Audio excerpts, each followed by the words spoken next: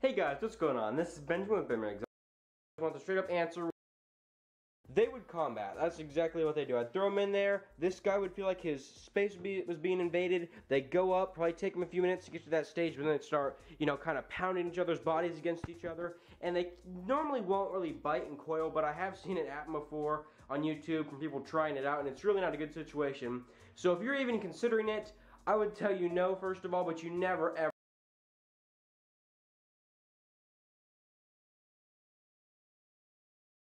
Hi, everybody. I'm Dave Kaufman. You ever wonder what it would be like to be at the beginning? Of Broward County, out west Broward, which was pretty much in the Everglades. And um, I started in reptiles at about seven years old, capturing local herps and selling them to pet stores. Uh, we're going all the way back to 1976 here.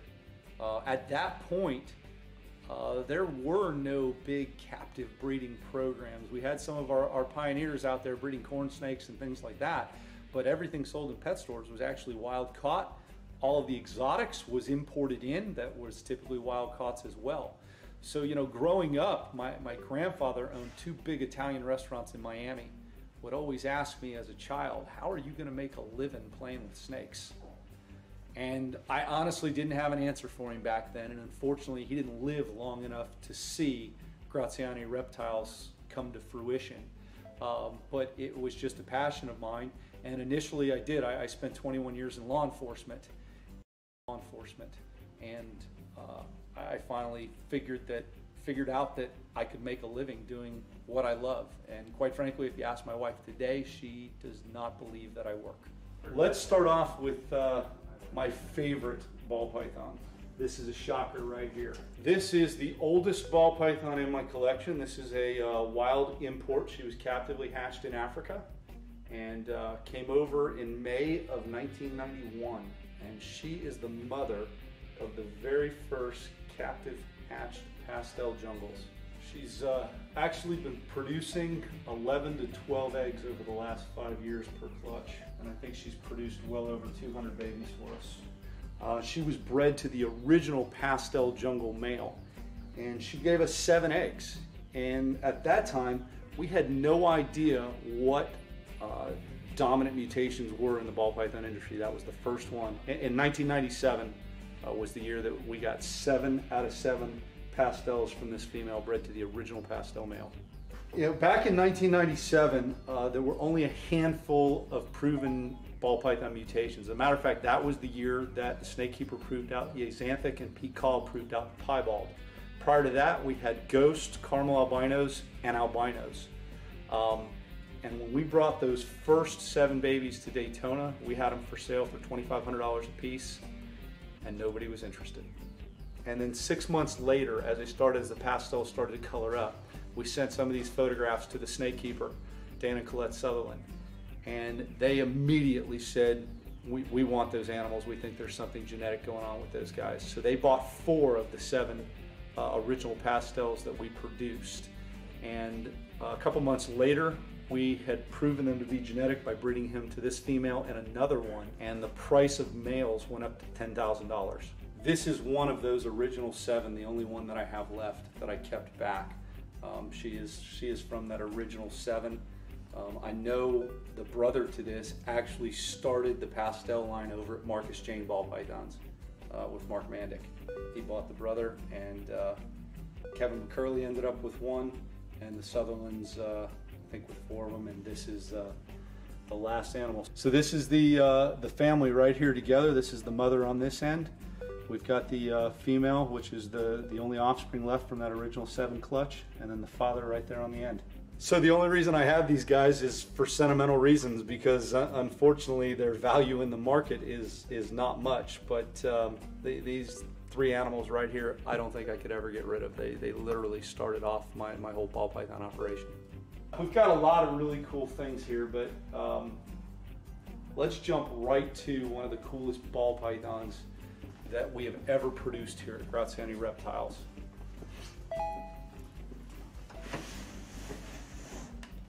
This is a leopard pastel highway, which means this animal has the leopard gene, the pastel gene, the yellow belly gene, and the gravel gene in it.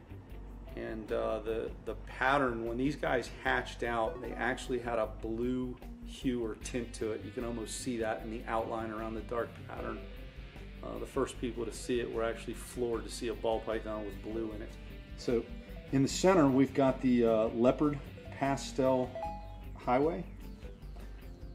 And then off to this side, the real light washed out animal. This animal's in shed, so it's typically a little bit brighter. This is the super pastel version of the larger animal in the center. And then over on the other side, we've got just a pastel highway with no leopard in it. The initial leopards um, came from Pete Kahl when he was producing out of his pied collection. What I think happened is when he was trying to make het pieds, we were getting in all kinds of wild, you know, females to breed to make his hets, and I think the leopard gene got in brought got brought in like that. Um, I had traded Pete a super pastel um, ball python for a piebald and a het pied, and what I ended up with was a leopard pied. 50% of the offspring were producing these piebalds actually got leopards and initially, we were thinking that the trait was definitely connected to the pied gene because the leopard almost looked like a low white pied pattern. Um, but after a number of breedings, we've proven that the genes are separable. We do have super leopards that are not piebalds, um, making the genes definitely separable.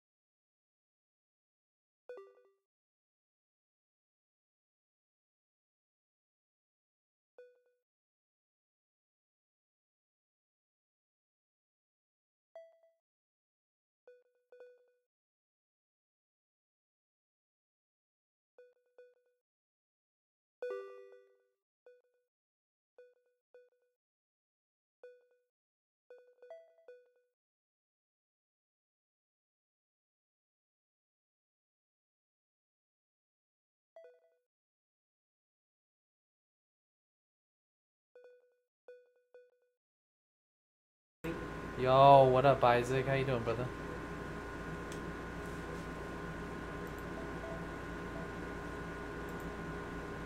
How the fuck you doing, brother?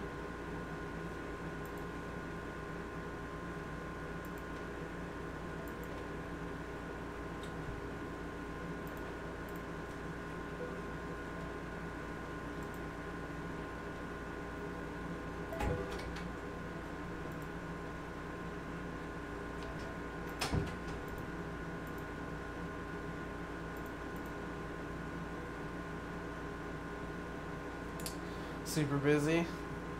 Yeah, at work. Oh, I'm doing good, bro. Yeah, I'm hanging in there. Actually, uh, just got back from PT, so haven't really started trading today. Uh, waiting for this setup right here. This is a bull flag pattern. Dude, we dumped really hard yesterday. Well, not really hard, but we dumped like a couple hundred bucks yesterday. We're still trading in this uptrend here. So we'll see how she goes. We're already at the top of the range, so we might keep going up here. What's been happening, bro? You doing switches or something?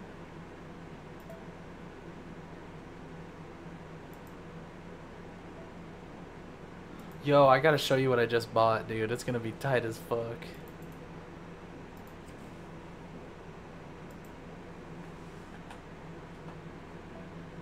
Oh, say what up to Ben, dude. Tell him hi. Griffin Man 23.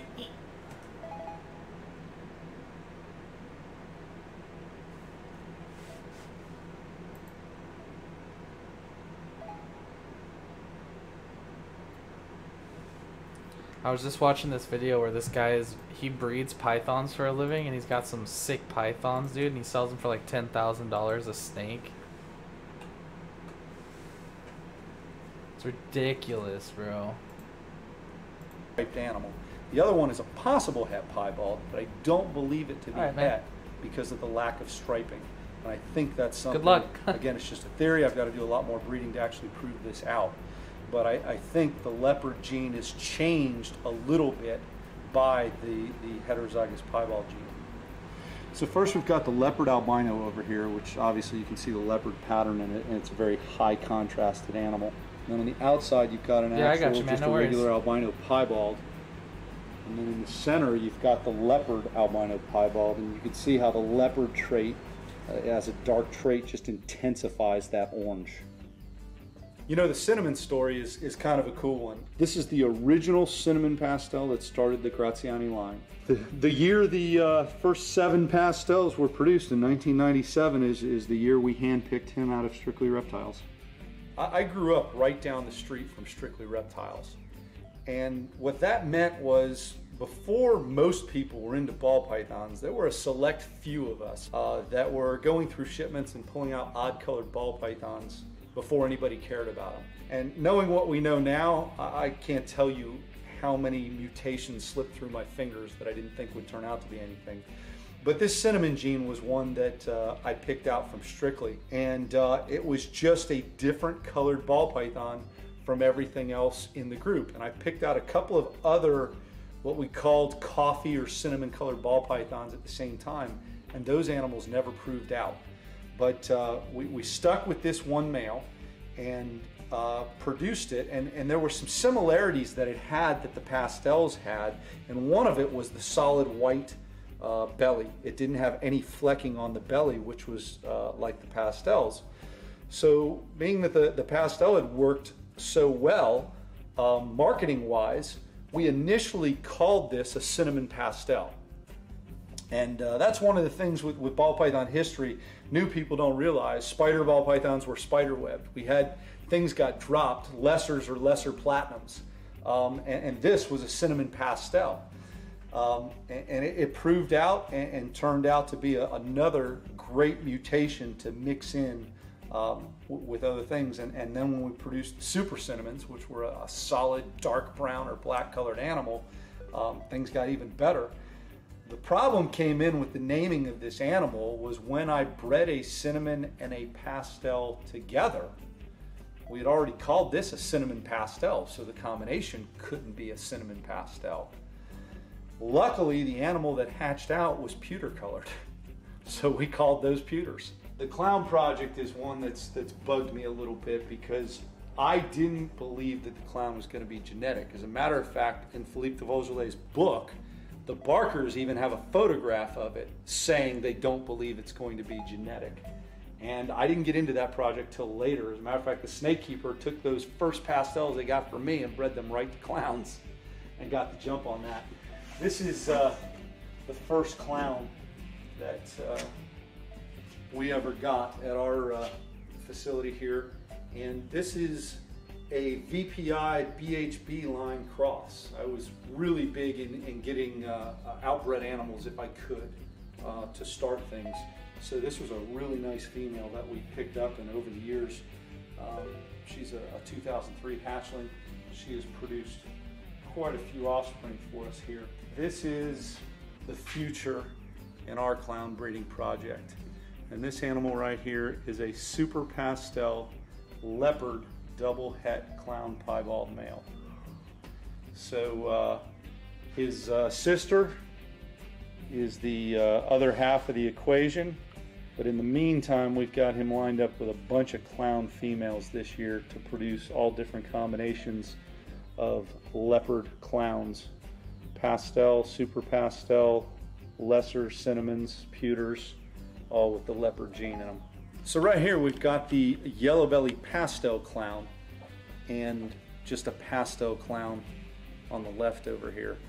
So you can see how much high contrasting the yellow belly has. It really accents and outlines that dark outline on the clown, bringing up a nice bright yellow color on that animal. We're going to take a look at a number of ball pythons that I handpicked, uh, most of them through Strictly Reptiles over the years, that just didn't prove out. But they're still incredible looking animals and, and I've kept them around. Most of them are females that have, that have produced pastels and other things. Um, this first animal here is what we named our velvet pastel because the black on this animal was velvet black. And as a hatchling, this animal was the same orange gold color as an albino with black pattern on it.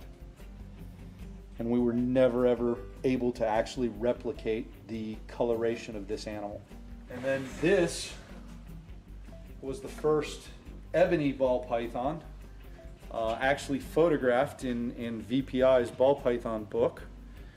Um, and again, as a melanistic granite animal, we were never able to reproduce or prove this out as well. And there were a number of things going on. We thought this would be genetic. The striping, the coloration, the granite pattern on the side. Again, just another project that didn't prove out for us. This is a melanistic ball python. Um, and it, it has almost the identical color to the ebony. It doesn't have the granite sides, but it does have the same color. And this animal has produced a number of pastels and uh, other combinations for us. But as the animal has matured, it has grown this growth right here. And every time it sheds, the growth becomes kind of opened up. And it appears to be pure melanin.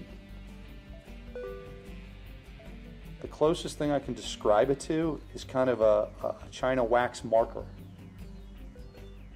And it, it doesn't seem to be injuring or, or hampering the snake, but as the surface of that comes off, it is literally just black pigment. So I, would really like to get this animal to some type of, of uh, dermatologist or somebody that could kind of look at that and see what this kind of tumorous growth is that has all of this melanin in it. But we were unsuccessful in reproducing any type of melanistic ball python from this animal. Bred to pastels, they produce really, really pumpkiny orange pastels. And, and that's one of the things with ball pythons. Um, with the chromatophores, we don't even know at what level the color layers are and how many colors are actually in ball pythons. And that's uh, why we keep creating new and, and, and crazy color combinations because sometimes one gene opens up the key to something else and, and we just keep creating more and more and more. What's your opinion? Knowing what we know now, if you could go back to the beginning and work with any ball python morph, what would it be? Comment below and share your opinion. You know, one of the things that makes herpetoculture so incredible, especially in this day and age, Hey, what's up, you guys? Dave here for the Reptile Channel. So, about 10 years ago or so, I had just released a film called 13 Hours in a Warehouse, and for my next project, I really wanted to do a documentary. And one day I'm cleaning snake cages, and the idea for that documentary just hit me. Do a documentary on what it means to be a reptile fanatic, and from that idea, this movie was born. This is Herpers. And in this movie, crested geckos and bearded dragons and veiled chameleons and I was pretty well known for, for those kind of animals. And then in 2000 I started acquiring ball pythons and I really got bit with a ball python bug. Um, I ended up eventually transitioning most of my collection over to ball pythons. Uh, there just isn't enough time in the day to do all the geckos and chameleons and bearded dragons and everything and ball pythons. So I was really interested in making all these different ball python color mutations, uh, doing different combos and stuff. So I decided to devote most of my time into the ball pythons, and now that's almost exclusively what I do. I still have some geckos, but uh, you know, 95% of everything that I do now is ball python related. There are about 358 breeder females or holdbacks will hopefully be breeder females this year. I've got about 80 breeder males in this room, and then I also have uh, probably about 340, give or take a few uh, hatchlings and yearlings that I'm raising up to breed. So this this room is uh, it, it's yeah it's there's a lot of snakes in here, and um, the the room itself takes about uh, between 11 and 13 hours a week to take care of, to do all the feeding and watering and cleaning and everything. And uh, but yeah, this is where I this room is where I house all of my my best stuff, my pet projects, like all my clown pieds and like all the stuff that I really like a lot. And I'm the only one that, that does all the maintenance in this room. I just want to make sure it's done exactly the way I want it. I'm, I'm kind of picky about that. And uh, yeah, so I um, this is this is kind of my my room where I can just come and relax and just check out the snakes. And I spend a lot of time down here. I've got a TV on the wall. I watch movies and stuff while I'm in here working on on my animals. And uh, it's it's the most fun part of the business, or at least the, uh, the the work that I have to do with the business, is the days that I that I'm in here.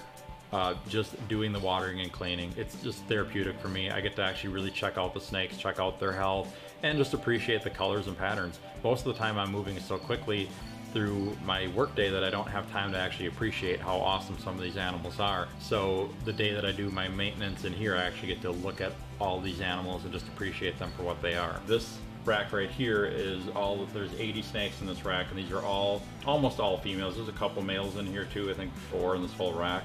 Um, but these are all female 2015s that are going to eventually go into my breeder racks. This rack here and two more racks just like it are all my 2016 holdbacks. So I went a little nuts in 2016. I just, you know, it, it was so hard. I mean, I hatched out so many things that I just, I couldn't let them go. And I, you know, I started thinking like, well, if I keep this, I can hold it back and I can, I can breed to something else and I can make even better things and then I can hold those back and you know I'm always thinking like two or three steps ahead in the process to make the perfect ball python. And the problem with the perfect ball python is there's no such thing. Perfection is unique to each person in what they have in their mind's eye what they want to produce. So I'm just trying to make a whole bunch of perfect ball pythons of all different colors and patterns and and um, so that's basically what I'm trying to do. This is one of my favorite males. This is a banana calico and enchi. Calico and banana just go hand in hand so well, um, especially if you start throwing other genes in there. Like certain genes like enchi and yellow belly are really, really good to add into calico and banana. Yeah, that's basically what I'm trying to do is find I'm doing a lot of experimental breeding here where I'm trying to figure out what are the best combinations that are going to make the prettiest babies. All I want to do, I don't even care necessarily what genes are in a specific animal, I just care that I'm making the absolute prettiest snake that I can. And so I'm just, I'm doing a lot of experimental breedings, like one year mixing certain things with calico, next year mixing certain things with, you know, enchi or sugar or pastel or whatever the genes happen to be. Just trying different combinations to make different things. And if I like the result of it, I'll work on making more of those. If I, if I say, oh, the result, to start a new, definitely ready for next year. And uh, just another another way I can mix calico and banana into different combinations of babies. So this one, I believe is the, I know it's the world's first and I think it's still uh, one of a kind. This is a Super Mystic Lavender Albino. Didn't really turn lavender, at least not yet. I bred a, a Mystic Lavender Albino that I hatched out a couple years ago to a Mystic Possible Het Lavender and produced this little guy here. Just the snakes in this room alone take me probably five hours to feed I usually on Mondays I feed all the 2016s and then um, Tuesdays I feed all the 2015s and all the, the breeders. Yeah, they don't all get fed every week. Um, all the, the youngest ones do and like the, the ones that I want to get up to breeding size the quickest do. But a lot of the adults just don't need to get fed every week. You know, they get a good sized meal every other week. Um, and I feed them every week if I can. But like my breeder males at this time of year, I don't want to keep taking my males out of the breeding racks and into their own racks to feed them every week. It's just too disruptive to get all my the females bred. So I only remove them every other week and then I feed them and then I put them back in with the females like two or three days later once they're kind of like partially digested a little bit. Um, almost all my males stay on feed all year long or at least all um, breeding season long. And ball pythons are kind of notorious for the males going off feed during the breeding season. I probably have, in this room alone, I probably have like 80 to 85 breeder males and probably you know 75 of those are eating rats really consistently. I've got a few that are mouse eaters and then i even have a couple that go off feed for a couple months at a time but for the most part they just keep eating the whole year. This is one of my favorite holdbacks from last year. This is an orange dream fire yellow belly 100% het pied male uh, just a lot of cool combinations all in one snake and, and the fact that he's het pied even as a little ringer here. Have a coral glow bamboo woma, um, a little bit more subtle coloration but I think he might be going in a shed right now. Pretty sure this is the world's first. Here's one of my favorites from last year. I know I say that a lot, but this one I really mean. This doesn't know what he wants to be. This, I believe, is a Paradox Pastel Clown Pied. It, it came from a, I think it came from my Pastel Clown Pied bred to a Pastel Possible Het Clown Pied. This part here is obviously super pastel pied. Uh, head is definitely not clown. There's a little patch right there that's got some spotting in it that kind of reminds me of like a pastel clown. And then this part looks clown to me. So I'm pretty sure that's what that is, but either way, really crazy looking baby.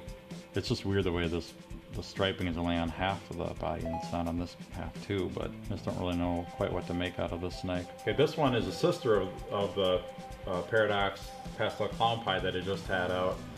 This one is a Paradox Pie that's possible het clown. Look at the black on her.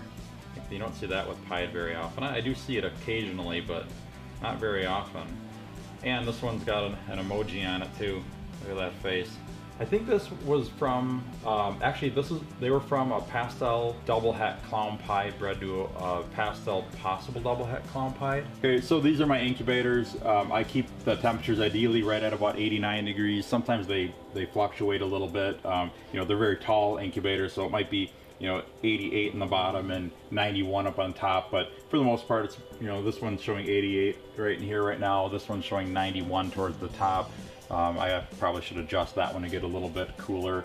But uh, basically I just put the, the eggs, um, I've got a layer of vermiculite in there. I completely saturate that with water. Then I put a light diffuser in there and set the eggs on that. That way the eggs aren't touching the vermiculite itself, but the humidity in there is very, very high.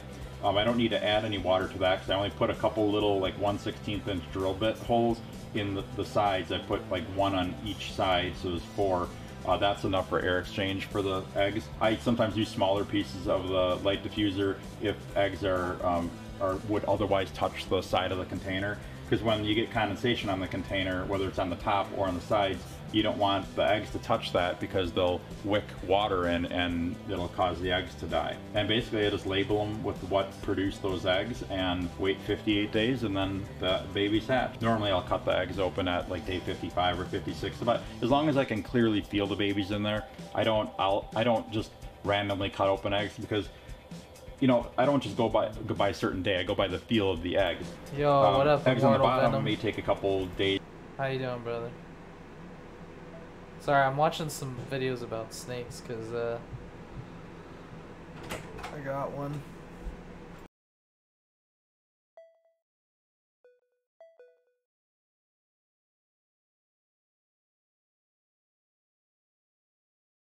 days or even a week to incubate longer than the ones up at the top because it's a lot warmer up at the top. Warmer is going to make them uh, incubate quicker. So anyway, um, yeah, that's basically how I do it. And uh, I'm getting pretty full here. Within uh, two months, I'll probably have at least these two incubators completely full. I've got a third one there. Last year, um, I had all these full basically for like six months straight. It was just insane. So every year I tell myself that I can't hold back so many babies. Um, I've been producing a lot of them for a long time. My last three years have been my three best years I've ever had. Um, 2014 I produced 2200 babies, 2015 I produced 2300, 2016 I produced something like 2650. So every year I tell myself, this is the year I'm gonna sell everything I produce, I'm not gonna hold much stuff back. Um, the problem is that once the babies start hatching and I see some of the stuff that comes out and it's just absolutely incredible, and I just decide I can't sell this one, I can't sell this one. Well, I can fit one more baby hold back in there, and I end up holding back like 200 babies every year, mostly females, but I probably hold back, you know, 50 to 60 males and probably 150 females every year. this is a nice little killer pied or super pastel pied that I hatched out. Had a few of these hatched this year. Got some that are actually 100% het clown. Uh, this one is not, but I always like to keep some of the firsts of anything new that I produce, even if they're not world's first, if they're just new for me. I like to keep, and this was the first super pastel pied or killer pied that I hatched out, so I decided probably should keep her.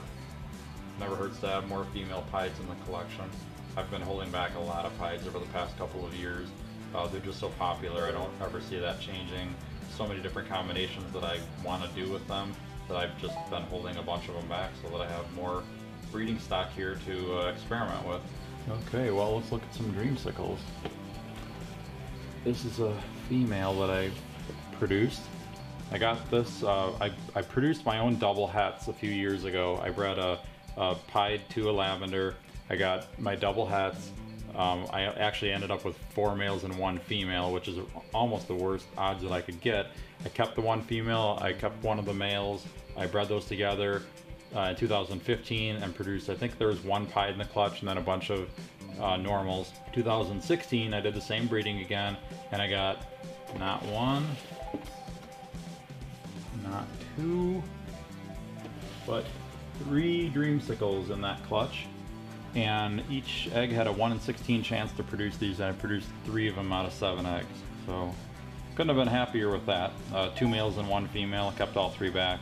I always like to have a backup for every breeder male that I have, so decided that uh, two males would be a good idea there. And then the female, I'm not sure what I'm going to do with her. I'll probably breed her to like a clown pied or something and make quad hets. Or I guess they'd be pied, double het, uh, lavender clown. Um, whatever, I mean, I'm sure I can find something fun to do with her. Okay, so this one that I want to show is a pastel clown pied male. And he is actually hopefully going to breed with this pastel double het clown pied female. I hatched him out, I think it was in 2014, and uh, I hatched him out from a, a, pair of pastel double het clown pieds that I hatched out myself. So it's a he's a second generation baby, um, and he's breeding now. I, I actually got a couple clutches from him last year, and at the time when I hatched him, you know, he's obviously the only one that I've ever hatched. Uh, the chances of hitting on a pastel pied male in that clutch was only 1 in 32. It's a 1 in 16 chance to hit on the pastel pied, but then only a 1 in 2 chance to have it be a male. And I actually had somebody that really, really wanted to buy the snake for me very, very badly, and uh, uh, I was offered $12,000 for him, and I turned it down.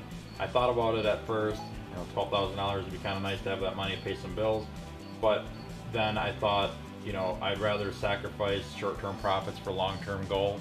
And uh, my goal was to make more of them, and the best way to do that is to have a male. So I, I decided not to sell him, and I kept him, and he's been breeding for me ever since then. Uh, I think I've got two clutches on the way from him right now. Uh, I've actually got a clutch incubating from him too, so he's doing a pretty good job. I'm asking a lot of them, and he's probably got 10, 10 or 11 females that I want to breed him to this year. Um, but he's he's been breeding them okay, so and he's still eating and everything. So hopefully he will continue to do a good job for me, and I should have some of these available to sell uh, probably this summer, sometime this summer or fall. So the main focus that I have with ball pythons now is not necessarily trying to create something new. I do a lot of experimental breedings to see if I can make something new that looks good, but I'm not really that much worried about getting the most complex genetic snakes. Like I don't care if I produce a six gene or seven gene snake or something like that. Um, my main thing is to make snakes that people like. Uh, for example, blue-eyed leucistics. Um, I just want to make a lot of those because I know that I've got a lot of customers that request those. So I want to make as many of them as I can. The customers tend to want what they want. You know, they want something that, that they think is a pretty animal. They don't necessarily, at least a lot of them, uh, especially people that want to get a snake as a pet, they don't necessarily care what the specific genes are in it. If you want a white snake with blue eyes, you want a white snake with blue eyes. It doesn't matter if a butter made it, or a lesser, or if you have Mojave in there, or Mystic, or whatever, whatever the combination is, the end result is they just want a white snake with blue eyes. So I'm trying to, to do that. You know, when it comes down to it, I'm trying to produce pretty snakes that, that the average person can look at and say, wow, that is a really cool snake. I want that in my collection.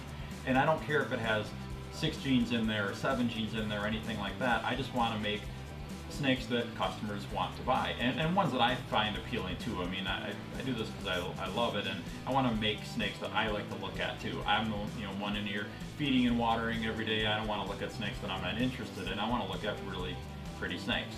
So I figured that um, I want to try to come up with different combinations of really attractive snakes that people will look at and say, I want that for my collection. And that's basically what I'm trying to do here with, with all these different uh, mutations that I have.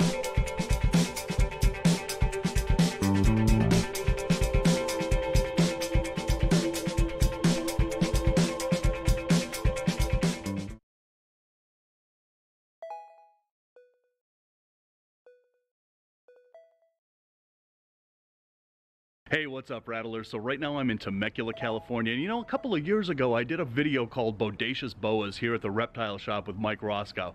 He has some amazing boas. He showed us some amazing baby boas, and I'm going to do a follow-up video to Bodacious Boas to see how those baby boas have grown over the past two years. So let's go see what's new with Mike Roscoe's Bodacious Boas.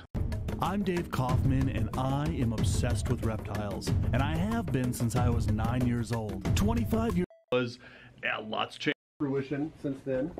And uh, one of the things we were working on last time was some Scoria stuff. That's right. I remember uh, that. And uh, Oh yeah. this is one of the babies from last season. So I haven't met this girl yet. This is actually a boy. This boy yet. And so you guys saw the female from the last episode, and this is actually one of the babies from her. wow. And uh, he's uh, he's making his making his uh, way toward hopefully uh, getting some jobs done this season. This is a Scoria Jungle, 100% het sharp. nice. Turn that off for the sound. there we go. So this is a Scoria Jungle, 100% het sharp, and uh, it's a male, and I hope uh, we get some good action out of him soon. Two years old, you said? Yeah, so he's um he's just shy of two. Wow, what a gorgeous snake. Scorias are my favorite. So he was born uh, June of uh, 17. June of 17, okay. And he's totally in blue. Of course, because I'm here filming. Yeah, exactly. Yeah, yeah. You know, why show off all your beautiful colors when, you know, you can shed tomorrow after I leave? Yeah, he, that's he's literally, but you can still see he's got some. Uh, Oh, yeah, even in shed, he even in glows in, the dark. He's got some cool stuff. Look at on. that. And a lot of people ask how I know that he's jungle, and I've seen quite a few scorias. Yeah. And one of the one of the telltale signs is these dashes that are apparent on the side. Usually they're a little more symmetrical Sure. and medallion shaped. So So, the- these are what you're talking yeah, about so right those are normally medallion shaped instead of instead of random dashes. Right, like you right, can see on sure. this side, it's a lot of lines and dashes, and that's how I know he's a jungle. I'm really stoked. I have big plans for this guy. I hope uh, he does some good stuff in the future. And then I'll I'll talk a little bit about. Uh, a lot of people say that um, scorias have a head wobble like a Yeah. spider ball. Like a spider, does. right. And I have some seen a few that have a little bit of a wobble. You can see this guy's got good locomo- uh, good locomotion, Yep. And uh, he treads well. He acts well. Yeah, that doesn't look like any wobble to me. No. What are your plans to breed him to? So I've got a couple options. So one of the options would be like uh, like a big sharp snow glow female. Oh, yeah. And uh, make some sharp sun glow scoria jungle stuff. Yeah. And then another option might be to ma- breed him to uh, to a combo like uh, maybe like a hypo motley het sharp, something that's going to give me a little diversity and maybe a little more pattern. Sure. One of my likely candidates is a uh, is a big Aztec het sharp female that's nice and dark and burgundy. And I think that might uh, and nobody's done Aztec scorias yet, so I think it might be something cool. Nice. Yeah, so Scoria are my favorite boa for Yeah, sure. They're awesome. And that one is just awesome. Thank you. They, they top my list as well. Yeah, definitely. So definitely. Let's, let's go down the line. So this is a this is a sharp snow, or I'm sorry, this is a VPI T positive snow glow. Um, she's from 2016 as well, and uh, actually she's from 2016. She was sitting in her water bowl, and so this is the visual form of a hypo anerythristic VPI T positive. Nice. So this is a female, and uh, she is from 16. I love what the hypo does to snow, but then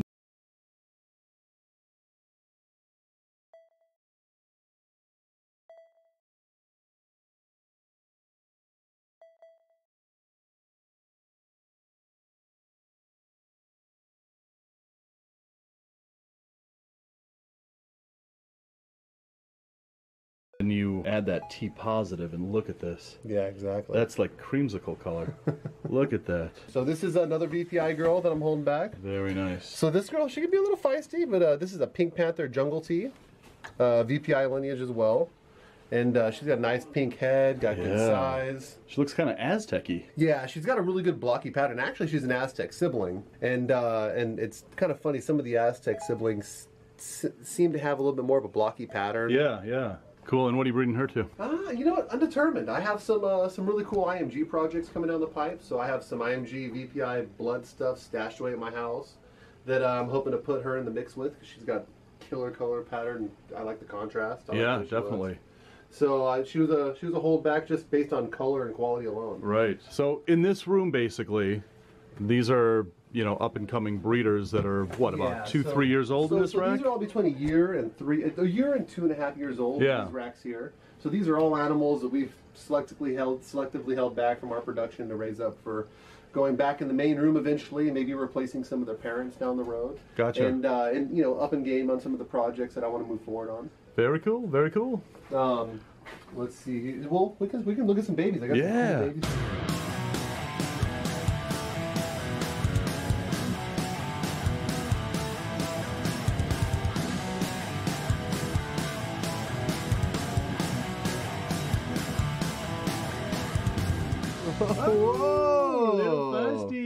Little feistiness going on there. He's a very friendly snake. So this is a Red Panther from the Red Panther lineage. so Red this is just a regular Red Panther tea.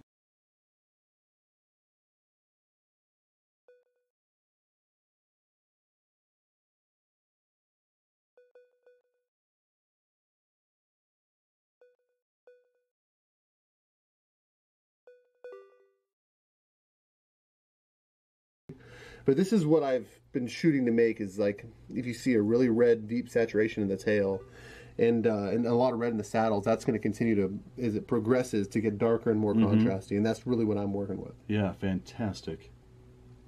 Well, in the follow up to this follow up video, we'll have to see what this one looks like. as Yeah, goes. this is a killer animal. Yeah, see if he's still, you know, sassy. It probably probably will be based on today. Yeah, yeah. Wow, gorgeous snake. So this is from our Red Panther project that we were talking about last year. Yeah, and this is a Red. Panther Sunglow Jungle. Look at this one. Holy buckets. Yeah, this is one of the uh, the creme de la cremes from the litter. I like, I really like that stripe all the way down. It's almost perfect connecting. There's a couple small breaks, but it doesn't get a whole lot more connected for a striped jungle than that. So this is a Sunglow jungle from the Red Panther line again, and uh, it's so it's a VPIT positive Red Panther Sunglow jungle. Yeah, looks like the Rosy Boa phase. Yeah, exactly. it's got those stripes. Yeah. Now, is the stripe genetic? The last one you were looking at, so this one and this one are actually siblings. Okay. So they're from the same litter. So it just shows kind of the variability that you have in some of your jungle lineage stuff. Okay, I'll take this one. yeah, so do I. There's a lot of Pink Panther, Red Panther, Pastel Dream, Monster Tail. There's a lot of different, and all these are is all it is is nomenclature for a pastel lineage. So a, a, a lineage is somebody developed that has good color and has some differential looking variations in color from one Right. from one uh, strain to another. But it's all it's all typically based on somebody's production. So I, the Red Panther gene actually came from uh, Perfect Predators, and uh, and he he worked with a couple of pastel Manny, lineages. sure, yeah. Manny's. Worked with a couple of pastel lineages, and I really liked what I saw. So we've been doing a lot of work to refine that and kind of you know jump in on the project, Nice. make it somewhat of our own because we put a lot of work into it. Sure, sure. Very cool. All right. Moving on. Moving on, moving on. So this is a Pink Panther Sunglow Jungle female, and it's uh, 66% het anery that we're raising up. She's got a like if you look at her overall, she's got a real reduced look to her. Yeah. As far as color goes, it's a little bit muted It is comparative muted, to some of the other stuff that I've shown you, and that's because I believe that she's het anery. And what she would make is uh, what we were looking at earlier in the video. The snow glow, if it proves het anery, you'll make snow glow jungles. Right. So explain to us why you think that this is het anery because it's diffused. So the reason I think it's het anery, so anerythristic is the lack of a, of a color pigment, right? Sure. So when you have a lot of heterozygous animals that are carrying a heterozygous trait, sometimes they'll show some like little uh, little hints or markers that people call. Right, like the And, uh, train tracks on a pie, right, het train pied, tracks on a right. het pied, exactly. So one of the one of the markers that I've noticed with stuff that's het anery or possible het anery that proves is that it's got some muted color. So as opposed to siblings in the litter, you might have one that's bright and just you know clear as day, probably not going to prove. Got good contrast. You, but if you look at overall this animal, this animal's got a muted look. It's Yeah. got wide eyes. It's uh, it's got an overall lighter color than you would expect from a sun glow jungle. Right. So a lot of times the sun glows like uh, here. Let's do some comparisons. So that's a so those are both sun glow jungles, right? And yeah, they're different lineages, but you have a you have a really bright, bold color, Sure. good contrast. And if you look at her, she's a lot lighter in color. Yeah. Reduce it's, it's her color is muted overall a little bit, right? So that would suggest to me that she's probably het anery. Now she's 66% het, as the pairing was a het to a het. So she's got a 66% chance of proving het anery. And I, I have a strong inkling that she's going to prove.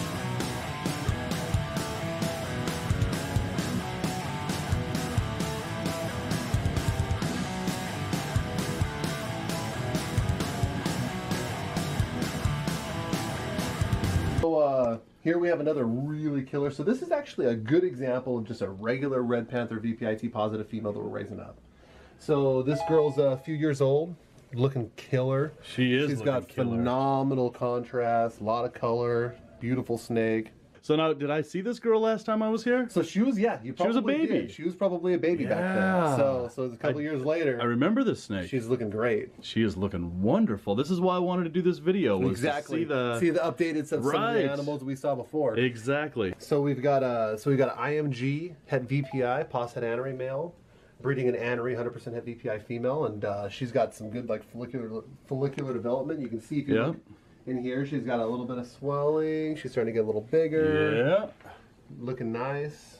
But look at this though. You know, the males over here, females over here. They breed like my snakes do. you know, he's been putting in work for he's been putting in work for a little while, and Yeah. uh, so IMG stands for increased melanin gene. And so what happens? These guys start out looking somewhat like a dark, ugly, normal snake almost. Right, right. And uh, as, they, as they get older and they shed, they increasingly have more melanin coming in. So it- hence the term increased melanin gene. So for their about the first year of their life, they really you see you go they go through what's kind of like an ontogenic color change, mm-hmm. and they go from a light kind of average looking Colombian boa to an almost solid black boa in some instances.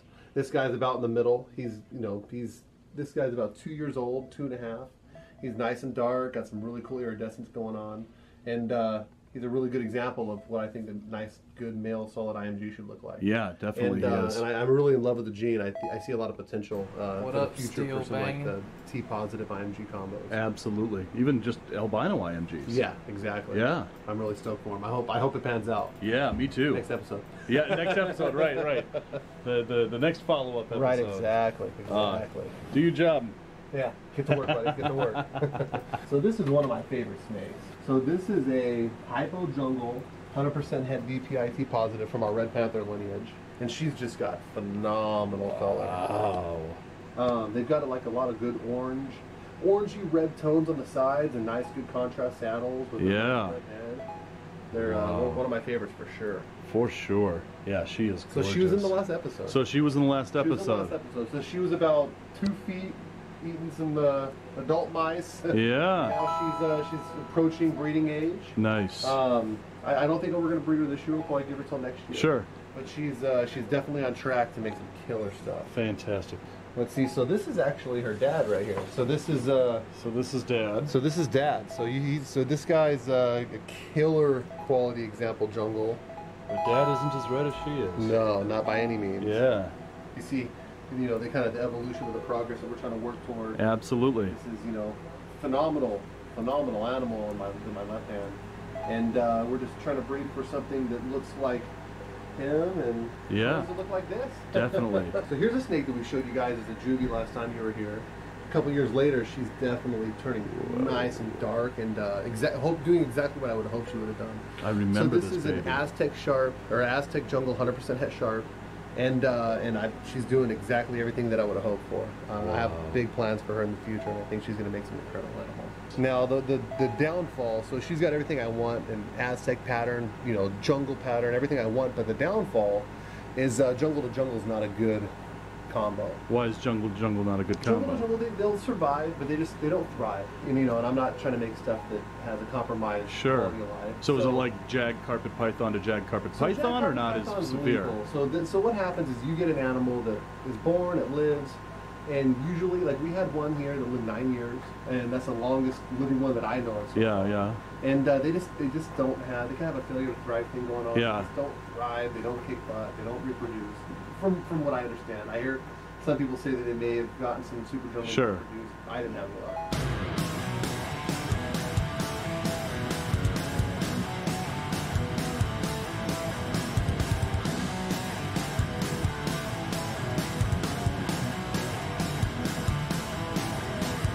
All right, look at this. Fresh from the Pomona Super Show. Yeah, that's just we're unpacking. The show was yesterday. We're just getting back in the mix, getting things put away. Yeah. But I uh, figured before I put it away, leave some stuff out so we can do some videos with you guys and show you some of the cool stuff. Right on, right on. Because I didn't film these enough at the show. So, so you were telling me about this feisty little dude. Was a wild caught hypo? So his dad was uh, was from a Colombian import, and it was it was like 1,500 animals, and we had picked him out. and We thought he was a hypo, and this was about 14 years ago. Yeah. And uh, so my buddy Mike Neely actually had him, and uh, he's actually the one that got him. He picked him out, and I picked out another female that I thought had some circle back ladder toe characteristics. And when Mike moved, he brought me the male. He was kind of cutting back. Sure. And um, so uh, produced a bunch of normal looking babies, but a couple of them had a weird kind of hue to them.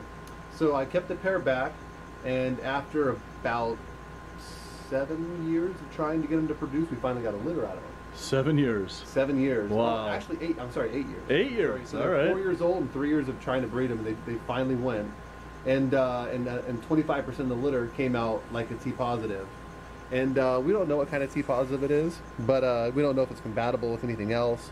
But we do know that it's definitely some kind of T positive albino, and it doesn't look like anything else that we've had or seen. Yeah, that definitely looks caramel. We haven't named the project yet. we don't know what it's going to be called. Um, Name it the Rattle On Morph. We had the rattle on Morph. Yeah. So you heard it here first. Here's the Rattle On Morph of the boa. You're not laughing. No, I'm, I'm, I'm letting you run your game, man. you mark. That sounds like a good marketing ploy, man. I'm game. Oh, right on, man. Yeah, that is a good marketing ploy for me. you always have some of the coolest stuff going on here. Thanks. I I'm gonna I'm gonna do like 12 more videos just on everything you've got going on here. Man, I'm, I'm, I'm stoked to have some cool projects in our hands. And Yeah, well- I look forward to the future of boas and the future of reptiles in Yep, general, man. absolutely. Uh, well, your your hard work and dedication.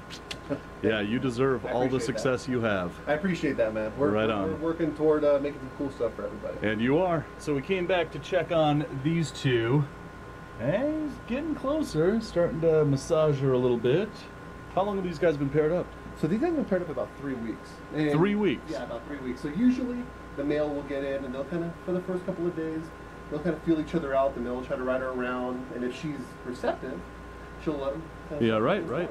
And uh, I saw a walk from these guys about two weeks ago. And I've seen some follicular development from her. You can tell that she's got some swelling going on. If Yeah, look- she's got some girth. If you look close, you can see uh, it's a little bit bumpy in here. Yeah. So you can see like like one, two, three. Those bumps that are in that section of the body, those are going to be follicles that development, developing, Mhm, and mhm. what we hope that those be one day will turn into ova and become babies. Sure. But he's gorgeous. Yeah, I love that male. He's a he's a phenomenal male. He's a proven breeder, and uh, he just he's a he's a good he's a stud male. Yeah. He gets it done. So this is a male super sunglow jungle, and what that is, and that's a super hypo jungle sharp albino. So he's got he's got four genes going down there. He's got hypo twice, sharp albino, and. Gotcha. And the female is a sharp snow glow. So the female is a hypo anerythristic sharp albino. And I don't have a lot of anery stuff in my sharp gene, so I'm trying to bring a little bit into it. Yeah. Down the road, I'd like to make some uh, some like sharp snow glow combo scoria stuff. Score. I was just gonna say the albino so- scoria. Exactly. So I'd like to bring some some uh, anery, and we also have an IMG sharp project we're working on this year. Nice. Um, that's actually uh, he's been breeding over on that side of the room. He's a IMG 100% has sharp snow. Oh, nice. So he's breeding some of the uh, some of the hypo jungles and jungle stuff that we have. And Fantastic. what we're going to do down the road is hopefully end up with a couple of you know completely unrelated outcross animals that are IMG sharp stuff and uh, Scoria sharp stuff that we can then put together down the road and make some really killer. You know, maybe the possibilities could be, you know, even a snow glow jungle IMG Scoria. Okay, there definitely will be a follow-up video to this follow-up video. Yeah, exactly. So so keep keep keep the progression going. Right I'm, on. I'm really excited for this stuff. totally, I'm excited to see what you what uh, what comes out of this Yeah. pairing and all the pairings you do. I'll you so some pictures. I'll please do, please do. Maybe in the maybe in the comments of this video, when the litter comes down the road, I'll upload some pictures. Oh, that would be idea. awesome. Yes, do that for fantastic. The Rattlers would love that. That'd so, awesome. Mike, thank you so much for having me over here and uh, showing me how these babies and how these juveniles are, you know, growing up and becoming breeders. And that's exactly why I wanted to do this. I'm glad so, you guys came back. To see some of the progression. See some of the animals you guys saw. You know, as babies now, you know, jumping into the breeder room and making their way into our collection and hopefully uh, into your guys' hands eventually. Awesome, awesome, and definitely there will be another follow-up video to this follow-up Let's video. keep rolling. So cool, cool, awesome, cool. man. Thanks for coming, Dave. Right on, man. Thanks for having me. So, Rattlers, there will definitely be a follow up video to this video. And like Mike said, he's going to try to post some pictures as these babies are being raised up and what they look like on our social media. I'm going to put links to all of our social media and Mike's social media. So be sure to check that out. That'll be in the description below. Also, hit that like button, hit that subscribe button, and as always, hit that bell so you never miss.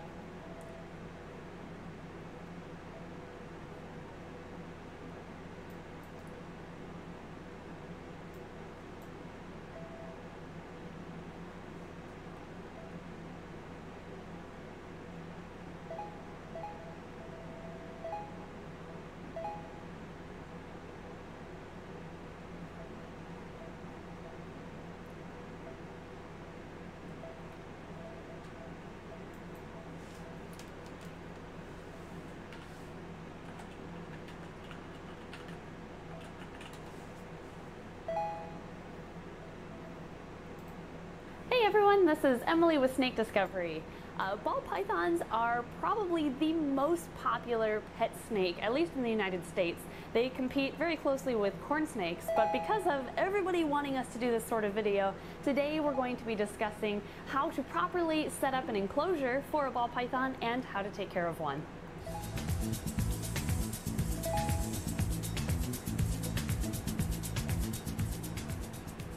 Let's begin with a proper setup for a ball python and we'll go into the other details later. There are two main routes you can take for what to house your ball python in, one of which being a glass aquarium and the other option being a plastic tote or tub. Now there's a big controversy on which one works best with each species of snake. If you want to learn the pros and cons of each side, we recommend just watching this video right here because I'm not going to go into details with about that today. Instead, if we had to choose one or the other for a ball python, we would recommend a plastic tote, so that's what we're going to set up in today's video.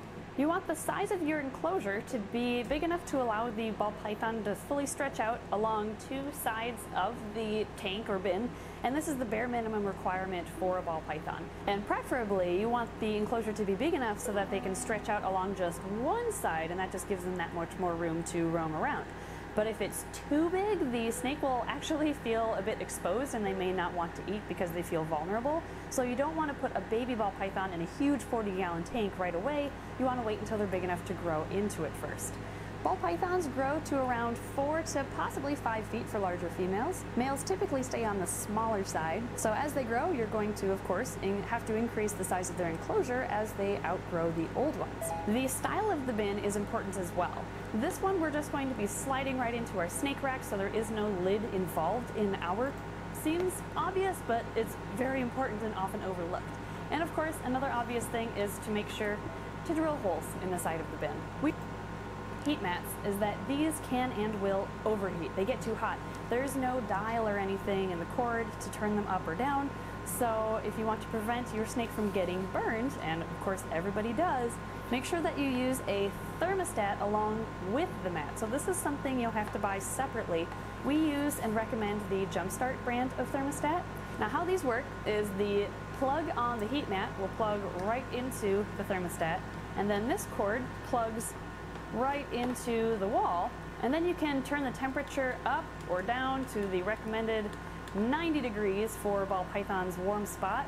Set it and then this will actually heat up the mat and control the mat's temperature and it'll turn it on and off as needed to keep it within 2 degrees above or below 90 now the last cord on this thermostat is very important. This leads to the probe. The probe here will actually measure, this is the thermometer essentially, and it measures the temperature of wherever it's sitting. And so you want to set this where the ball python will be sitting right above the heat mat. This goes inside of the enclosure, not outside of it, because of course the ball python is inside of the enclosure. The unfortunate thing is these thermostats come with this little suction cup that will stick you know, temporarily to the plastic, but it doesn't take much for the ball python to just push it and then it, be, it pops right off. And when the probe pops off, it reads the cooler temperature since it's further away from the heat mat, and that makes the thermostat think that it's cooler in the enclosure, so it turns up the heat mat and then it can get too hot. To prevent that from happening, you need to just very securely attach this probe to directly above the heat mat. And I don't even use the suction cups anymore. Instead, we use silicone sealant. And you want to use the 100% silicone. It's safe for uh, fish, it's safe for reptiles. This comes in just the bottle alone, and then you put it into a silicone gun, and then you can press the silicone out. Then you can stick that probe right on the bottom of the enclosure where it will stay. Of course, you'll have to wait a couple hours for the silicone to dry before you can move on to the next step. But for today's video, since again, this bin isn't being set up like what you're probably gonna set yours up like at home, this is just getting slid into our snake rack. Um, we're not gonna attach the uh, probe in this video. So I'll just clear that out to make it a little bit easier to follow, but assume that I have a heat mat and a for the bedding or the substrate for ball pythons to go more of a drier route instead of a wet route like tropical soil. Some people will use tropical soil or cypress or some other humidity retaining bedding, but if a ball python is constantly sitting on wet bedding, they can develop scale rot issues on their belly. Because if you think about it, in the termite mounds, it's humid air, but it's not actually wet where they're sitting. The substrate we recommend, because of all of this, is just cheap old aspen fibers. You can also use things like newspaper or paper towels, but as soon as the ball python goes to the bathroom, that'll get soaked up in the paper products and it'll bump up the humidity and then the ball python's also sitting in its waste more rather than with aspen fibers the, these actually soak up kind of like a kitty litter box almost soak up the, uh, the poops and then you can just spot clean as needed you don't have to replace everything after the snake just goes to the bathroom once since ball pythons aren't a burrowing species of snake like hognoses are, you don't have to provide them with very deep bedding, just an inch or so will do just fine. This is actually the perfect amount. I wasn't expecting that. Now I'm actually going to, I changed my mind, I'm going to slide this heat mat underneath the side of the tank, to, or the bin, to remind us that this is going to be our warm side of the enclosure. After the bedding, it's time to add the decor in the enclosure. The, first and foremost, you need hides or caves. You want at least one hide on the warm end and one hide on the cool end, so that way the snake can remain hidden whether it wants to be warm or cool. And some people will use like half logs like this. They don't really count as one of the two hides because they can't be completely hidden inside of these. You can add them anyway, just for added enrichment, but you still need the caves as well. If you want, you can buy the fancy rock or resin style caves at pet stores or online, but honestly, mushroom containers that are cleaned out with a little um, door cut into them work just fine for young ball pythons. So I'm just going to set this on one side. This will be the warm end cave. And again, also, we're just pro uh, recycling whatever you can, and that also makes it a little bit cheaper. We'll put our other hide on the cool end. Next, you can't forget having a water dish big enough for the snake to soak in. You can buy the, again, the fancy reptile dishes, or you can buy dishes for small animals. It doesn't really matter. As long as it holds water and the snake can fit in it, that's all you need. One thing to keep in mind though is getting a dish that is first off deeper so the water doesn't just evaporate right away, and also you want one with a heavy base, otherwise the snake's just gonna tip it over.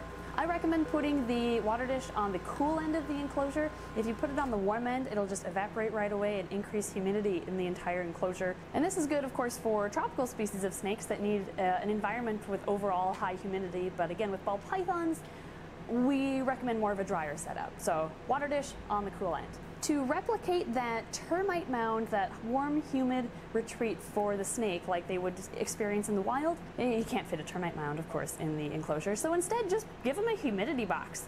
This is just a Tupperware container. It'll act as your termite mound and it's big enough for the snake to, of course, curl up in, filled about halfway with damp moss. To dampen the moss, you just take this dry moss, and we use sphagnum moss, by the way, you can take this and just dip it in water and set it back in. You don't want uh, standing water inside of the humidity box because again, if it's sitting in like standing water, that can cause scale rot issues. I've just uh, wetted, re-wetted, or hydrated the uh, moss in here. Put the lid back on. The lid should have a hole that's cut that's of course big enough for the snake to enter and exit. I would not put the entrance on the side because then as the snake exits, it's just gonna pull out all the moss with it. I found it works better to just put the, the, the entrance to the humidity box on top. And we're going to put this on the warm end of the enclosure so that it stays hot and humid inside. You can kind of build up the size of the substrate so it's easier for the snake to access. And now it might take a couple of weeks before the snake figures out how to use this, but once they do, they seem to use it like the perfect amount. Ball pythons are really good at not overusing their humidity box. You'll usually see them in here when they're about to shed their skin. And if you use a humidity box, you will never have issues with your snake shedding. I can almost guarantee it. We never have problems with stuck shed uh, ever since we started using these.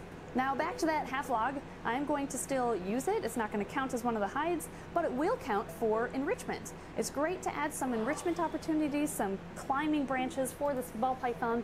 Yeah, they do hide most of the time, but when they're hungry, they're active at night, so you may as well give them some things to explore.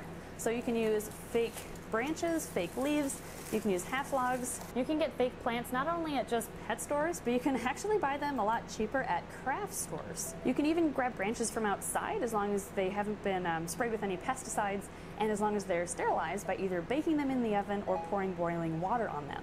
Once you're done putting some decorations in, you have to take a look at it and think, is this too much for my ball python? Because too much is actually a thing.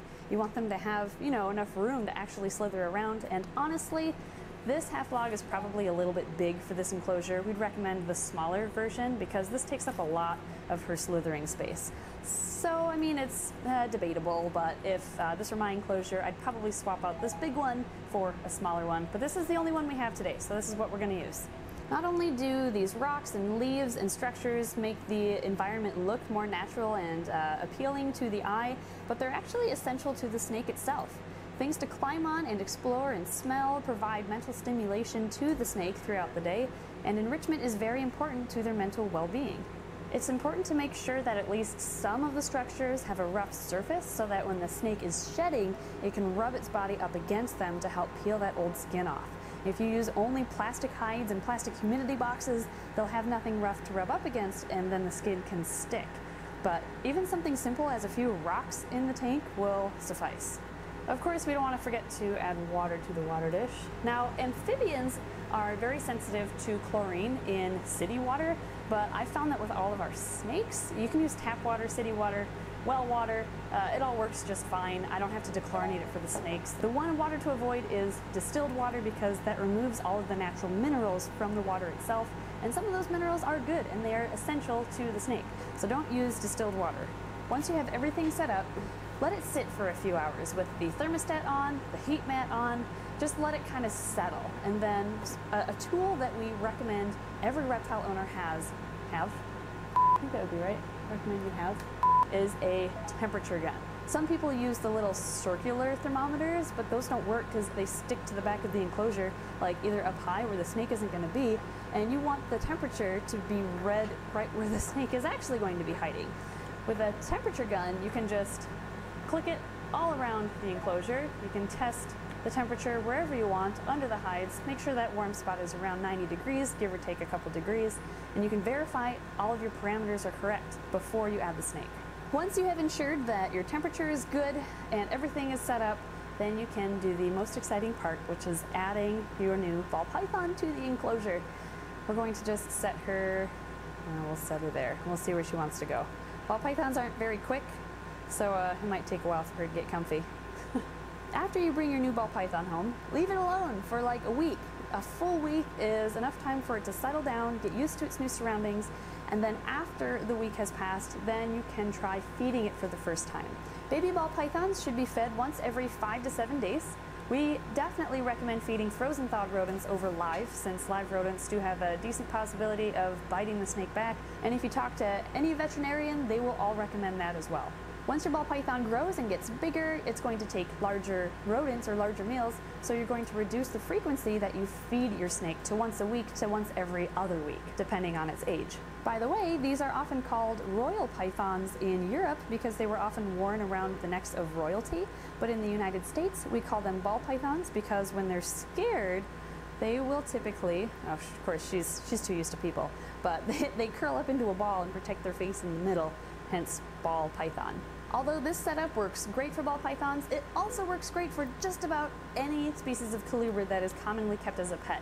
King snakes, corn snakes, milk snakes, you can use this type of setup for hognose snakes, bull snakes, with some species of snakes, you have to keep an eye on the humidity box to make sure they don't overuse it, since some will, but I won't go into details about that here. So that just about covers it. So they're very easy to take care of, easy to set up, as long as you, you know, do it correctly, of course, and they're very hardy, amazing first, like, beginner pet snakes. If you want to learn more about some of those other subjects we haven't covered today, like feeding inside their enclosure or outside of their enclosure, or housing them in a glass tank versus a bin, uh, I will link to those videos at the end of this one so you can learn more there. But anyway, thanks for joining us today and learning about ball python cage setup, and we'll see you next time. She's trying to poop again. Really? All right, well, let's just get this out of you. I am glad you did not do that on me just now. Ew. We're just gonna get this taken care of first, and then she'll be empty. Come on. Get it all out. Wait till after we're, we're sh- done shooting. Then you can poop more if you really want to. Ugh, okay, try that again.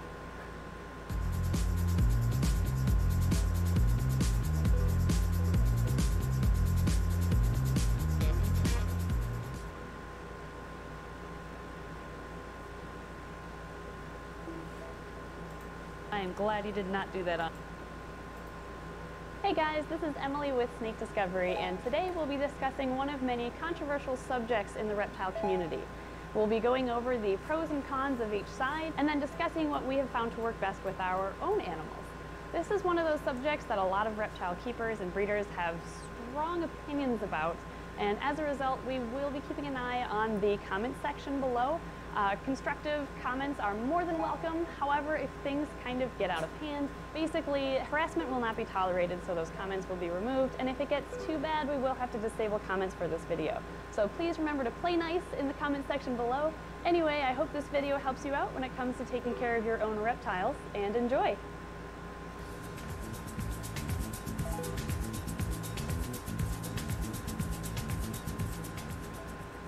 Today we'll be discussing the highly debated topic of whether to feed your snake in its enclosure or in a separate feeding bin.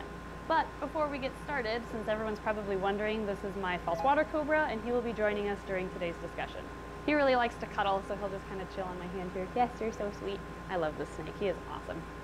Let's start with feeding your snake in its enclosure. A pro to feeding in the enclosure is that it's more natural for the snake because in the wild, a snake isn't being moved to a container to eat, it's eating where it lives. So as a result, a snake might be less stressed out eating in its own enclosure as opposed to being moved to a feeding container. More on that later. A con to feeding in the enclosure is that people for a long time have believed that a snake will become striky if it's fed in its enclosure because it will associate your hand going into its tank with having food and therefore maybe being food. However, this would only happen if the only time you went into the enclosure were to feed the snake. Then it might start to associate the two things.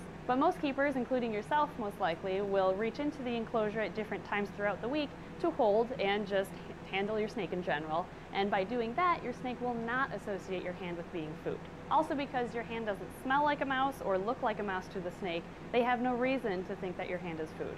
I have seen this association once with a young bull snake that we have actually upstairs right now. Uh, it was a younger bull snake that I would only open the bin to once a week feed and check water. Occasionally I'd go in a second time just for another check throughout the week, but she started to associate my hand with being food. And when I opened up the bin, she would slither at me, mouth open, expecting a mouse. So what I did was once or twice a week, I would reach in and handle her, and I haven't had a single problem since. It doesn't take much handling for a snake to learn not to associate your hand with being food. Another con to feeding in the enclosure is that the snake may ingest bedding while it's eating its food. If your snake ingests some of their bedding when they're eating their food, it's not that big of a deal because they can digest some substrate. And if you think about it, they have to digest some little bits that stick to their prey in the wild. It's when they ingest large amounts that it can cause impaction issues. This is more often seen with frozen thawed rodents instead of live because when you're feeding a frozen thawed rodent, it's usually wet when you offer it to the snake, and the snake will grab that rodent and then drag it around its bedding before eating it, and it sticks to a lot of that bedding, and then it eats the bedding as well. You might be thinking to yourself, well, snakes in the wild will sometimes eat bedding, and you know that's true. Sometimes their substrate in the wild will stick to their prey items, uh, but their substrate is a little different than the substrate that we offer them in captivity. And snakes that eat something in the wild, they might die. They might get sick or injured from eating that. So why would we want to risk that happening to our snakes in captivity? Our job is to make their environments as safe as possible. Anyway, one way you can get around the fact that they might ingest some bedding is to either not use any bedding at all, which we like to use some bedding with our snakes because it offers a form of enrichment. So the other thing you can do is when you feed a snake and you're using bedding, put their mouse on a dish of some sort inside of their enclosure. That way the mouse is separated from the substrate and it's less likely to get stuck on it. However, we found that some of our snakes will take that mouse and they will pull it off of the tray and drag it all around their bedding anyway. So we've taken it one step further and we'll take their plastic hide and flip it upside down and place the mouse inside of there. This we've found reduces the chance of them dragging it in their bedding drastically. Now let's move on to feeding a snake in a separate container. Obviously, there's no chance of any bedding being ingested because there is no bedding in a container. It also is kind of nice because it contains the mess of the mouse or whatever you're feeding your snake. However, there is a chance that with your snake, it might get stressed out from moving from their enclosure to a feeding bin and then they won't want to eat. Some will eat, but then they'll get too stressed out from moving from that feeding bin back into their enclosure and they may regurgitate their meal. Regurgitation, although it shouldn't kill your snake, is something you want to avoid at all costs because once a snake regurgitates, we recommend waiting 14 days-ish, about two weeks, before offering food again. A really good breeder friend of ours taught us that the stomach acids inside of a snake will come up with the rodent when it regurgitates and it will irritate the throat or the esophagus on the rodent's way up. So you want to give the snake a full two weeks for all of those resulting um, scabs in its throat to heal. If you feed too soon, the rodent coming back down, the new rodent might just open up all those scabs again. A lot of people online say wait at least five to seven days so that the gut flora can replenish. It's up to you how long you wait. We just like to play it safe and we wait a full two weeks. But avoiding regurgitation altogether is the key. Now, although some snakes will stress out and they either won't eat or they will regurgitate as a result of being moved into a feeding bin, a lot of snakes don't mind at all and they could care less where they eat. We have some snakes that will eat straight from our hands. Like they honestly don't care. Some of them are so good that we can actually bring them to programs and I'll bring them to a school and they will eat a rodent in front of an audience. And despite having a car ride to the school, they will still eat. And having a car ride back home, we've never had an issue with regurgitation. But we do have a few snakes at home that will regurgitate if they're looked at the wrong way, it seems. So it really just depends on the snake and their own stress levels. Another con to feeding a snake in a feeding bin is that it may get into what we call food mode, where once they eat something, then everything around them is potential food. They're, they're not the brightest animals. I mean, they're adorable. But when they get into food mode, that's when you kind of have to watch your hands. To get around this, you can wash your hands so they don't smell like rodents, you can also let the snake kind of settle down after eating for about 15 minutes before moving it back into its enclosure. And when you move it, you can either use a snake hook or you can take its feeding bin and you can maneuver it in a way near the enclosure so that the snake can slither in on its own. When we first got into reptiles, we used to take them all out and put them into separate feeding containers. But once we got so many snakes, we decided that, you know, that's way too much work. And we started feeding them in their own enclosures just because it was more convenient. And you know, I did find that I had a better feeding response from the snakes when I fed them in their own enclosures.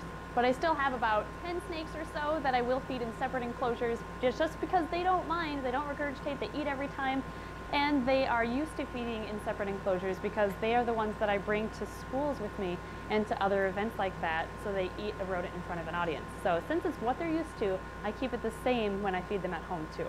All of the breeders that we know feed their snakes in their own enclosures just because it would be way too much work to move all of their snakes, some have over 100 snakes, into a separate enclosure just to feed them. So because of the convenience factor, a lot of breeders will feed the snakes in their own enclosures. All that being said, we have found that the technique of moving a snake into a small feeding bin, if it's a picky snake, will sometimes increase its chances of eating. Because then it's just the snake and its food, and it's going to bump into it as it slithers around, and that feeding bin is going to smell like rodents, especially if it's been used before, and that will help get the snake primed and ready to eat. We have gotten a lot of picky hognose snakes to start eating using that technique, but again, it won't work on every snake. We've just found to work on several picky snakes. Remember, each snake is different and their individual eating habits are unique. We have a couple snakes upstairs who will only eat if I wiggle the mouse in the perfect way in front of their mouth. Snakes are picky eaters. Come on. Yeah, and if they get like stressed out after they eat, they puke. and then you can't feed them for two weeks. Oh, Yeah. well then. Fuck. Seriously, I was not expecting that. But these things are supposed to like fuck rats up and shit all day. And shit them out, you know. But these things That's eat like eat twice a month. And nervous systems. They eat I twice didn't a think month. they would get stressed and just it all. You'd think their system could handle just And I have other anything. I snakes thought they'd eat once a day or will only shit. eat if No. they're in a separate enclosure covered up with a Look towel at this just snake. This is a hog nose. them in the mouth. Once a snake gets used to eating in its enclosure or feeding bin, it can be difficult to switch them to the other one. So if you're buying a snake, make sure you ask the breeder or its previous owner what it's eating, how often.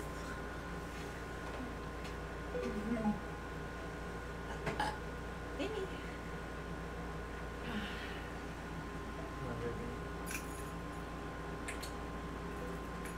You think, Yep, you better. oh, I will. I'll spank you.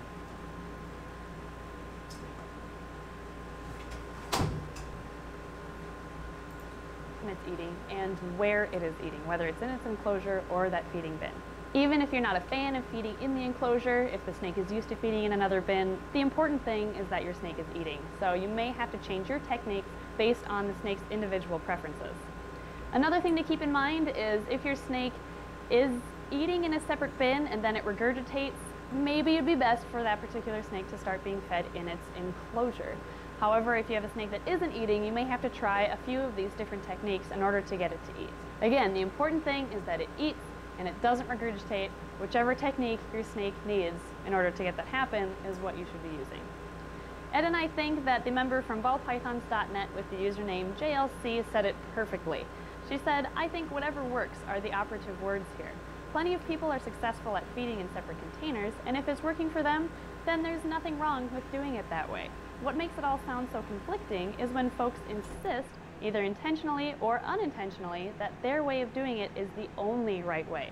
Keep this in mind when you see somebody who's using a different feeding technique than yours, because what works for your snakes might not necessarily work for the other keeper and their snakes. Anyway, I hope this video has helped you out, maybe opened your eyes to both sides of this controversy, and remember to keep doing your own research so that you can make your own well-informed decision. And in the end, the health of your animal is your number one priority. Thanks for watching, and we'll see you next time.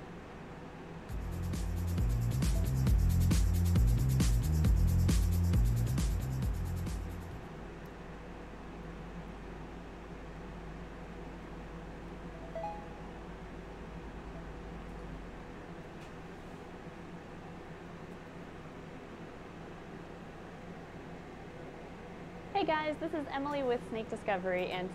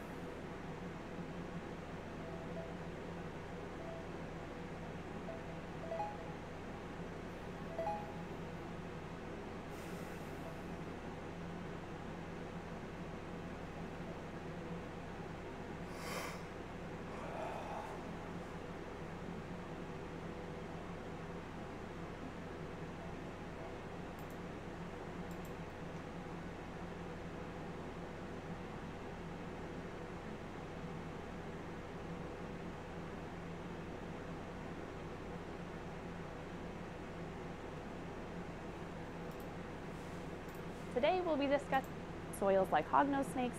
You can give them aspen fibers so that they can burrow, but those aspen fibers stay dry. Whereas if you have a more tropical species of snake, like say a false water cobra, you can use something like cypress bedding to retain humidity levels for them. Of course, we've kind of touched on it earlier, but if you use a substrate, the snake, if it ingests some of that substrate to retain humidity, but those aspen fibers stay dry, Whereas if you have a more tropical species of snake, like say a false water cobra, you can use something like cypress bedding to retain humidity levels for them. Of course, we've kind of touched on it earlier, but if you use a substrate, the snake, if it ingests some of that substrate, it's only going to ingest a small amount, you know, a small amount that sticks to the rodent. You still want to reduce the amount of substrate they ingest as much as you can, but at least using a substrate, make sure that they don't eat all of the substrate in their enclosure like they would if they had a paper towel that got stuck to their rodents. Another pro to using substrate is that you can easily spot clean different sections in the enclosure. So say for our snakes, we feed them Hey guys, this is Emily with Snake Discovery and today Hey everyone, this G'day everyone, my name is Mary and today I'm going to make a little video answering some of the questions you guys have about my snakes. For those of you who don't know, I have two ball pythons. Now ball pythons or royal pythons as they're also called are one of the most docile, submissive, calmest snakes ever that I that I'm aware of. They are the calmest snakes ever. They are called ball pythons because their natural response to any kind of stimulus really is to curl up into a ball. They're not aggressive, they're not very territorial, and they're just very, very good starter snakes. Ball pythons are also incredibly popular because of the vast range of morphs that they come in. Morphs is the term used to describe the colors and their patterns. There is literally so many. I've been trying so hard to learn a lot of the morphs just because I really, really like these snakes, but there are hundreds upon hundreds of different morphs and new morphs are being created all the time. Five years ago, there was a tiny fraction of the morphs that there are available today. In terms of getting a snake that is a particular color or that has a particular pattern that you like, ball pythons do have such a huge range. Now, the normal ball pythons can be very, very cheap, like 40, 50 bucks and the very very special morphs or the very rare colorations can go for like $10,000. I'm not even exaggerating here. When the banana morph came out, those snakes were priced 5,000 and higher and now you can get them for like 300-ish depending on where you look. Now, the two snakes that I have, both of them, like I said, both of them are ball pythons. One of them is a pastel ivory and this is Ben and that's who I'm about to show you. And our newest snake is a VPI axanthic and her name is Meryl and I'll show you her later. So this is Ben's terrarium. You can keep ball pythons in tubs or in rack systems but I personally prefer to keep them in a tank like this because I feel like it's more natural, but ball pythons are very easy to care for. But I have nothing against people who keep theirs in tanks, so long as they're kept in a healthy environment, that is totally fine. But anyway, this is Ben's terrarium. It is kind of split into two sides. This is his hot side, and this is his cold side.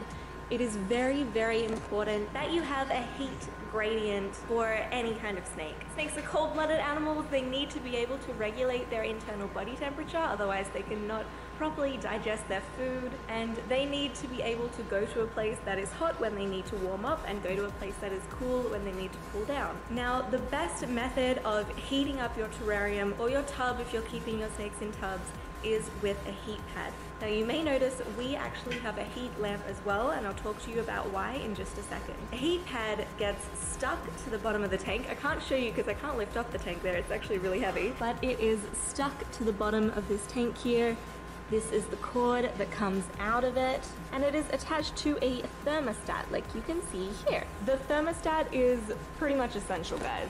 You need to be able to set the temperature and to be able to properly regulate the temperature. Something like a heat rock that you cannot regulate the temperature on, I do not at all recommend because you have no way to tell if it's too hot and your snake or your lizard or whoever else you has won't be able to immediately tell if they're being hurt by it and they can get severely badly burned and, and the result of those burns can be fatal so it is really important that you have a thermostat. Now because this tank is big. I can't remember the exact dimensions of it. Uh, we have the heat lamp up here, you can see, to help raise the ambient temperature of this whole kind of top side of the tank. The two essential things to have on the hot side of your tank, aside from your heat mat, is a water bowl and a hide. It's also nice to have a little thermometer, even though it is regulated down there, and we also have an electric thermometer so that we can just click and see what the temperature is on the hot side here. The water inside this bowl evaporates very quickly, and I fill it up pretty much every day, and that also is a water bottle that I use to help mist the tank and to help him stay hydrated. Oh, and look, he's coming to say hello. Hey, little buddy. He can hear me out here talking and he probably thinks it's feeding time. On the cold side of the tank, we have the same things. We have a water bowl and we have another hide. That hide is a lot bigger than that hide. We have this exact same hide on both sides of the tank, but he actually is kind of too big for this hide. He doesn't use his hot hide as much as he uses his cold hide, but we couldn't fit two of these big hides in here. So once he really does outgrow this one, we are going to have to rearrange it a little bit more, take out some of his fun things so that we can fit in a full-sized hide for him. He spends the grand majority of his time in his cold hide and that's that's plenty big enough. If anything, that's a little bit too big for him. Then we have these fun little climbing things in his skull, which he's too big to fit inside of now, but I like how it looks. We have a log at the back here that he can go fully inside of at the back, which serves as another warm hide and he has this tree which he does sometimes climb on but ball pythons aren't climbing snakes. They like to be on the ground. So while they can sometimes utilize trees and branches and stuff they're not like a tree python which likes to live up high. Oh i love that he's coming out to say hi to me while i'm talking. He's such a cutie pie. Okay so ben is hmm about a year old. Opening the door is scary. Hey boo boo All of those little pits or those nostrils, some of you guys think they're nostrils, those are actually heat pits and they're for thermal regulation. Like I said earlier, he needs to be able to tell hot from cold so that he can keep his body temperature where it needs to be. And those adorable little pits on his snoot help him to sense heat. I will open this up and take him out. He's gonna jump back a little bit while I open it because it's scary. There's my beautiful boy. See what I mean about him being pretty much too big for this hide now. You get deceived by the size of his head. So, like I said, ball python, not gonna bite you. Okay, so this is Ben. I think the last time I showed Ben in a video, he was quite a bit smaller than this, so he has grown quite a lot. He is a very healthy weight for his age. He's a really good eater. I will talk a little bit more about feeding in a little bit because ball pythons are notoriously bad at eating. He is extremely good at being handled. he is absolutely beautiful as you can see. He's become a lot more yellow as he's gotten older. he is a very curious snake. He has these beautiful markings on his face which kind of look like angry eyebrows, which I love and he has a very faint pattern on his back. He isn't pure white, he's not a super Mojave or a blue-eyed leucistic or anything. He's not albino. A lot of people think that they see a white snake and they're albino. White snakes or albino snakes actually have orange and yellow markings on them, or orange or yellow, depending on which kind of albino it is. And also at the bottom of his tail, it's kind of purple, which I don't know if you'll be able to pick up the colors there properly but it's kind of yellow, little yellow streak with purple on the sides. they have very good grip. Oh,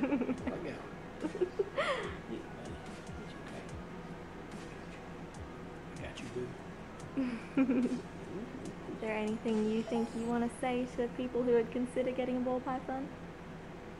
Pretty cool. and you can't boop them on the nose. Boop. They back away like, nope, nope. Boop the snoot. But they have super pretty little faces. They look like little puppy dog faces. Yeah, they got little head boobs. Little head boobs. Stop it. Stop moving me. So like I said, Ben is about a year old. And so you compare his size to the baby's size. Now she's looking out at us Alright, so this is baby Meryl. She's got the same setup, see she has identical hides in her hot side and her cold side. She's she looks like she's grown a little bit. Yeah, she's a little bigger. She was very tiny when we got her. But Meryl and Ben, some of the differences that I noticed, apart from their colouring, is that Meryl will stick her tongue out way more than Ben will. So she's sticking her tongue out to uh, get senses of what's around her. She's tasting the air, but it's also kind of their sense of smell. And whereas Ben will barely ever do that, I just think he does not care what's around him. So she is a VPI axanthic, and they're kind of more of a silvery grey colour, but she looks a little more brown than, than silver, but she's still a very pretty snake. But a little bit of substrate stuck in her mouth. Let's get it. like, She does not want her Snoop Boop. No, no, no, no. Alright, so feeding size. You think they've got such tiny little heads and necks that you want to feed them something small, but you actually feed them something that's the same size as the largest point of their body. So she eats, what does she eat? Fuzzy mice or small mice? small mice. small mice now, and Ben eats small rats. So you can see the difference in their their fat butt size. But Meryl is actually going to end up being bigger than Ben because she's a girl. So she's not as good with being held and stuff as Ben is, just because she's newer and she's younger and she's not as used to it right now. But she'll get better. So rigid. Yeah. She's more of what I imagine a normal ball python is in terms of uh, temperament and behavior. Ben's a little bit special. For decorations in hers, she has skull and a Mega Man helmet. And some nice trees and some little rocks. And she seems to like it in there. She's not as active as Ben is, but like I said, she's still getting used to the whole thing. So yeah, they eat about once a week, but ball pythons are super picky eaters. So if you are looking to not waste a whole lot of money on the frozen thawed rodents, I would probably suggest not getting a ball python. If you don't have the patience to try and make them eat when they don't want to eat, then this isn't a good snake for you because they can be very, very tricky to feed. And that's because they're so docile and they're so passive and they're so, they don't want to just be aggressive and strike at things, which is a great thing, but that does make it harder to feed them. Ben went on a winter fast because that is breeding season for ball pythons. So instead of eating, he just wanted to look for a mate, even though even though he's still a baby himself and he probably isn't even big enough to have to go and copulate. But that's all he wanted to do and he didn't want to eat and that scared me so bad because I was so worried about him. But as long as they're not losing weight, it doesn't really matter how long they miss out on meals for. But we do have to throw away a lot of frozen thawed rodents that they don't want to eat. And also, if you're not okay with feeding rodents to your snake, I know I love rats personally. I had rats as pets, they're fantastic pets.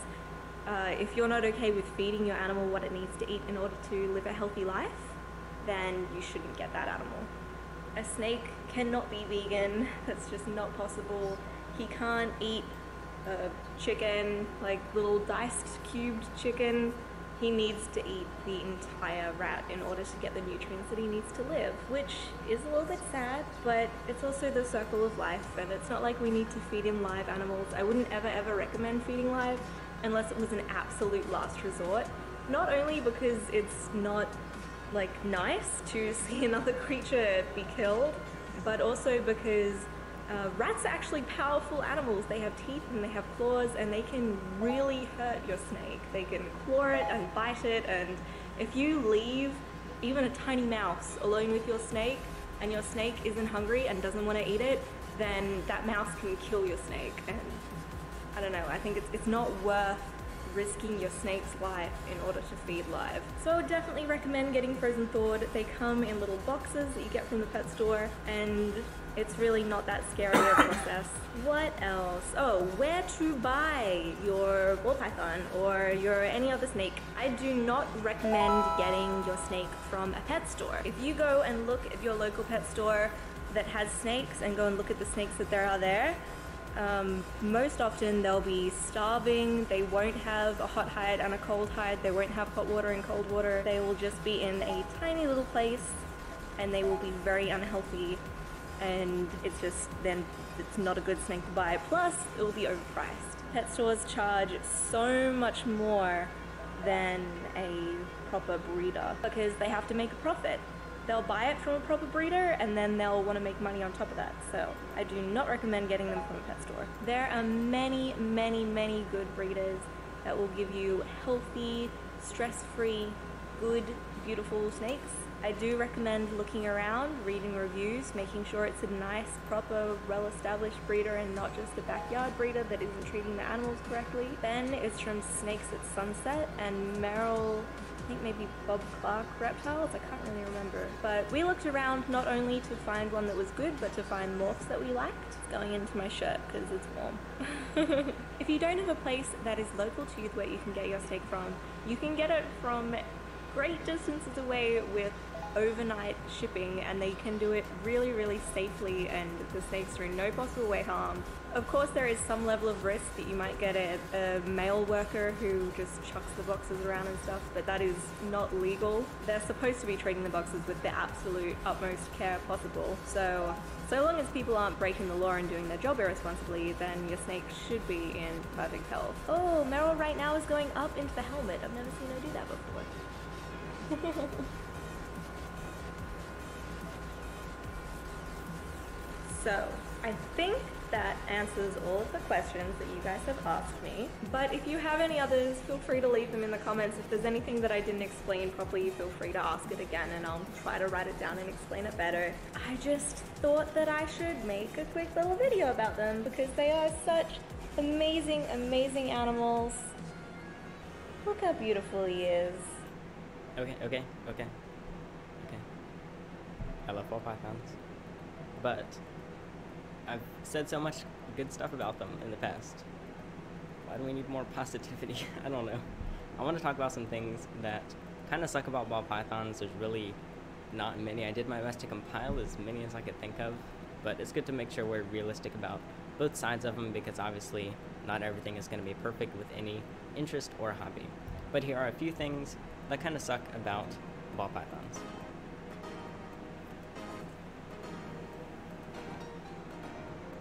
Firstly, they tend to be known as a pretty picky snake time to time. Uh, it's not every single individual, it's quite a few of them though, and it happens at certain times, and usually this is really no big deal at all. But it tends to scare a lot of people, including me when I got my first ball python, and it's something that a lot of you come to me about. So essentially, they are just fans of going off feed a lot. Most often this happens during breeding season, so November to February or so, that pretty much lines up with their breeding season. That's also the time that they tend to go off feed the most often so it is January right now. I'm sure there's quite a few ball pythons out there that are not, eating, but it's not something to really be concerned about. It tends to happen more with snakes that are mature enough to breed, and some people say it only happens with females, but my male goes off feed every year, and he started doing so when he was like two years old. And this male right here is also not eating. Uh, this is a newer animal that you might have seen on Instagram, and he is actually a bit underweight right now. He was like that before. We still haven't gotten him to eat. I'm sure he will eventually, but that is just something to think about when you're looking at ball pythons. Even if they go off feed in July, there's different processes, processes that you can use to make sure that they really truly don't want to eat, like trying different types of food, different times of the day, different temperatures of the food, different sizes, all sorts of things to actually make sure they genuinely don't want to eat. But sometimes they'll just refuse everything. Maybe it's for a few days or a few weeks or even a number of months. This can cause a decrease in weight Usually they're going to stay quite steady. Mine don't really ever lose weight when they go off feed, they just stop growing for the time being. But even if a couple grams are lost, it's not a huge deal and it can be replenished. It's definitely something to look over, make sure all your husbandry is good and correct, because sometimes something like an incorrect temperature or humidity or something that might be stressing them out could be the issue. But that's the thing about them. It's a bit unknown as to what exactly is causing it each time it happens but it's not too hard to figure out. Speaking of food, ball pythons are what I consider the biggest beginner snake. Uh, anything larger is probably less of a beginner. It's, of course, debatable with each one. I'm sure there's some that I'm not thinking of. However, with that said, that means my clock always goes off in every video. However, because they get larger, it's essentially guaranteed that they're going to outgrow mice. Uh, so rats, it's usually not a big deal switching over to rats. I've only had to do it a couple times so far. However, my snakes switch from mice to rats without any issues. But there are people that have more trouble because they have different tastes or scents or flavors or whatever. They can be kind of weird about it and might have more trouble. I think it depends on the site. I tend to see rats are more expensive, and you could just start with very small rats from the very beginning, but not many people do that, and it seems like rats are less accessible from what some of you have told me, because you might not necessarily be able to find the right sizes. So basically, compared to a corn snake, which chances are they're not going to outgrow a jumbo mice, it's possible time to time I usually see adult corn snakes sticking to adults or jumbos. And then even if a corn snake or some other sort of beginner snake did outgrow those a little bit, you could always just feed them slightly more often or feed them more at once. But because ball pythons are definitely going to need those rats, it's possible you could still get by just doing multiple mice. Uh, but generally, it seems to be better to just do one large rat. I should have a video comparing that. There's still some unknowns, there's still some disagreement with it that you have brought towards me, but you can watch that video on whether you can feed your snake more than one mouse at a time. Third issue you come to me most often about is humidity. I would also say it's probably the most complicated humidity of a beginner snake, maybe. But basically because they like to sit around that 60 to 65% range, maybe a little bit higher while they're shedding, some of you do have trouble doing that because you don't want like a damp enclosure. Now it depends entirely on the climate and what your room is like and what you're heating the enclosure with. I need to do more videos on this, uh, but humidity can be a bit more difficult just because they're prone to stuck sheds if that is off, like a a hognose or sand boa, they can shed in super low humidity. That's just what they're used to. But a ball python, although they're in a low humidity climate, because they dwell in areas that have higher moisture levels, aka humidity. I'm just trying to say the word humidity. That's something to keep in mind. Again, definitely manageable if you still want the species, and there are plenty of ways to fix this. I talked about this in a video too. I need to update that video though, it's, it's an old one. And ball pythons are a species that you'll see a lot of people keep in tubs and a lot of others keep in aquariums. If you ask me, both work fine. I think it's kind of stupid to say one does not work because there's lots of variables like if you're in a very low humidity area, a tub might be ideal for your setup. If you're in really high humidity, maybe it's an aquarium or glass enclosure. Again, that's something we can go more in depth to later, but the humidity is not the most simple thing, but definitely not the biggest deal. So like I said, there's really not that many things, but those are the three biggest issues that I see coming up in the ball python keeping world and that you ask me about. So this is just to kind of help you anticipate those things if you're looking into a ball python. Again, probably my favorite snake to keep. But what are some other issues that you've had with ball pythons? it's kind of a weird question, but maybe I'm able to help out with those or find other people that know the answers that can help with those in the future and other videos. But those are the three things that kind of suck about ball pythons. I'll link a bunch of other ball python stuff in the description of this video. Uh, but that should be it for this video. So I'm Alex. I have no idea where the snake is. I don't know if it's still in here. I don't know what type of snake it is. So let's go and have a look. Move some of this stuff around. Whew. Look at that. I mean, look at this back garden. It's just strewn with stuff. Could be on anything here. It's a real mess. I'm not going to spend our time looking in the garden though because it's really difficult. We're not going to find anything. We can spend days and not find anything. We're going to focus in on the house. That's where the builder said it was. So let's focus in on the house, check what we can find. Let's move on. Just watch out there, just hang out there for a bit.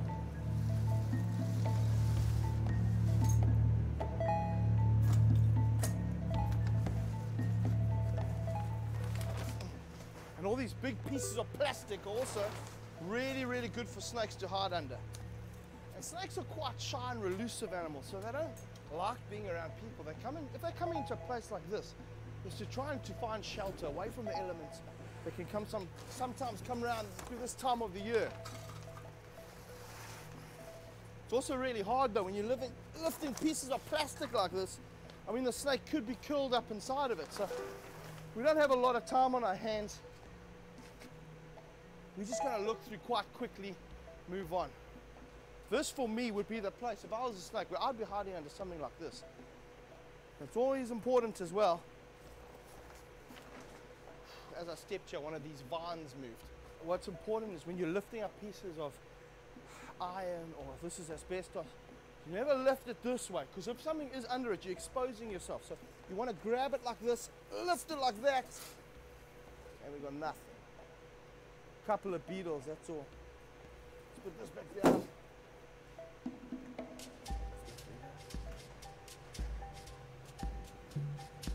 There's not, fortunately, in this area of the house, there's not many places where the snake can be hiding.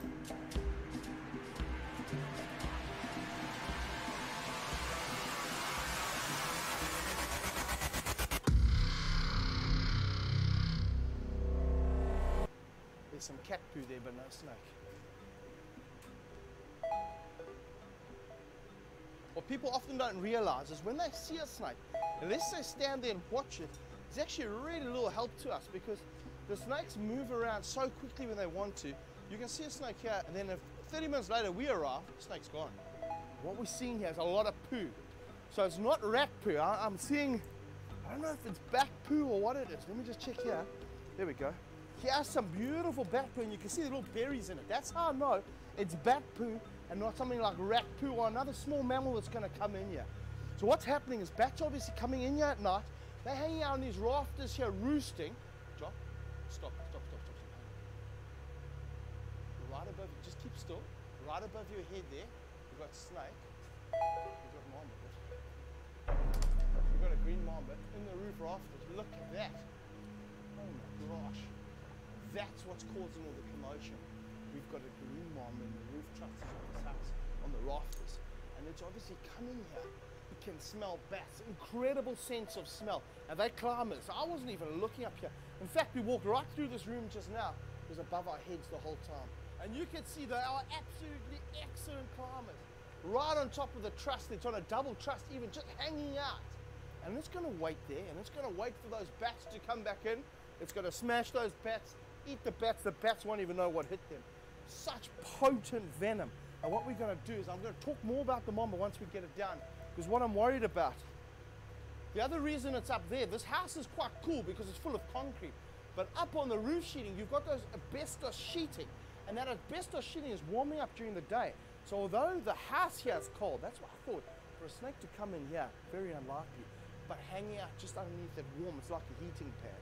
And it's thermoregulating right up there in the roof, digesting those bats it's eating. Bats are coming in, getting flattened. This guy is in the perfect position of survival. It's hanging out here.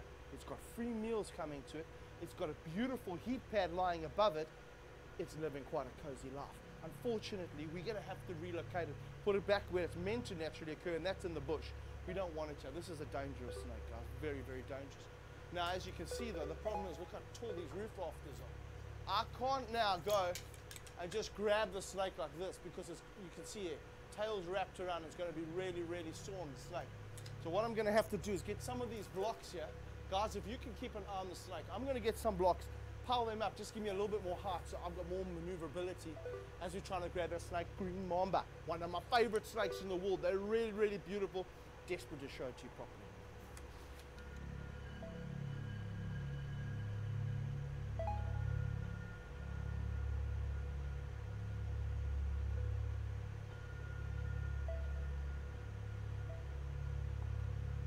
Not the safest staircase I've ever made, but nonetheless, we're going to see what we can do.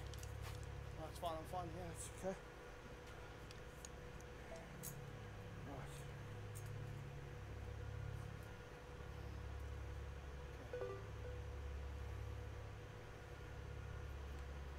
Now, what I don't want to do is, is get the snake so it drops on my head. That's one thing I'm worried about. It's also, you can see it's already, it's got this. It saw us a long time ago. I'm just gonna loosen the tail here a bit. It should start moving forward, but I won't be able to pull it out unless I get this tail out here. Just don't fall on me. Look at that. It anchors itself with its tail. That's what we want. We keep it anchored on the pole rather with the tail. Look at that color, guys. We want to just gently unloop it. Oh, look at that. Digging under here as well.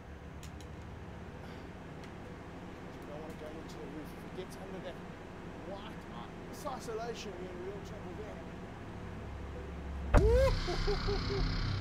Sketch it. That's what we Drop right down the bottom. Look at you. Look at you. This is what I love about green mambas. You notice, very alert snakes, always watching us. But look at this, guys. Aggressive snakes, are quite relaxed. Just pick up the temperament of this snake. Every snake's got its own individual personality. Let me just see what this snake's doing. The climbers, as you saw, and that's why what it's going to try and do is going to continue to try and climb either up the pole or on my hand. Look how it's pivoting off my hand here. Now what I'm going to do is I'm going to let it try and climb out to our camera we've got there. So, Jock, you just keep really still. I don't want to it climbing back on me. Would rather it be climbing back on you. Let's. Just keep that camera still. And we'll start climbing up towards you. It's very important when we're dealing with snakes, guys. You have to learn what comes naturally with snake. If I drop the stick down like that, it'll start to try and climb up. And now the closest thing for it to climb up to is actually the camera. So if you keep the camera right there,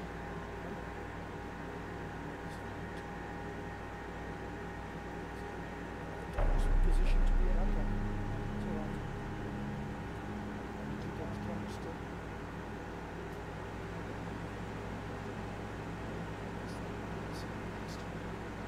Beautiful green mamba. For those of you who don't know, green mamba's got potent neurotoxic venom.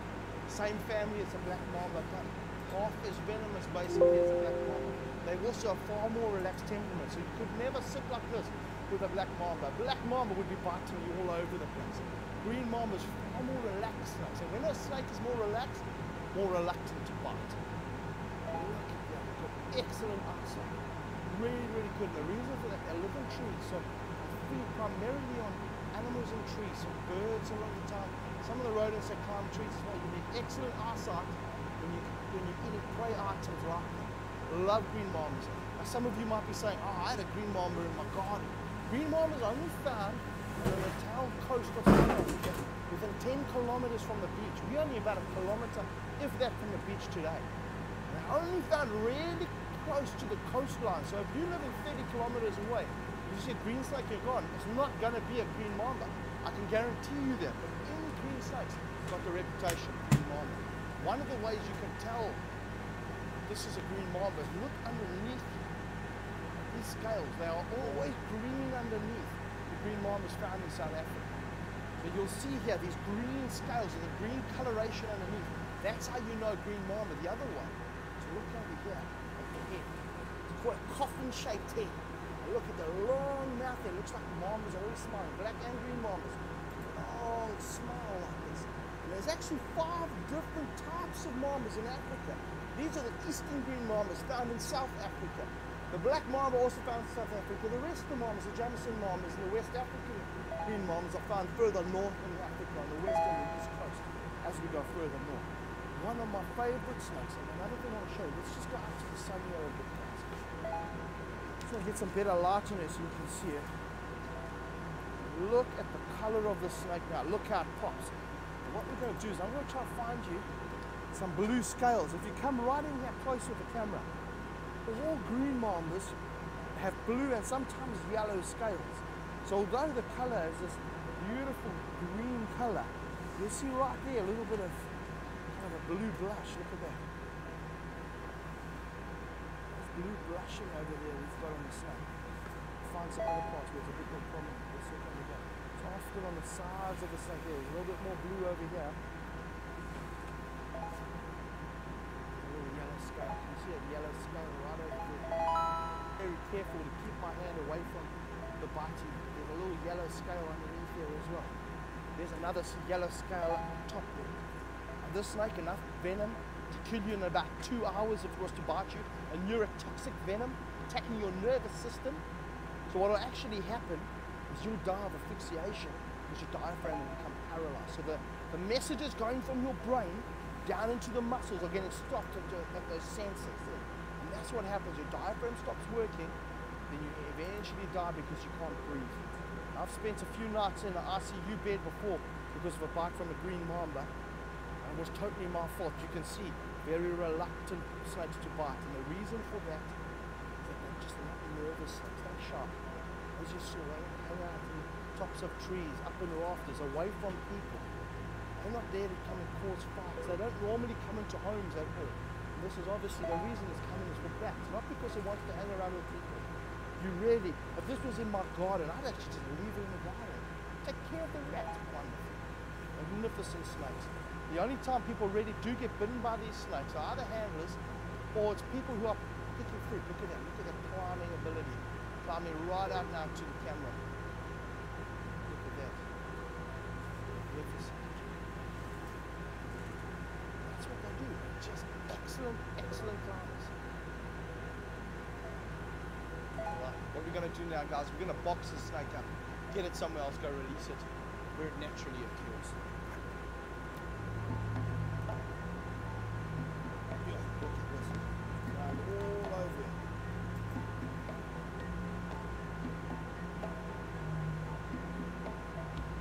Just unwind the snake. You see how slowly I'm moving with the snake. Really important when you're working with snakes like this. You move slowly, so not give them a fright. If they give you a, if you give them a fright, the only thing they can do after that is give you a bite. Yeah. Snake in the box. Let's go. Quick. Drive down the road, not too far. Release it into its natural bush. That's where it wants to be. That's where it It's natural. got to our spot where we're going to release the snake here, right in some beautiful banana trees. They love banana trees. Let's let it go up here, let it get on its way. Isn't that amazing? Looking at a snake going into its natural environment. That's what it's about. Releasing green mambas out into the bush again. What a great Out Thanks into for the joining us bush today. See you on the next adventure. Guys, if you enjoyed this video, be sure to subscribe so you don't miss out on the awesome videos coming up soon.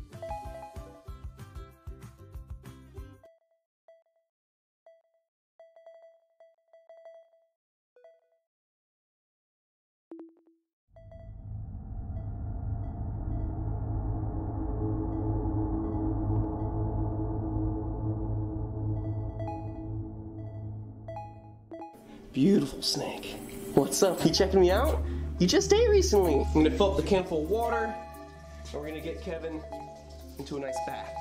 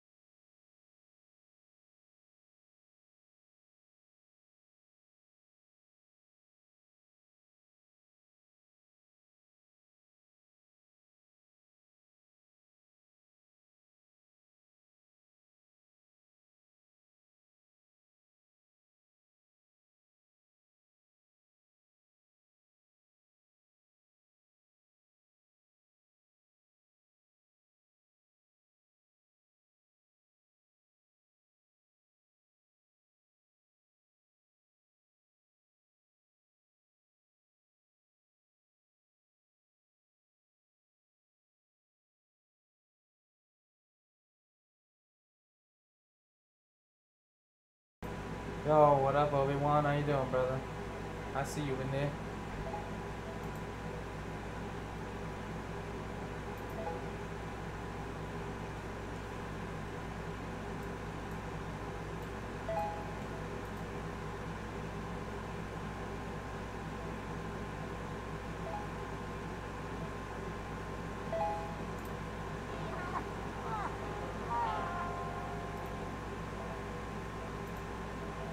Just get off do. Just pivot up.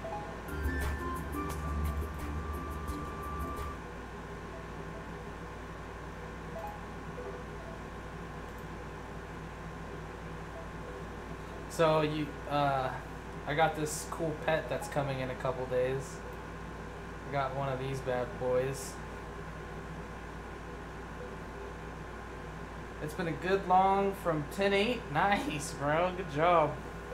Yeah, 10-8. That's a good fucking long right there. Did you buy that, like, insanely fast dip?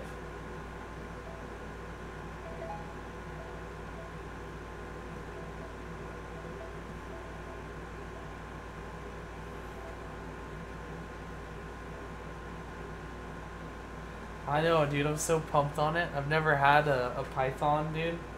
I've always kind of wanted one. So this is gonna be legit, bro. Maybe I'll even get like a little camera so I can put them on my stream. But he's gonna he's gonna be a little baby at first.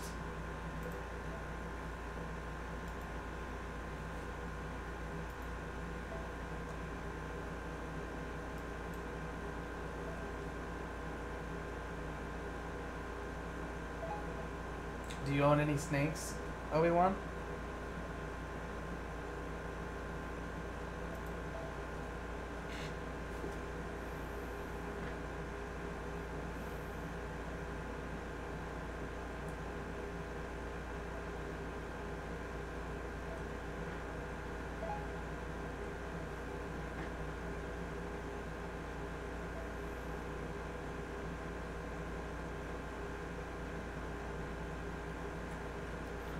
got in at June 24th, 9:45. Nice, man. What are you gonna do? You gonna keep holding it until we hit 20k?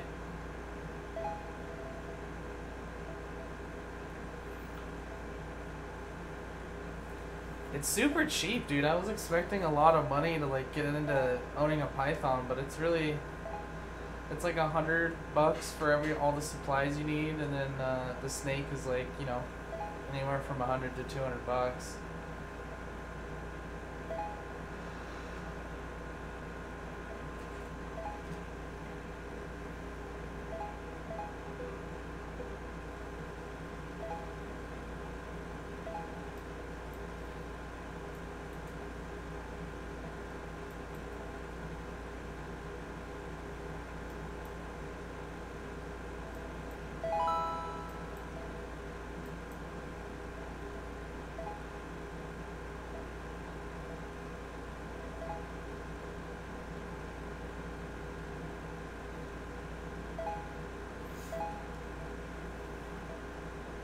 Yeah, it's pretty far. I think we're gonna. Well, look at this. Like we have our channel, right? We've been trading in our channel for a while. We kind of just broke it.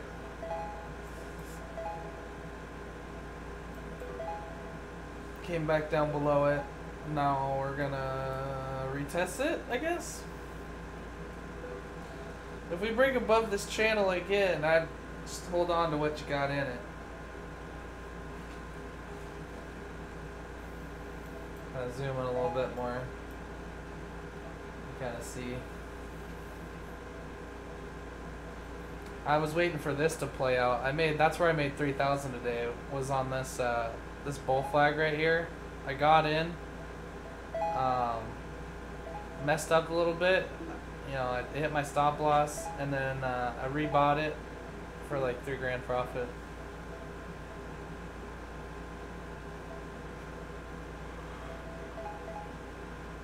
But holy shit, there's a lot of buying, dude. Like I don't think this is gonna stop.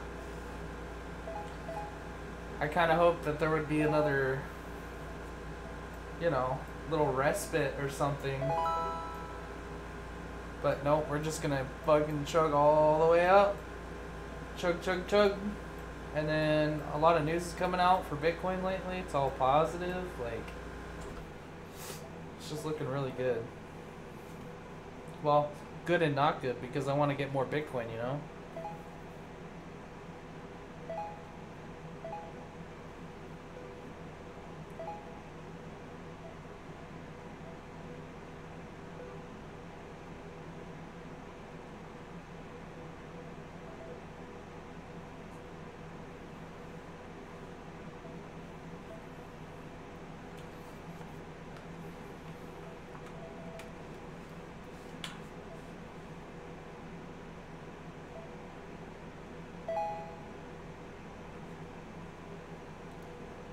Yeah. Yeah, if you're holding from 10-8, yeah, that break of the, uh, that bull flag would have been a, another perfect add there. But hey, you know what? Can't call them all, right? Doesn't matter. You still, you still in profit? Still good?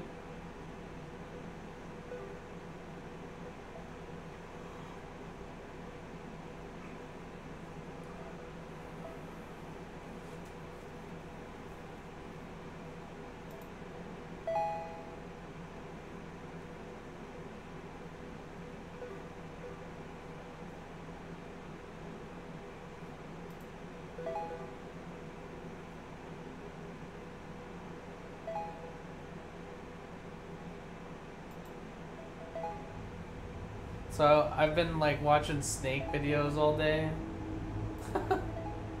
trying to prep for this uh, this animal I've never really never really had before.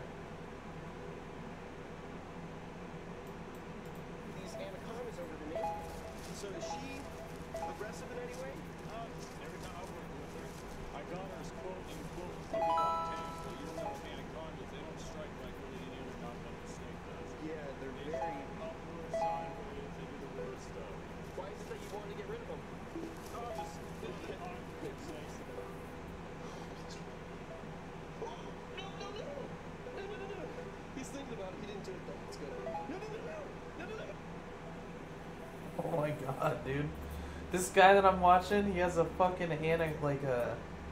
Not only does he have like an anaconda, he has a king cobra, and he has like a collection of rattlesnakes. I'm like, what the fuck, dude? This and this this uh this king cobra, dude, it's big. It's a big cobra. It's not like it's a small cobra. This thing's like massive.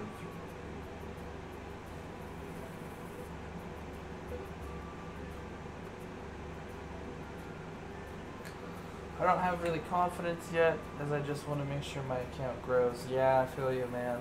But then that trade would have really helped. Hey, man. You miss one opportunity, you just you're more patient. You're you'll be ready for the next one.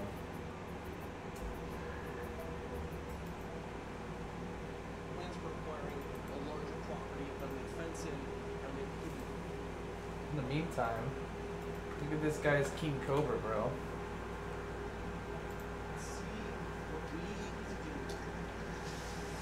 And these snakes are like aggressive too. Like this thing charges him.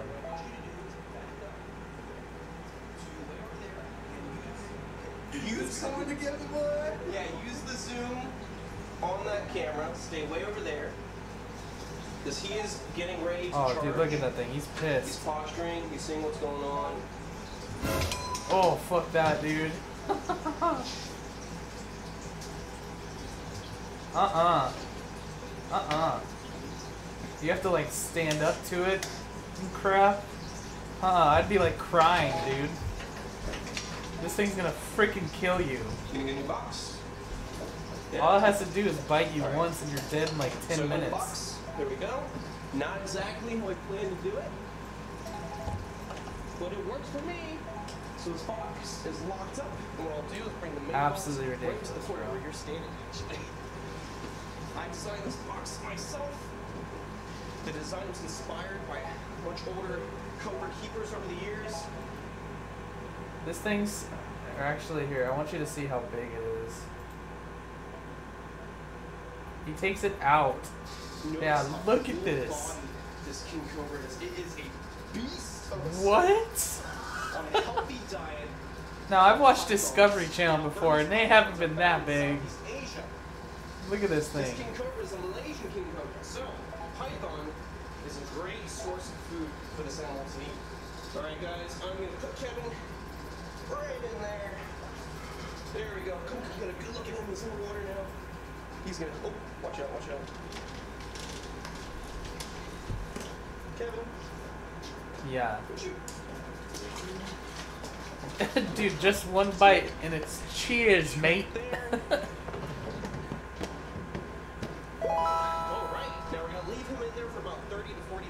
nice and soaked and hydrated. Bring him back out, bring him back in his enclosure. I want to change these papers inside his box. As you can see, he's been pooping inside here. But yeah, dude, that's that's crazy.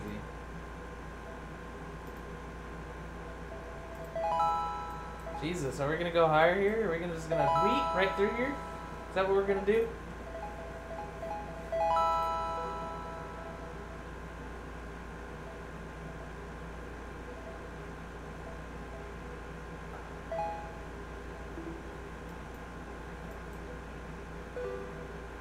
It's right at that resistance level. It's thinking about it. It's like, hmm, do I wanna? Hmm.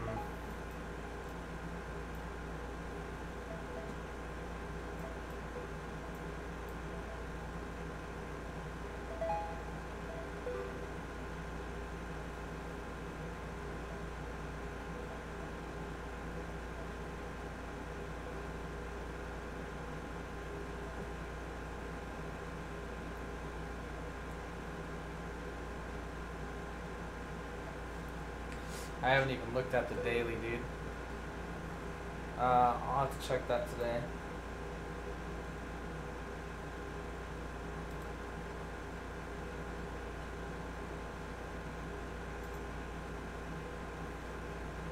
Take a look, see real quick.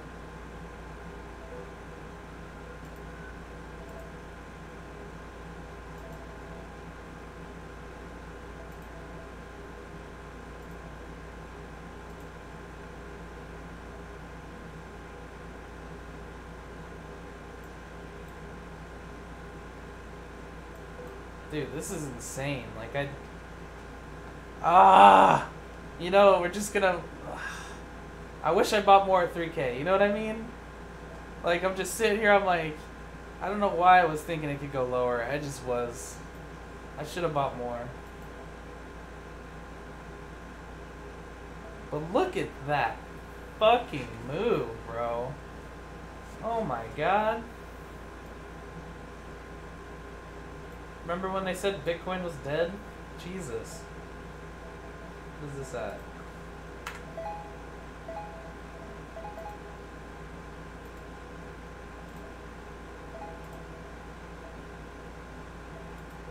We're up like 200% this year.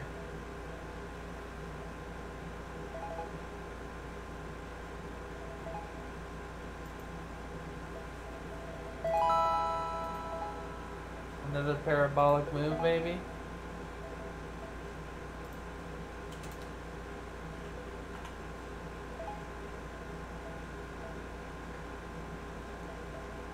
Still long from 700?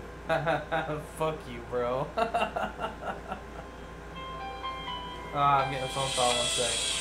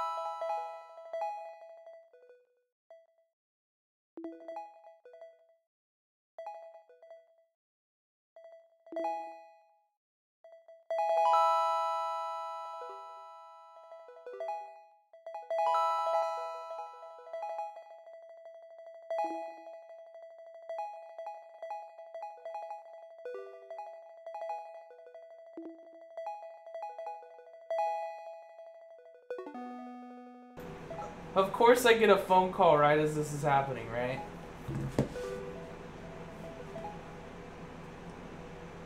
She's trying. I don't know if we got it in her though.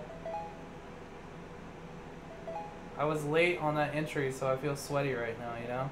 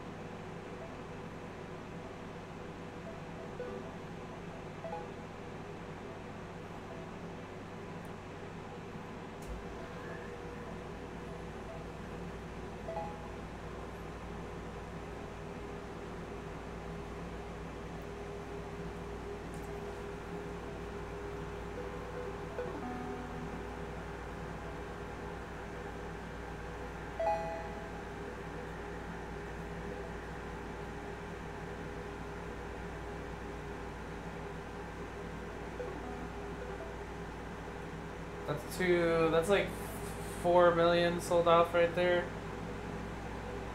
I don't know. It's kind of worrisome.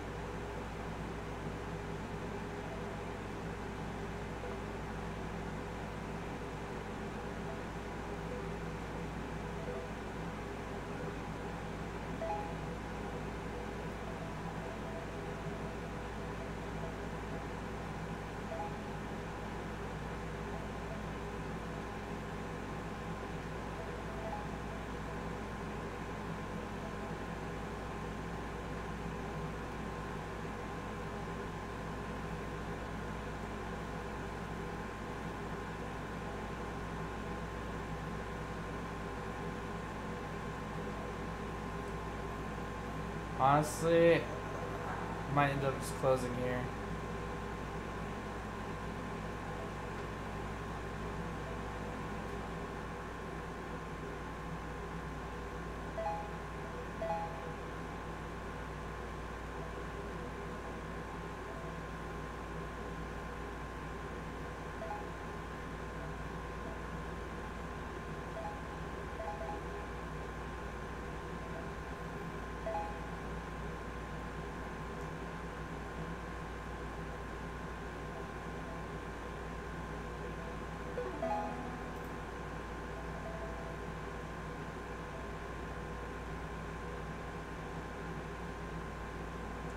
I'm gonna close a couple hundo profit, and that's it.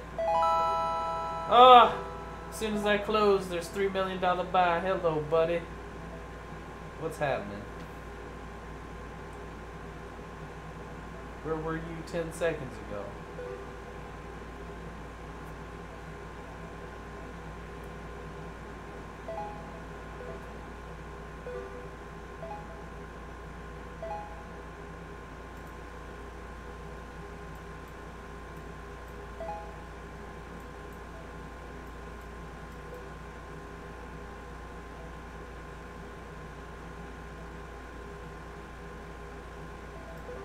I guess you're right. I've been kind of taking it easy for the past couple days after hitting my uh, my first goal. Playing some video games and just relaxing. So I'm trying to get back into the swing of things and, and start making that those 10k days, you know.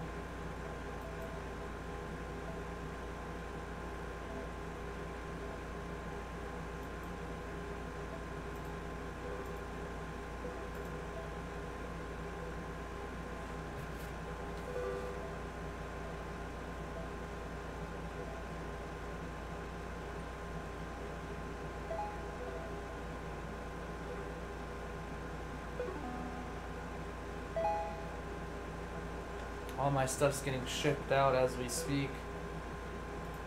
Yeah, brother. I'm gonna get all my stuff tomorrow, it looks like.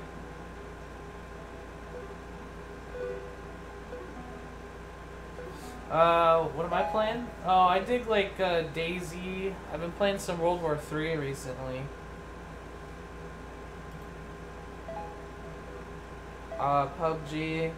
I I mean I I think I have Apex. Pretty sure I do. I don't know if I have to download it though. I like I like Apex. It's all right. I just I'm more of like a an old school FPS kind of hardcore kind of guy. So I like uh oh, let's see. PUBG, Arma 3, DayZ. You haven't played PUBG in in a long time? Yeah, I I went back like the other day and played a little bit of it. It seemed alright. Still the same game.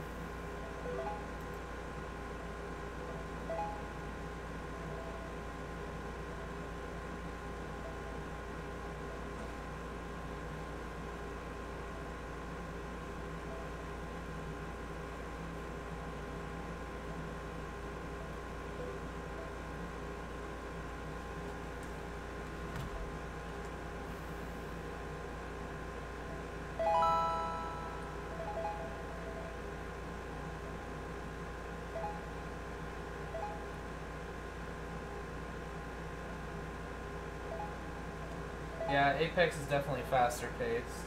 I like that. I wish eh, okay if PUBG had like like a faster lobby system, then I think it could compete.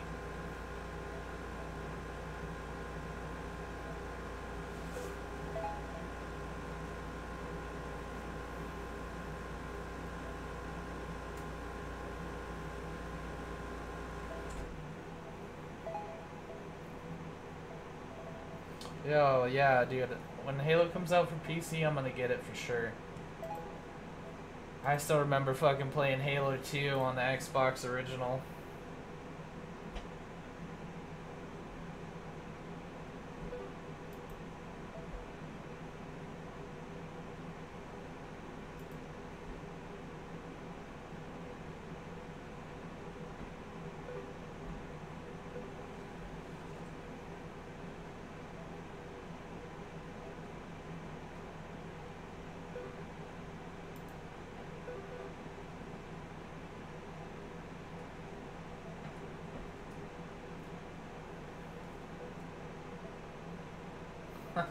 Dude, the old MLG videos.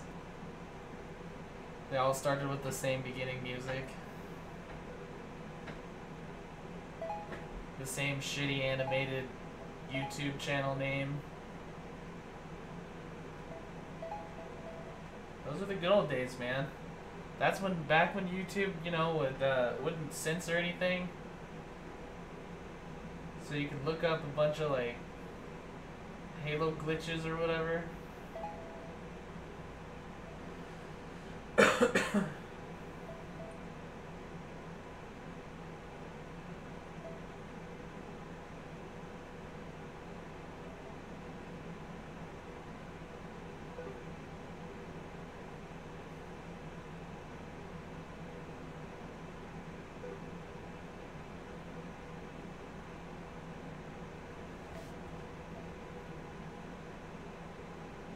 Right? Oh my god. I never went esports on it. I just kind of played it to play it, but those were some real nerds, man.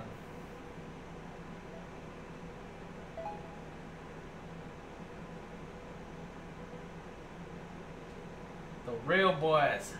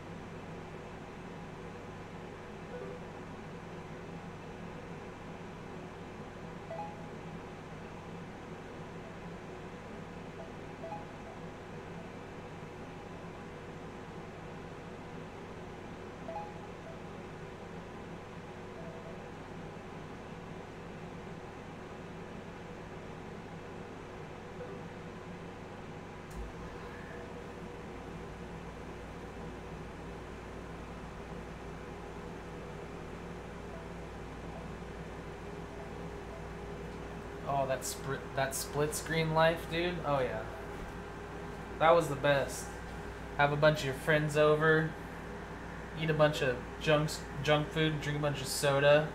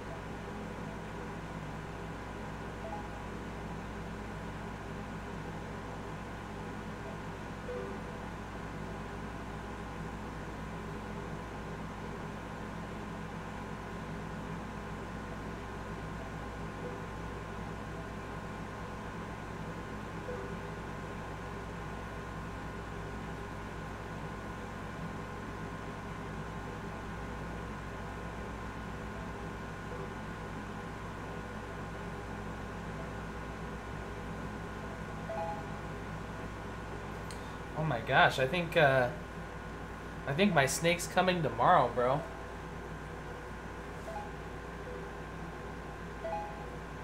I hope it doesn't come before all of the the cage supplies, dude. and I just have a python sitting out waiting for all of his cage. Oh my god, that'd be so terrible.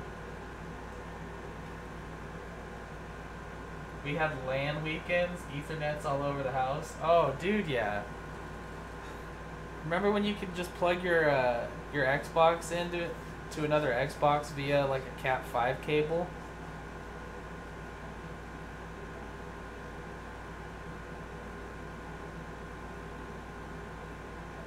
What they call that ad hoc or some shit? I don't remember.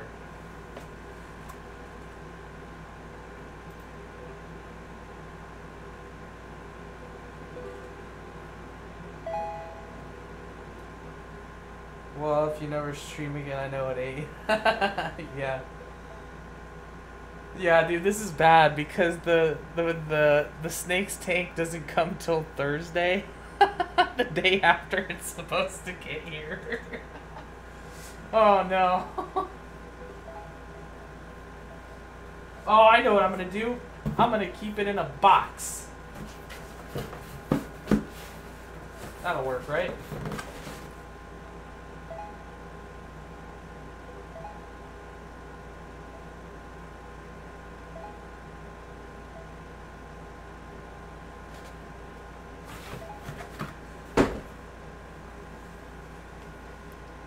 Think if I get eaten by my baby python, I deserve to die, personally.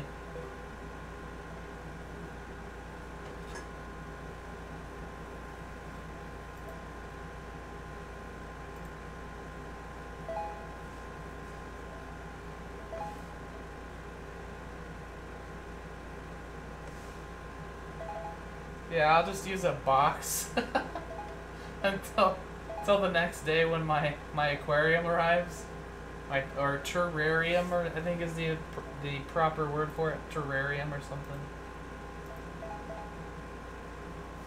Dude, I'm so I'm so excited to get this snake because I've wanted a snake since I was a kid. I'm also kind of like scared of snakes as well. So it's kind of a love-hate relationship. It's very confusing.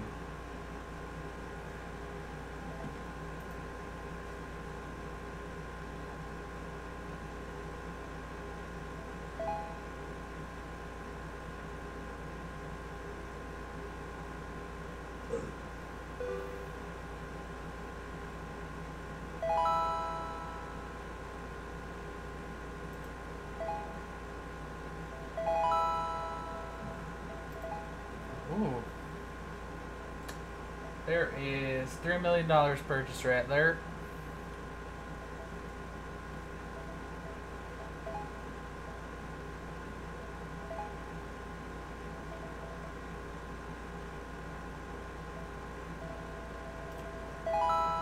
I uh, went ahead and bought right there.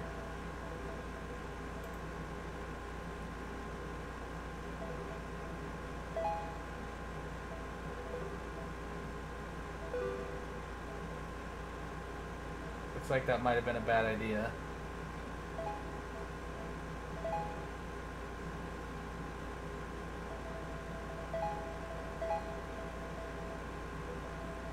Ah, not too bad of an idea. That's pretty good.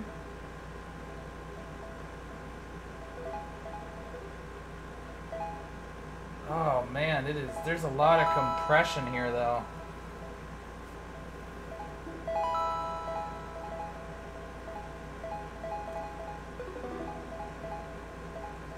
Liquidate those shorts, boy. Yeah.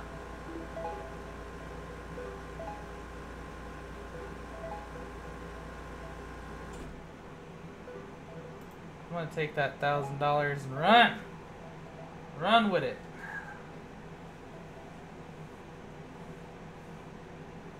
That tiny ass little break of pattern there. Previous resistance. Right there.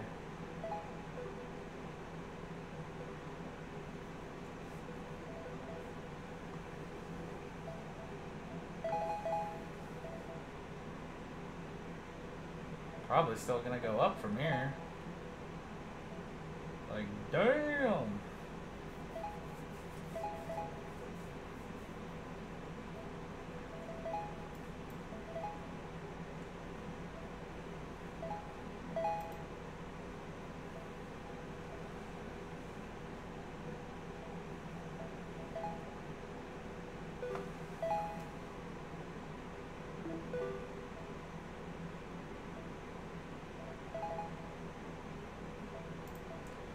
Yes, sir. Higher highs. Higher lows.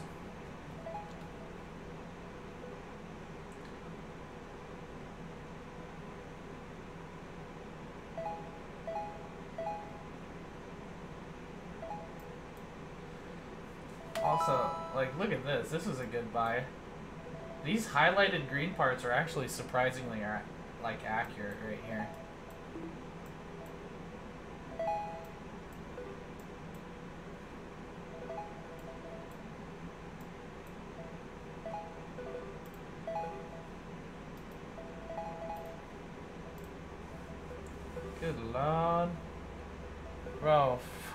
Might just go to 12k by the end of tonight.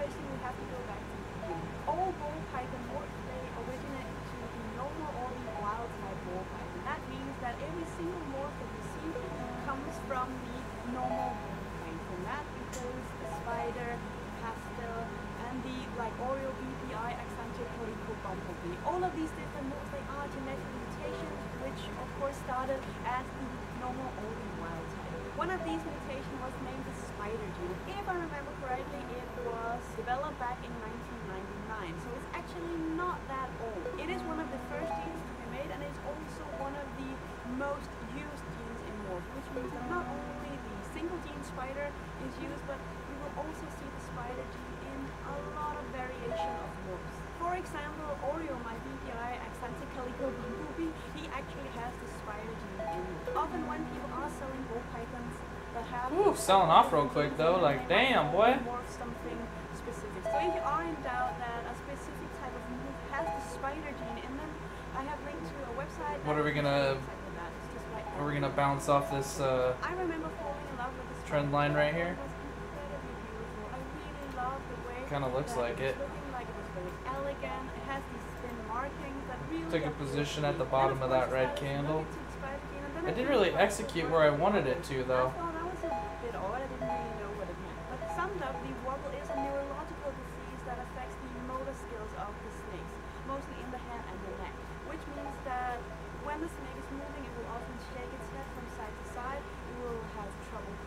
sell it there too, take 1400 What can you say? Turn upside down. The intensity of this wobble may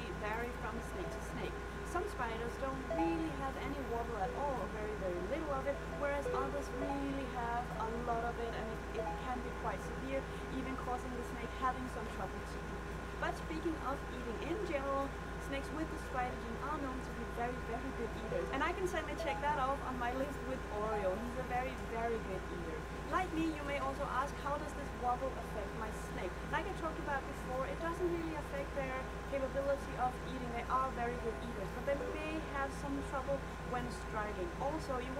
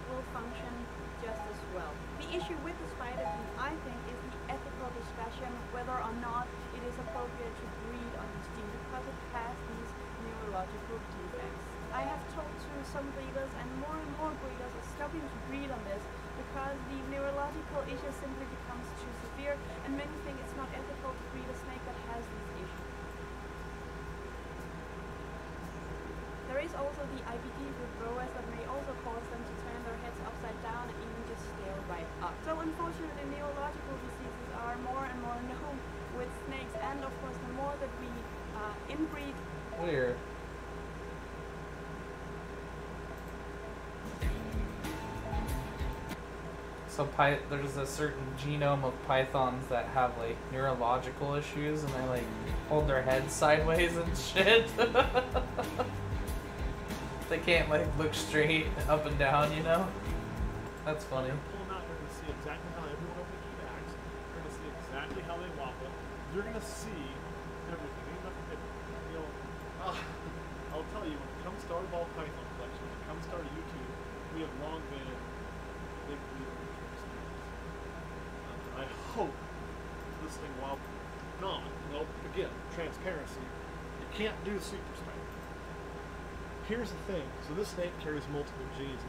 genes crammed into something, the higher likely you are going to have issues.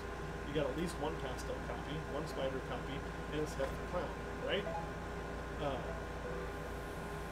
other than hissing at me and wanting me to die, it's doing well. It's moving fine. Its tongue flick is good. Its body condition is good. It has even forces my slowest feet. I love when I do that. All right, girl, I'll put you back. You can see it's doing good. Now I'm not going to try to roll her over. I roll with some because she's already hissing and stressed. I do believe stress, especially prolonged stress over time, or too high of heat, will lead to making things worse. Okay? So if you have one that's really bad, and it wasn't bad to begin with, people are like, oh, it just happens. My ass! I've had spiders since I started. I've never had one just start becoming a really bad wobbler. It's in their husband. That's my uh, now again, can I prove that? No, I can't. I can't. It's off the ground. They typically have a little bit of an issue. That floppy thing looks like banging his head and busting his face all over that people like to show, or crawling upside down. Again, stress induced. She's about to be stress induced because she's thinking of lighting somebody up. But uh, even if she stresses, she's not going to do it because she's not living in a constant state of fear and stress. All right, girl, we'll put you back up.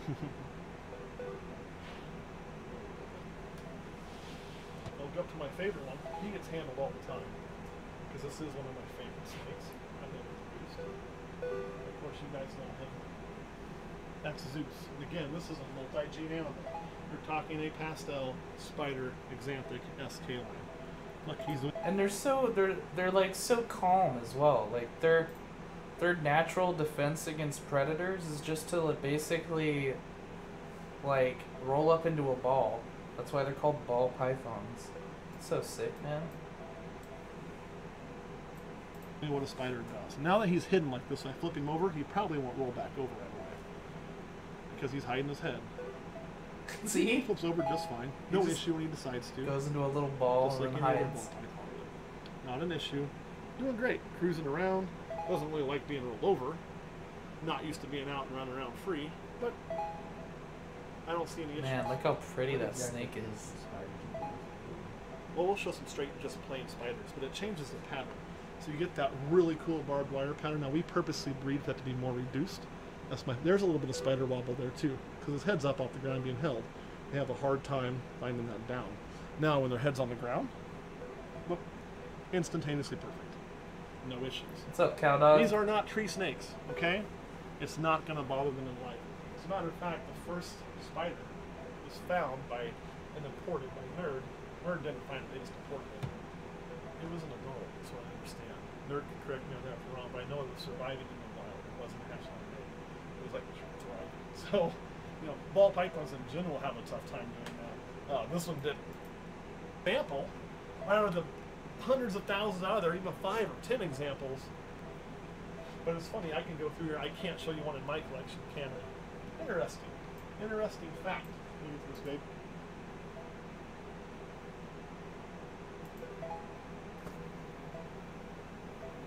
Well this is uh, one of our ball pythons, Cleopatra.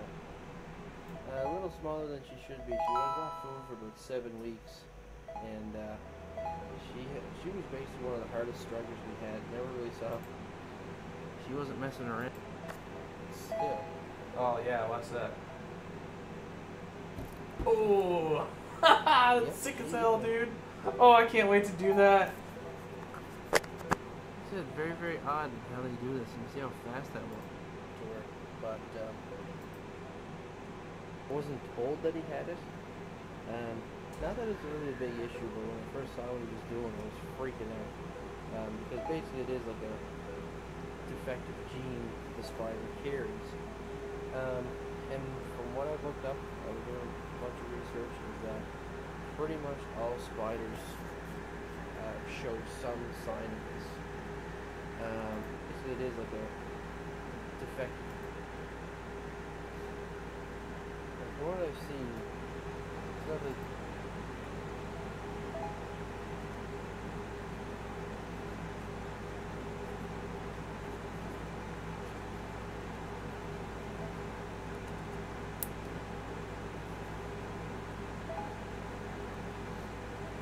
See, it like rolls over. That's weird. It's not like the worst case Oh my it's gosh. Still pretty bad.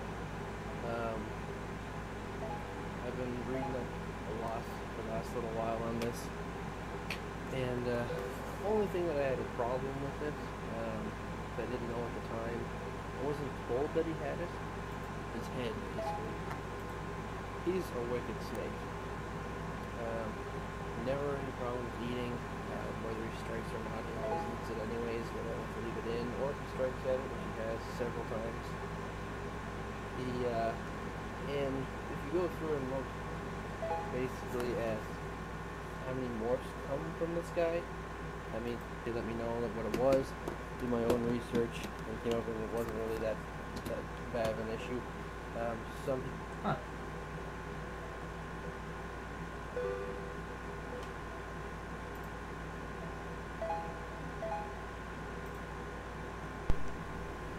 Alright.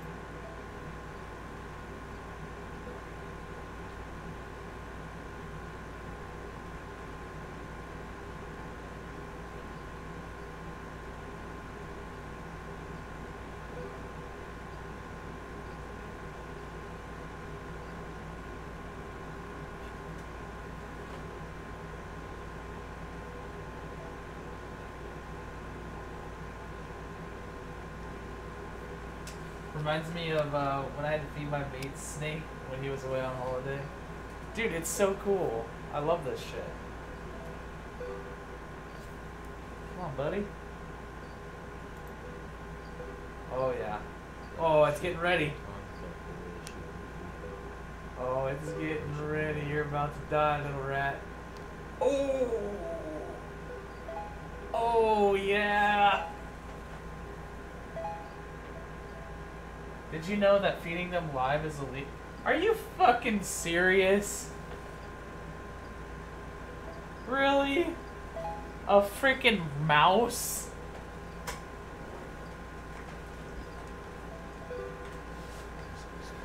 Y'all just need to calm down over there.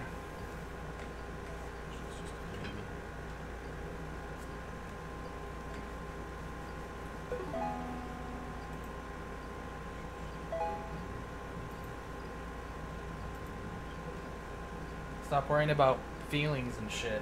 Jeez.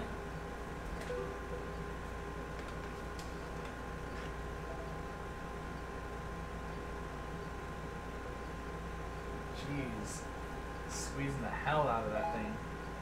Almost makes it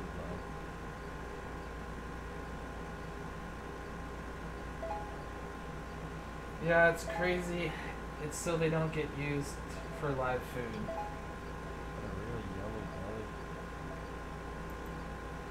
Wait, why not though? Like, they get used as live food in the wild. Like, it's just a mouse. You walk out when you mow your lawn, like, you probably kill a few, you know.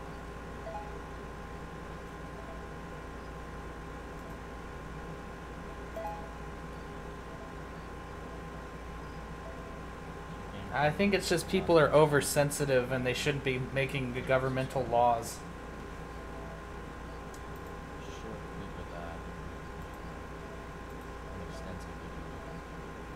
No person, no person that can't handle a mouse dying should be handling legislative duties. Like, in my opinion.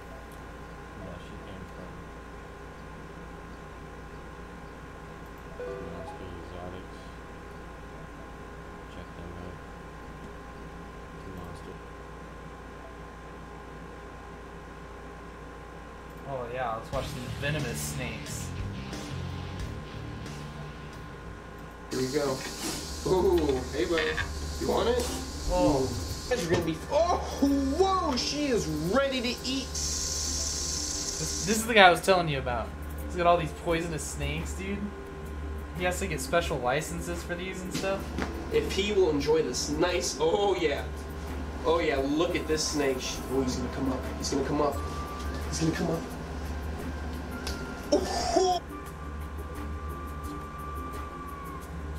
Dude, look at them drink. Oh, it's so weird. What's going on, guys? Welcome back to another Chandler's Wildlife. This is a yeah, to this content, click away, or just let it play and walk out of the room so I still get that ad money. So we have right here defrosted rodents. We're gonna be feeding all the snakes, and we have some new snakes in the snake room that you guys haven't seen yet. So it's gonna be real fun. And we have new setups. Look at this. Look, it's all lit up. It's like. Bro, you can see, you can hear all the rattlesnakes rattling in the background. He has so many of them. We're gonna add some more to the environment, plants and whatnot.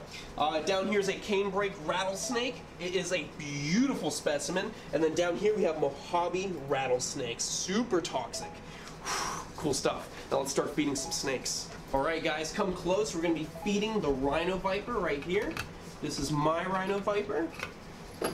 And he's about a year and a half old. Going on two. Let's see, we're gonna offer him. Let's see. This rat crawler. This should be good. Let's see that arrow. Shoot! Oh, look at that. That strike, though. What an impressive animal. All right, here we are with the puff adders in their new enclosure.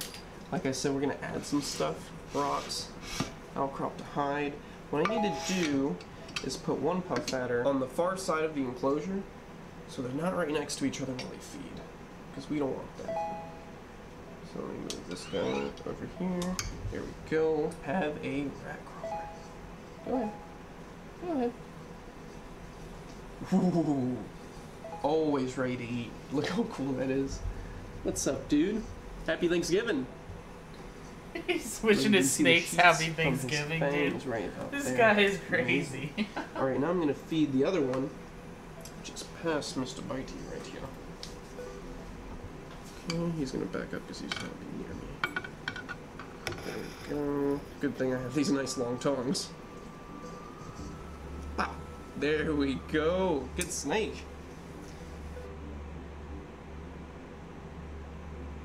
I gotta figure out what I'm gonna name Look my at snake. the killer colors of this snake. Oh, amazing. Look at that. Beautiful, vibrant yellow. Ooh. Oh. And these snakes know Fuck it's that. feeding time. They start to get a lot more active. They flip their tongue a lot, take in the air.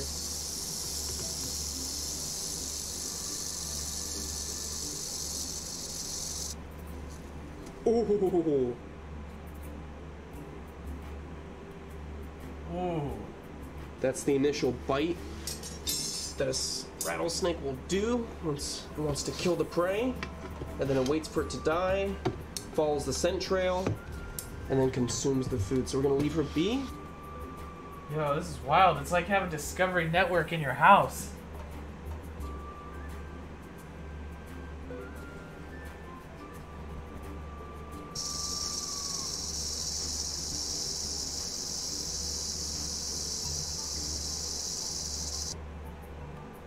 This is the weirdest thing is when they drink. They look like they look crazy. They look ugh. Now for the Mojave rattlesnakes, we don't have the right size rodents, so we're gonna wait to feed them. We're actually gonna feed them tomorrow instead. Too bad you guys won't get to see that, but we have plenty of cool rattlesnakes to be feeding right now. All right, guys, come check this out. We had moved all the snakes around. As you saw over there, the puff adders are now in their new vision cage because here we have an awesome, beautiful baby eastern diamondback rattlesnake. Look how beautiful that snake is. Now, I'm not huge into morphs, but we'll pick this up from a guy who bred albino eastern diamondbacks. And then in that brood of babies, albino diamondbacks came out, and also some normal looking ones. Those are called heteroalbinos. And I know, right? The way they eat is um, the all-in-one thing. I get it. This is a heteroalbino eastern diamondback rattlesnake, a gorgeous snake. Now, like I said before, I'm not too big into morphs, but I gotta say, eastern diamondbacks that are albino are not too common like it is with the western diamondbacks, and I think I might have to get a young albino diamondback rattlesnake baby. What do you think, Will? Should I do it? Why? Brent? All right, guys. Next one, we're gonna. I, I feel like we're being watched right now. All right, guys. We are gonna be feeding the Mexican West Coast rattlesnakes. They're right here. They're beautiful snakes. Here. What I'm gonna do to keep myself safe is put the tongues where I'm holding them above the opening. My hands protected. Maybe this one here. Oh, wow. Oh, good eaters. Help you out. Put that inside. Right here we have one of the smaller rats. We're gonna be feeding it to this albino monocled cobra. Here we go. Oh. oh, whoa. You want it? Ooh, such an aggressive eater. Look at that. Beautiful snake.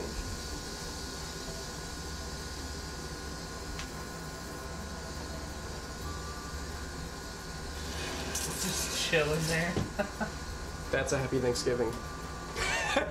we have another cobra right in this box.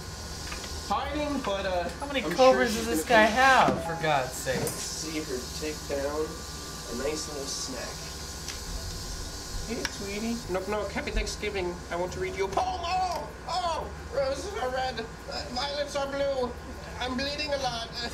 That's not a good rhyme. That's okay, now we have a very hungry western diamondback rattlesnake. Now you can see this snake in the video where we do venom versus blood, so it shows you how potent. Ooh. Whoa. What's happening? A Bunch of chop. Big buys though.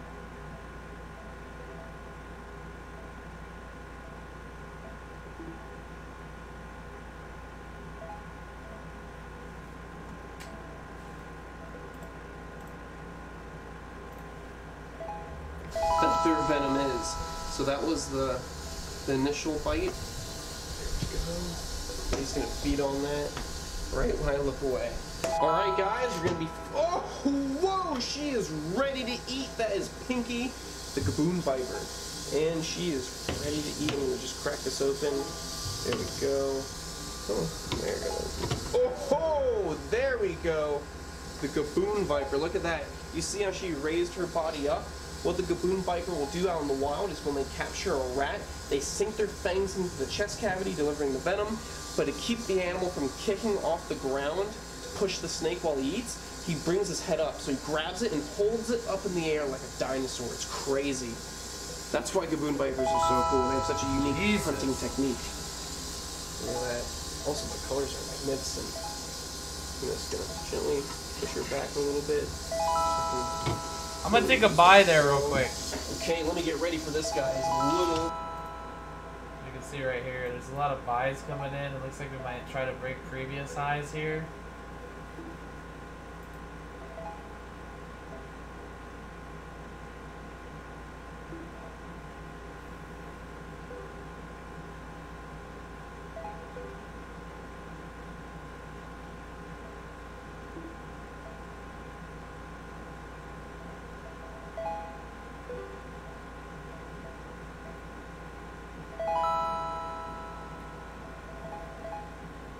Go.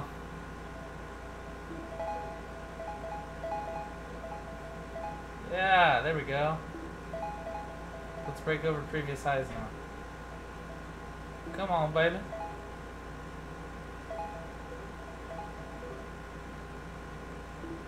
It's trying.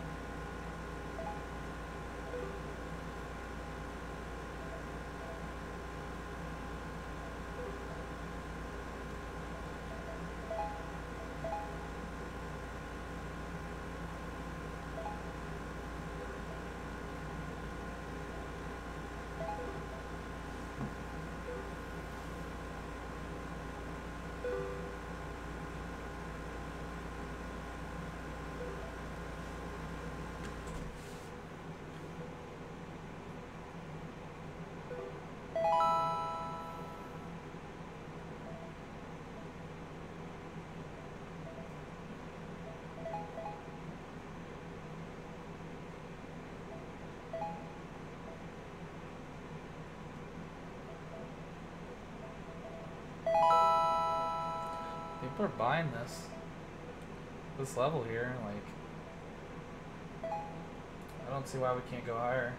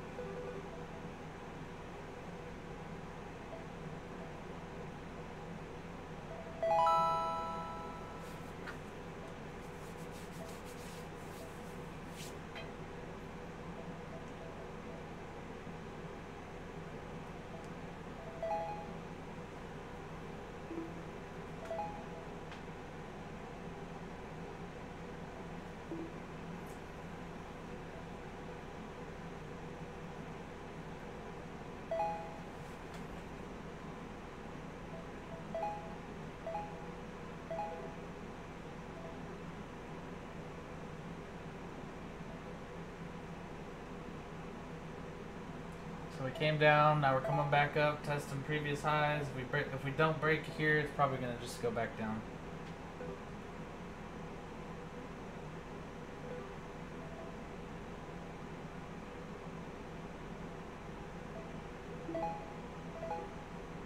Still liquidating some shorts. That's good.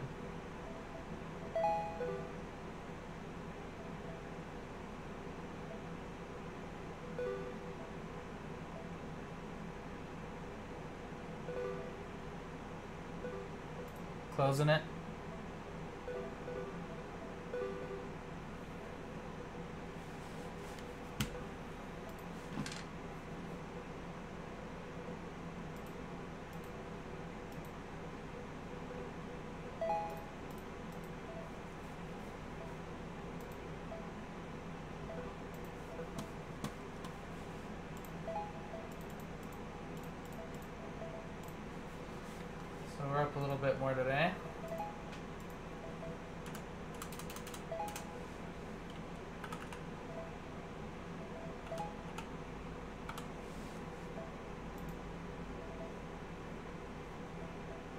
15 minutes till the daily close.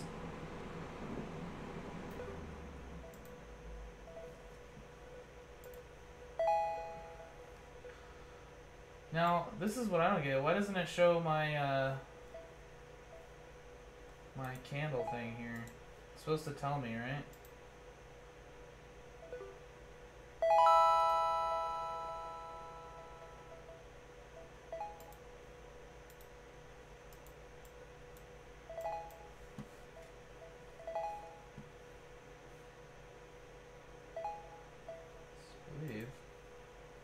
Because it shows me right here when the candle's gonna close, but it doesn't show me on the daily for some reason. Am I missing something?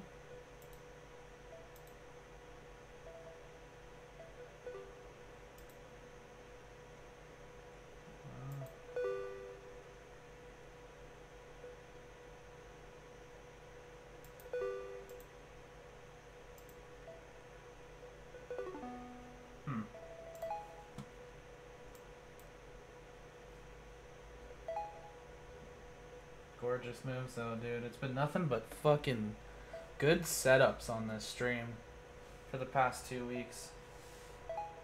Yours does that too? Yeah, that's weird, man. I don't know. Hey, uh, I'm gonna be back. Give me like one minute.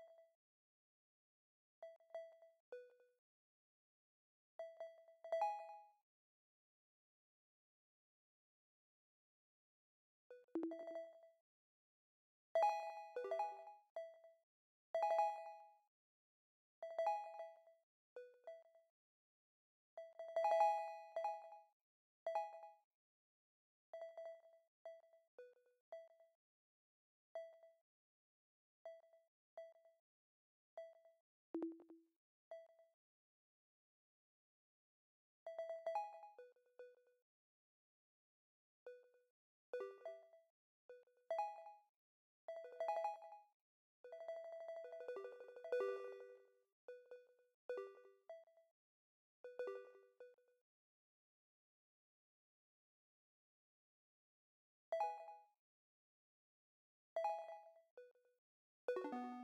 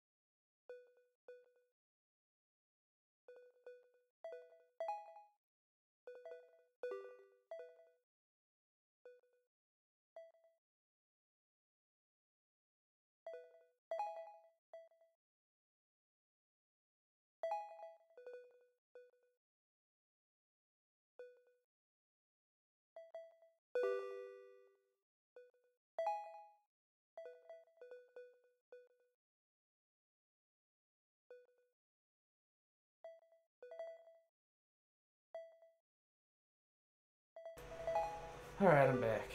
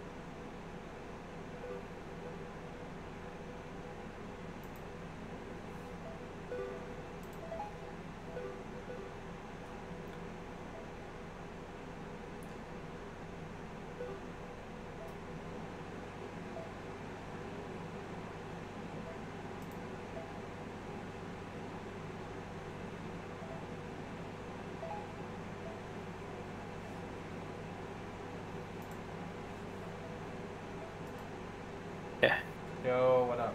It's way up north. Hey, Bear. What's up, Bear? Not much. I'm getting a snake, bro. You getting a snake? Python, yeah. A ball python? Uh, yeah, it's a it's a spider bi- ball python. I had a Mojave fire. Oh, really? Yeah. I almost got a coral glow, but they were out of them. But I'll get that. That'll be my next one. Do you have a setup for them? Yeah. Don't get a glass tank Why? because they require high heat and humidity, and glass tanks don't do that. Well, what does? plastic. Yeah. You can buy a plastic vivarium pre-built. You can buy one that you have to assemble yourself. Or what I did for like the first year, I just put them in a, like a plastic like storage tub, and that actually works really well.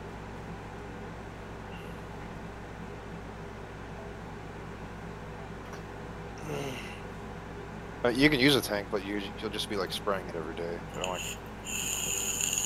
I don't like spraying all the time. Well, how did you heat it? A light? What? No, you put a ceramic heater over the lid. Okay, okay, so like the one I got now, I bought a nice one. It's like plastic, like quarter inch uh, PVC plastic, and it's got like sliding glass doors. And I screwed in a radiant heat panel on the inside. It's like a flat disc. Yeah, I've got one of those. Yeah.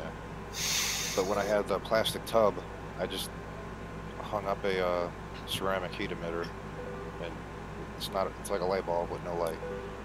Yeah, I know. it, I think uh, I'm just gonna use a heating pad under the, the substrate. And Oh, I then did that too. I'll have a, a hidey hole for him. I think I might get like a lamp too so he can bask. Uh, don't put it in the substrate though. I'm shorting here, Jacoby, right now.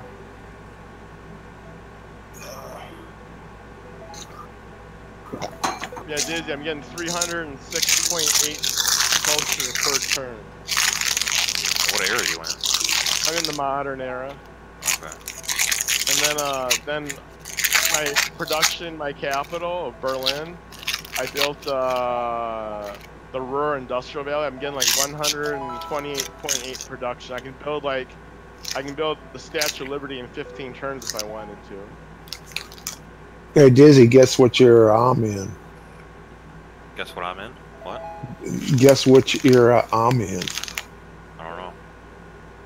I'm in the Holocaust era. Doing pretty bad. I heard they have good bakers. yeah. Yeah, my, my, my Germans will cook you up real nice. All right, server's back up.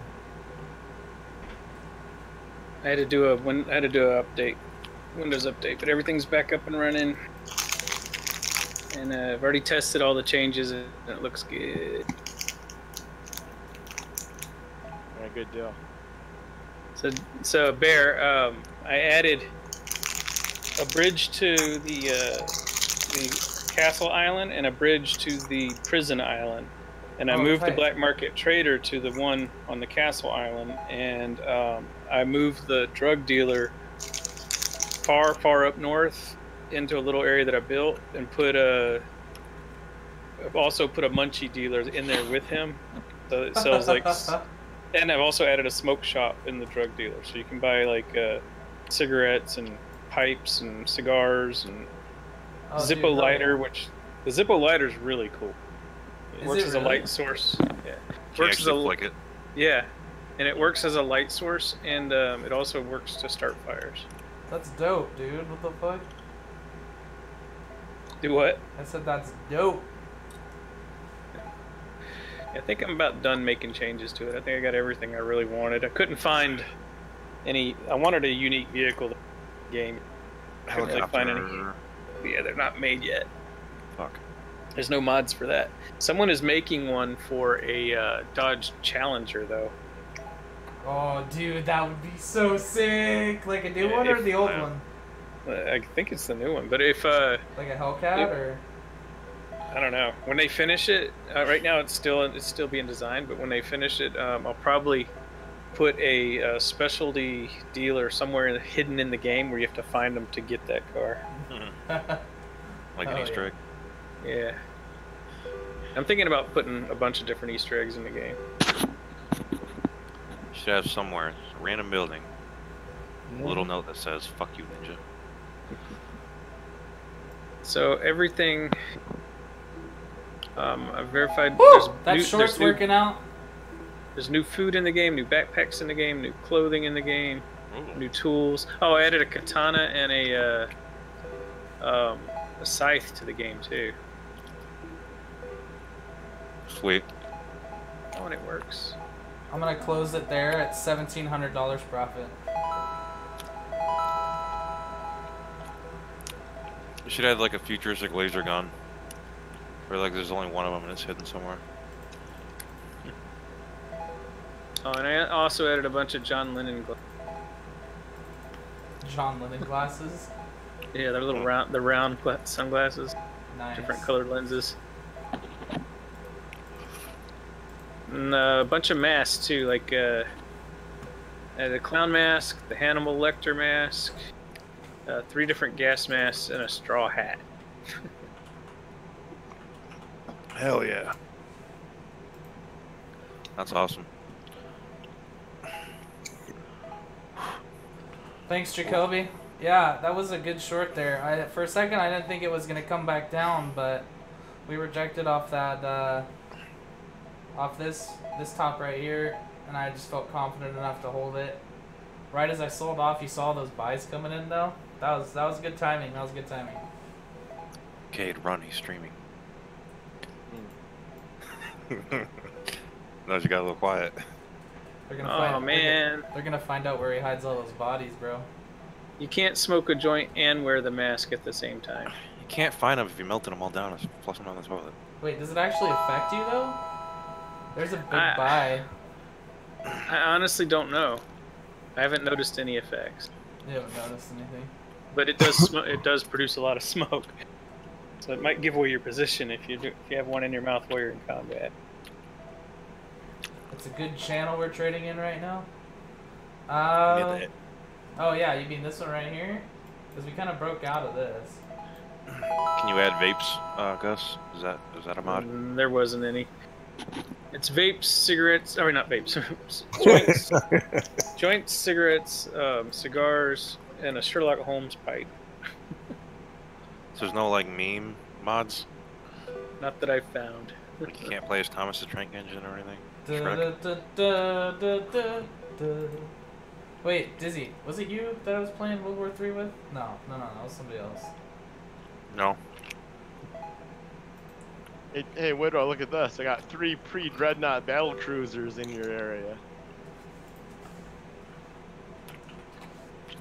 I think we might. I think Doobie and I might go play some Rainbow Six. You guys want to join? I don't have it. I don't have it either. How are you? How do you got that so fast? I'm getting 216.2 science per turn. Oh, yeah. How do you do that? Oh, you mean this right here, Jacoby? I This build tons of campuses. Yeah, Ninja or uh, Cave. That's what I learned to do. What? Really build those. Oh, build uh, the the dreadnought type ships. No, uh, campuses early. Oh yeah, no kidding. Yeah. I mean, it's still looking toppy here, Jacoby, so you could short it again, technically, if it breaks below that lower uh, green. If you're going for like a high money run early, you want to go a little bit culture. Otherwise, buy the You break get of the early previous governments. high. Um.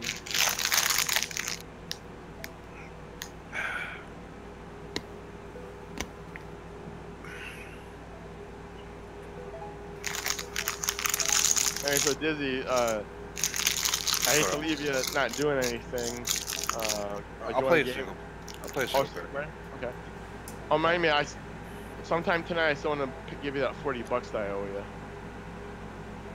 Alright, I'm heading out, guys. I'm Fine. See it. I see you, Bear.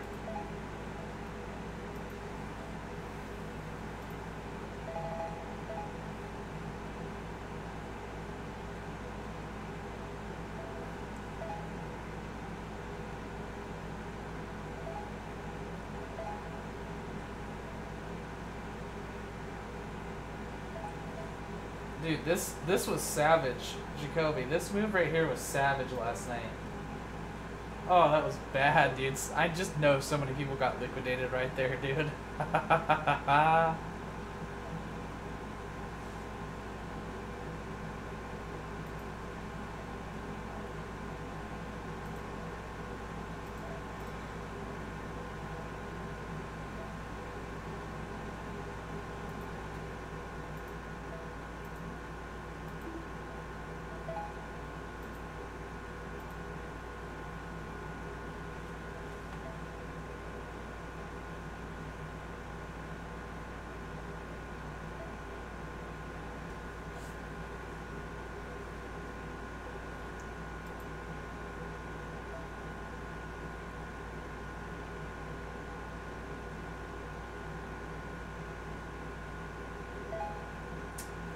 Real test now that VWAP moved up. Yeah, yeah.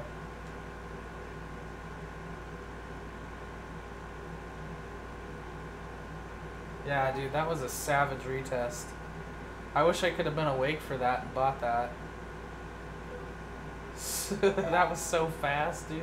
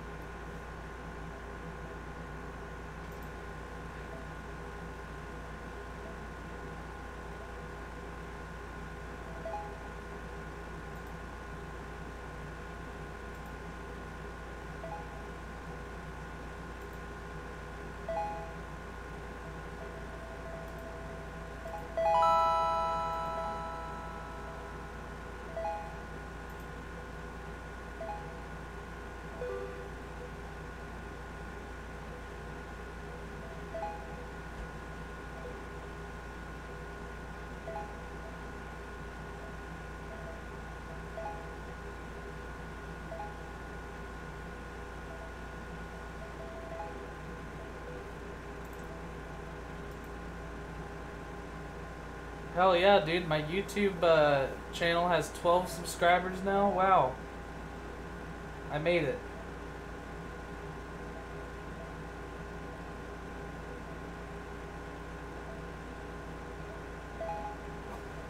Yeah, you weren't watching it either. Damn it.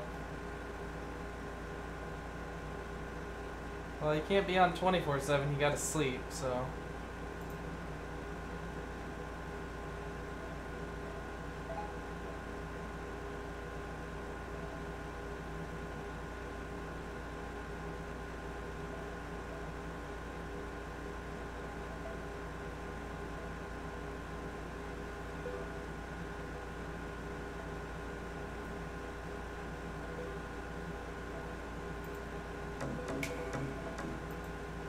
many of you have been asking for. So in this video, I'm going to try my best to answer an important question, which is this. What if what we're seeing on the chart of Bitcoin is not what everybody thinks this is? In other words, what if this is not a bull market in Bitcoin? And what if Bitcoin has not actually bottomed? Now before I start this video, let me just mention this quickly. I've already made two separate videos stating the bullish case for Bitcoin. So in two separate videos, I've already addressed the question that if Bitcoin has bottomed, what could potentially happen next? So in that video, I covered the bullish case for Bitcoin and said if Bitcoin has actually bottomed, then we could be starting a five-wave move towards the 30,000 and 50,000 levels on Bitcoin. Now, in this video, we're going to look at Bitcoin from the opposite point of view. In other words, what if what we're seeing right now on the chart of Bitcoin is not what everybody thinks it is? In other words, what if what we're seeing right now on Bitcoin is not actually a bull market? And what if it's not actually bottom?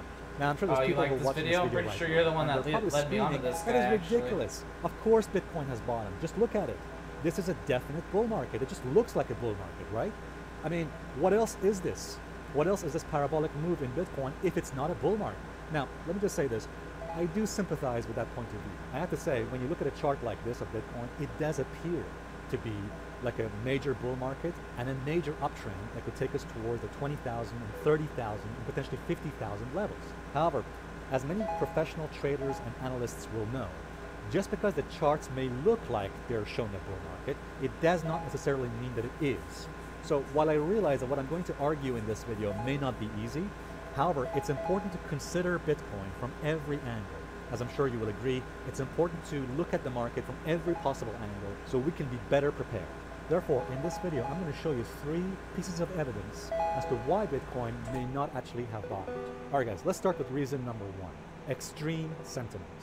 Now, as I'm sure you already know, the sentiment readings on Bitcoin are off the charts. For example, according to a recent report from Jason Goepfert, who looks at market sentiment, and sentiment, as I'm sure you probably know, is how optimistic or pessimistic people are in general regarding to Bitcoin. And right now, according to sentiment readings from Jason Goepfert, we are at extreme 2017 levels. In other words, extreme 2017 See, that makes highs sense. Of sentiment or bullishness in Bitcoin.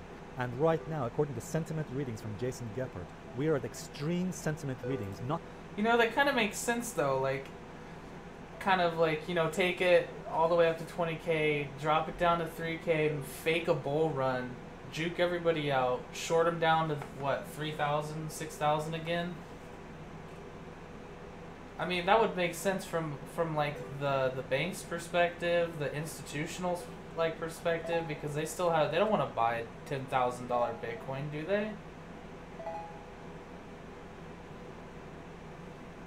They still haven't re- regulated it. They still haven't made an ETF for it. That would mean that big money still hasn't entered, right? Besides for a select few.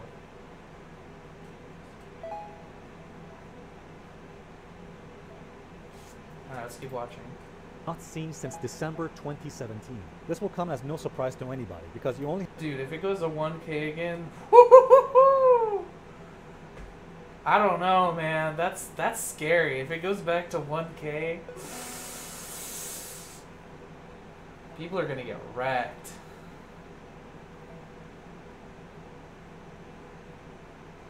I wonder what was the what was the tech bubble retracement?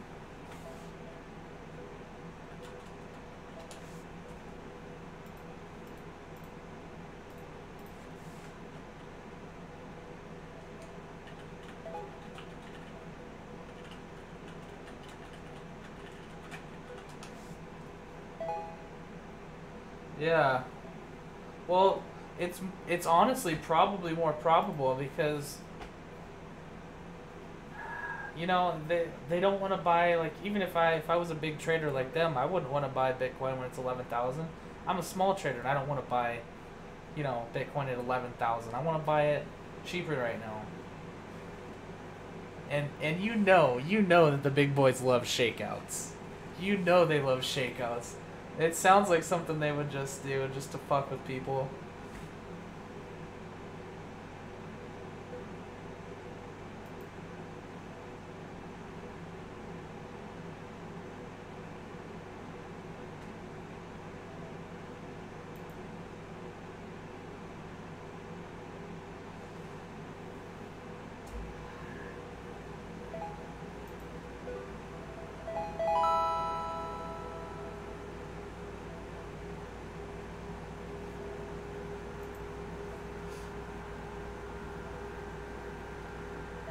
Thanks to this information, give a follow. It's brilliant. Bitcoin has rallied nearly thirty thousand dollars in the past week.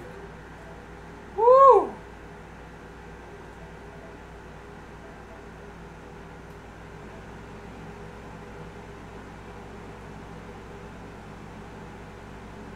Damn, dude.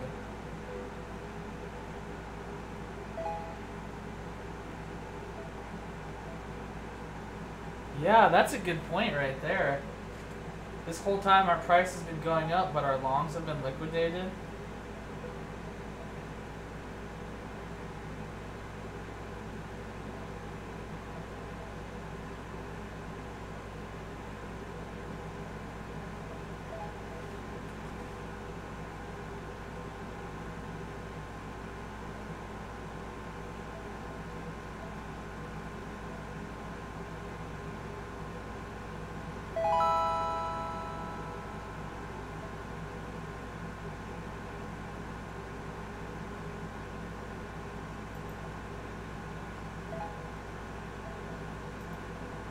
Yeah, that does sketch me out.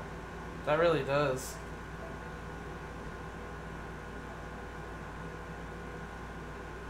That means we're hitting some pretty nice walls.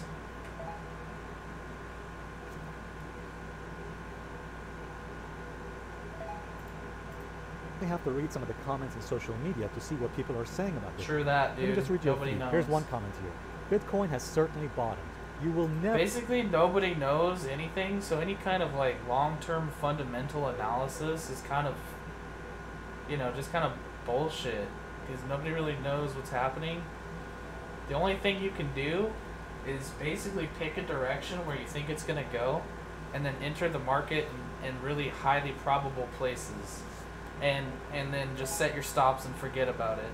Uh, I have a hard time setting my stops and forgetting about it because I like to watch it. Hello, everybody. So I don't really look at the long term kind of stuff that much, but I do keep in touch with it for sure. Probably not as much as I should have though. Looks like we got some buying coming in right now. Jesus.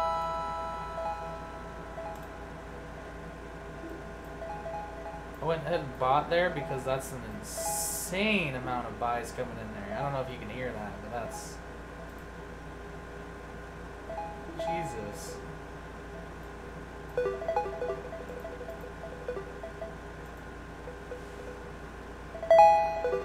Oh, that's too loud.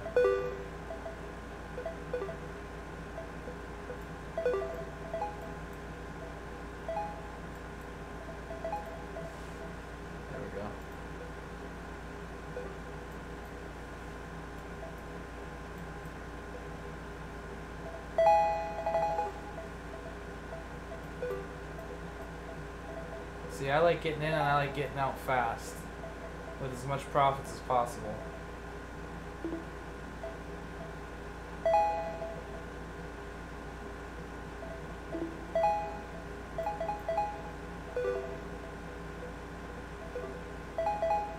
Your Discord earlier was a touch too loud though.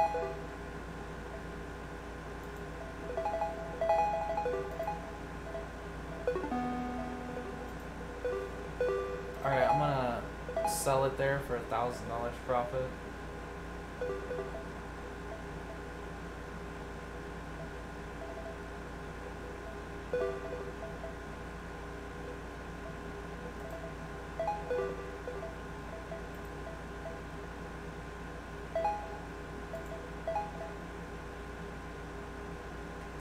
You know, this is what I'm thinking. So I'm good at the scalping and the short term type of stuff. I think you're you're better it sounds like from more of like a swing trader's perspective because you were holding that 10-8 position. So this is what I've been kind of mulling around in my head. In order to get better at the, the long term stuff, I've been thinking about um I, I don't know if I can do this, but like create two different like accounts and then one's gonna be my fast and one's gonna be my long play.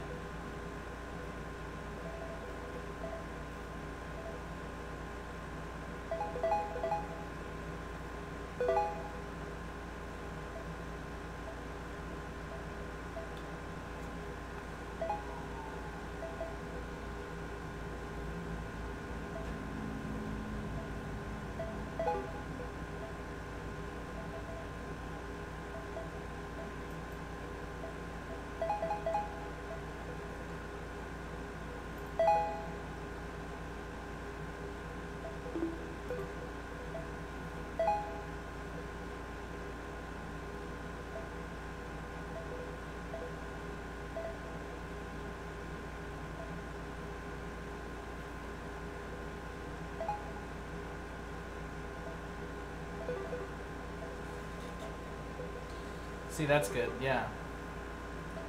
And I, I believe Deribit even has uh, the ability to make sub accounts within your own account. So you don't even have to make another account. You just use both.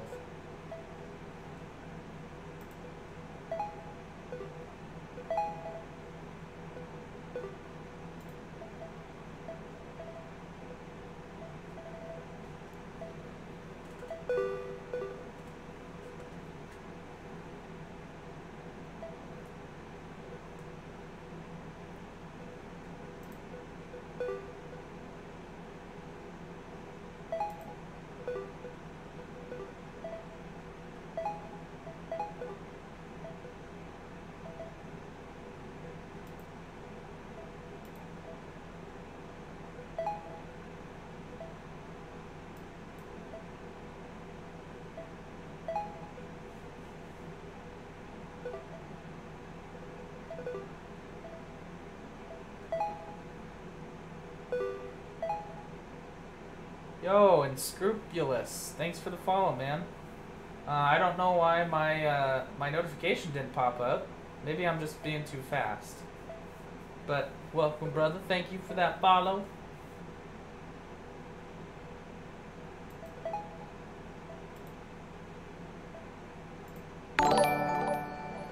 Yeah, it's working. I don't know. Maybe. Weird. Maybe Stream Elements is like way ahead of uh, the other one.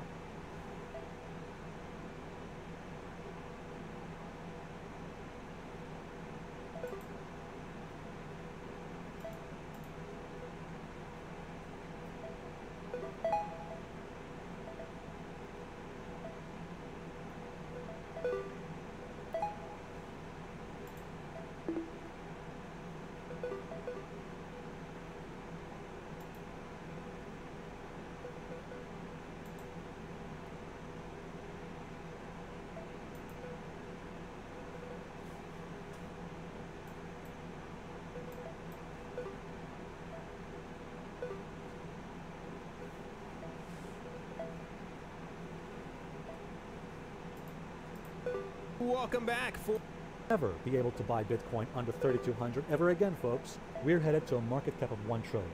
Here's another one. 58k, not impossible, but I don't believe it. Here's another one. You will buy Bitcoins over 20k or wait forever. Good luck. And there's another one for you. Of course, there is no certainty regarding anything in the markets. The probabilities are overwhelming that we have bottomed.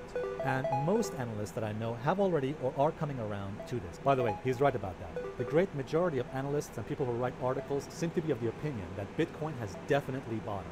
So bottom line is this, guys. A lot of people write Yeah, dude, don't go with the crowd. You're gonna get wrecked. right now seem to be extremely bullish. And here's one thing you should remember.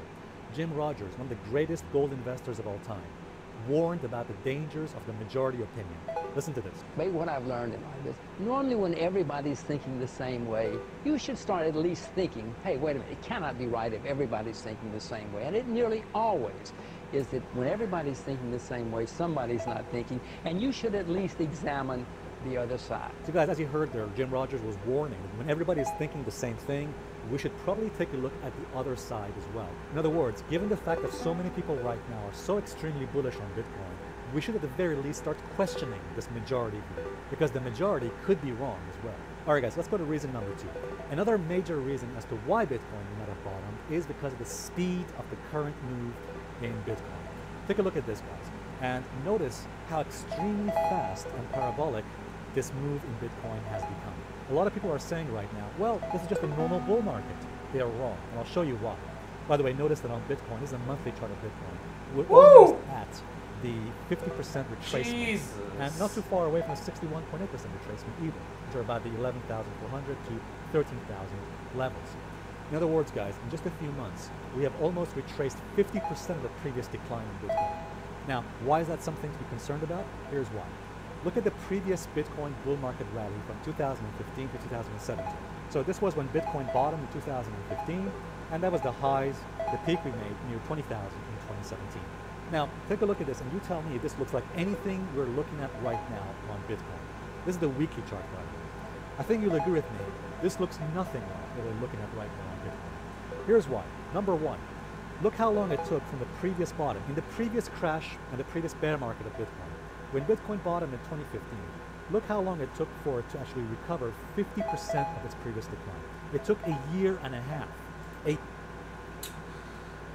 Yeah, so I mean, either way, we could be going up super fast because we're going parabolic now. Like, now we're actually starting to get adoption.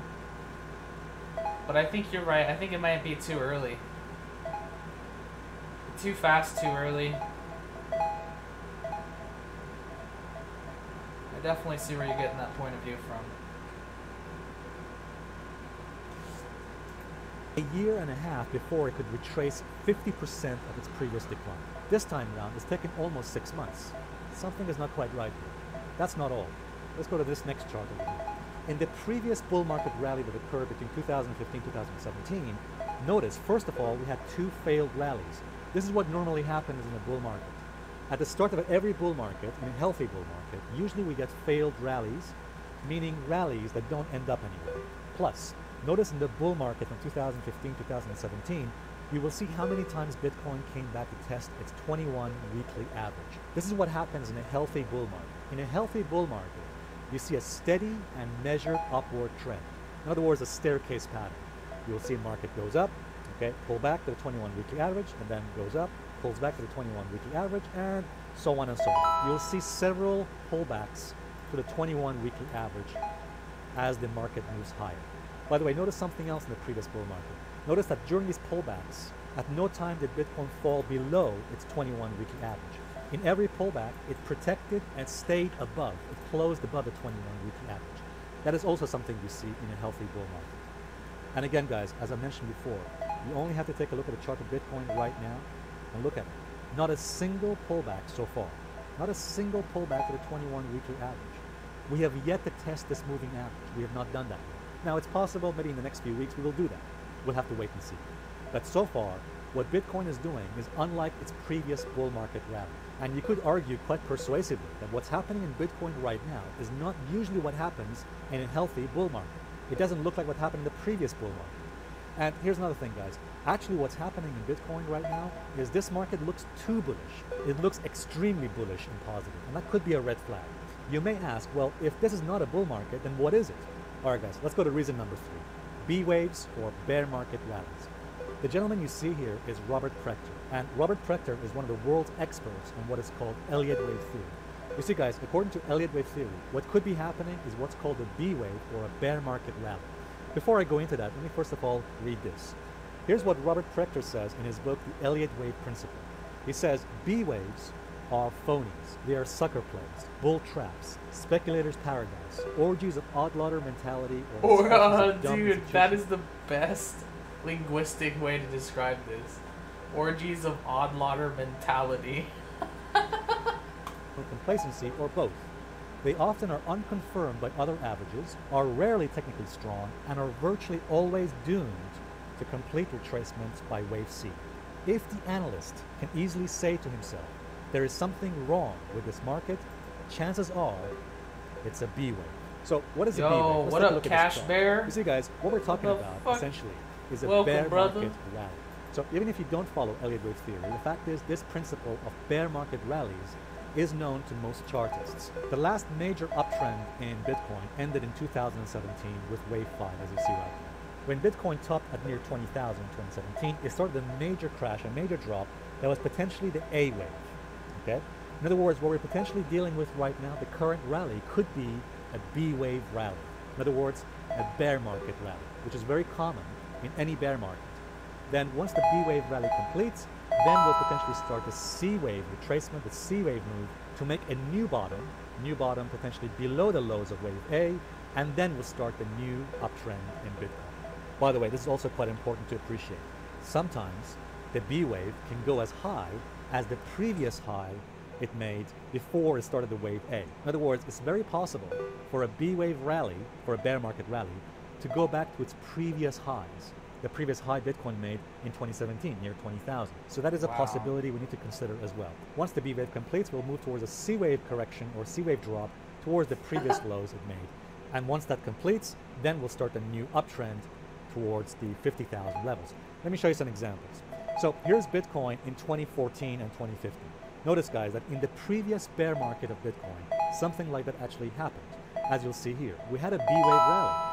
As you see here, after the major crash in Bitcoin that occurred from 2013 2014, it had a major rally. Now, a lot of folks at the time thought, oh, this is probably the next major bull market in Bitcoin. Look, it's going above the 21 weekly average and it's rallying higher. Therefore, this could potentially be the next bull market, except it was not. Jesus. This was only a bear market Bitcoin rally. doesn't can see stop, here, though. That's the when that problem. B wave, the bear market rally finished, it then started the C wave lower and it actually bottomed out near the 200, just below the 200 levels.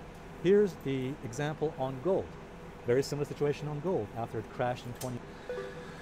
So, basically, we could uh, go all the way back down to 6K, or we could go to 20K. Nobody knows. this is why I don't really get TA from. Uh, I don't really watch YouTube or watch other people's TA because it's usually just like. I don't know. You know? He has a good point with the B waves, though.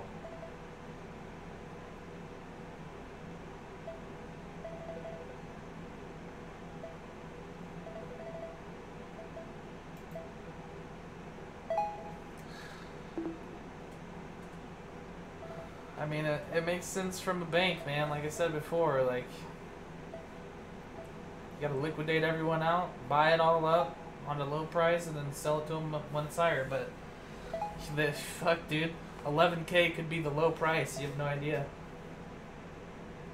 Yeah, always trade what's in front of you. Very true. But I find like I get the the macro perspective, like long term growth and whatnot.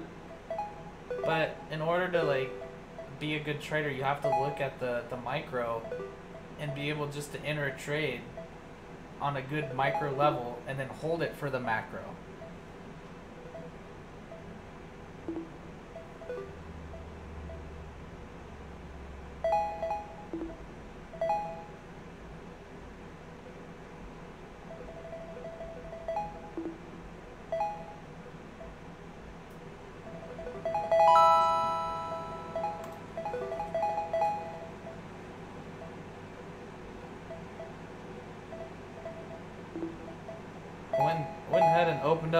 Long there, and those buys came in.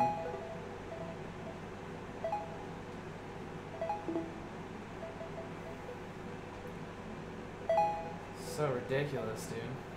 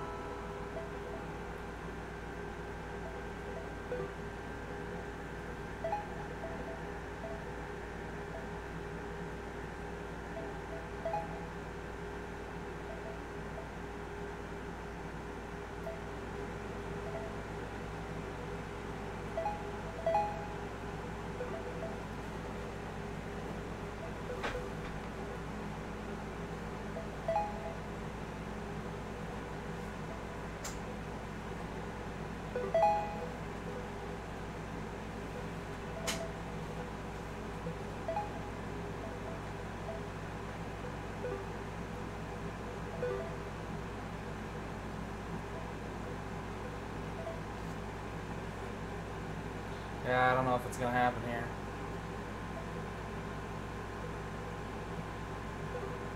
Might just take this loss here, 200 bucks, not bad. Yeah, there we go.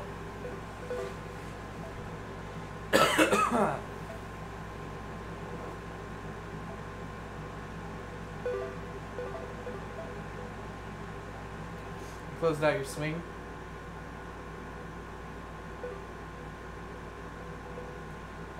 Oh yeah, dude. How much you make?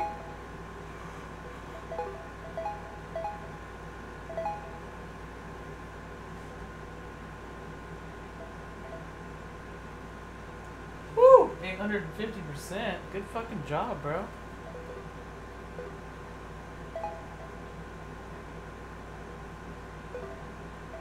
Atta baby.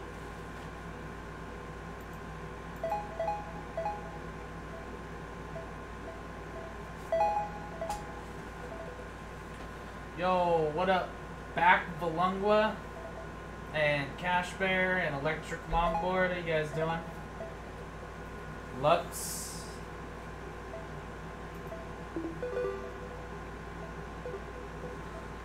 Yeah, consistency is key, man. Don't give a shit about anything else. All that matters is consistency and percentages. As long as you get those two down, then you'll be a millionaire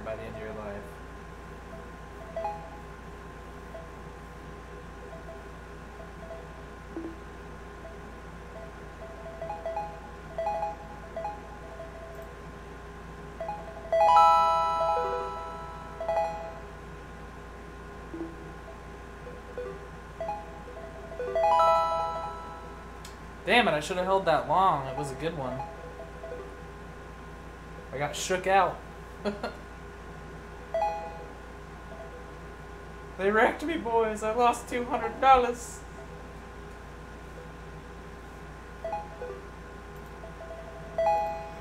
In 11, notice that it also formed a B-wave rally, which many people thought, oh, you know what, this is the next bull market. It's going to go up to, you know, 5,000, 10,000 on gold. It didn't do that. It crashed Oh yeah, Obi-Wan, thanks for hanging out, bro. It's good to talk about this shit with somebody. You have a good sleep though, alright, brother? I'll see you later. Stop by. Don't forget, we got that uh, we got that giveaway on the 6th of next month. Gonna collect your Amazon gift cards.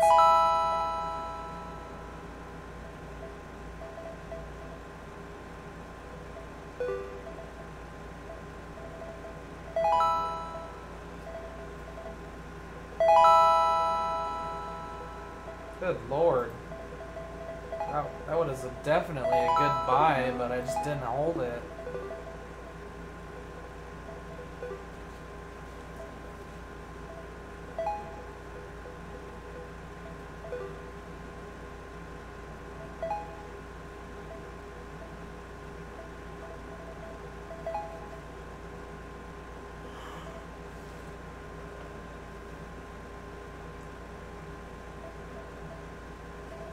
Night, man. Take it easy, brother.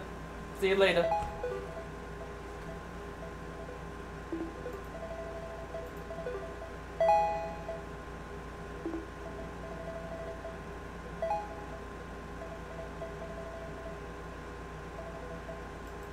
Ball python husbandry is the care that I am most confident about. I've kept them the longest, I've gone through the most issues, I've had the most success, and I've done the most research on them. Been like this though. Four, four years ago, yeah, four years ago is when I first started, and got Sunny here. He was very young. I did a video on him like the day after I got him. I think it's still on the channel. But today I thought I would talk about my husbandry. So back in the right year of 2013, December 2013 to be exact, my early Christmas gift was my very first snake.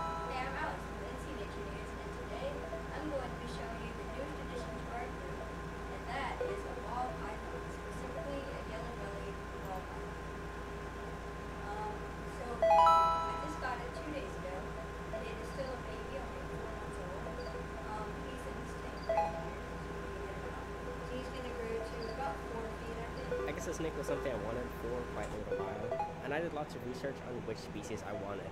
I finally decided I wanted a corn snake, and there's a reptile expo coming up, and it's the one we decided to go to. I was gonna go there. So I mean, hey, at least we're starting off on a good place. We didn't go to Petco to get it, and I walked around the area. I found lots of booths with different corn snakes because obviously they're like everywhere. Um, and I sort of almost decided on one. There were a couple that were pretty cool, but then I wandered on over to the ball python area, and there were lots of sellers. Uh, there's one pet store. I won't say the names of any of them, but there was a pet store set up there, and Sunny was one of the animals there. They had a ton of ball pythons. They all looked quite healthy. Uh, however, I didn't know anything about ball pythons. I went there for a corn snake, and I think my mom didn't want me to get anything with python in the name because it sounded too big and scary. But we talked to the people there. They said, oh yeah, they just get like four to five feet. I can't remember exactly what they said. And they gave all of this general information. That was one of my first issues. I just assumed that everything they said, since they're the sellers, is the word that I can take. Why would I question it? They sell ball pythons. Now it's possible that you know. It's best to ask lots of people and use lots of resources. Some like Reptibar, two lamps, a day light and a night light. Uh, did not come with a heat mat. I got a little.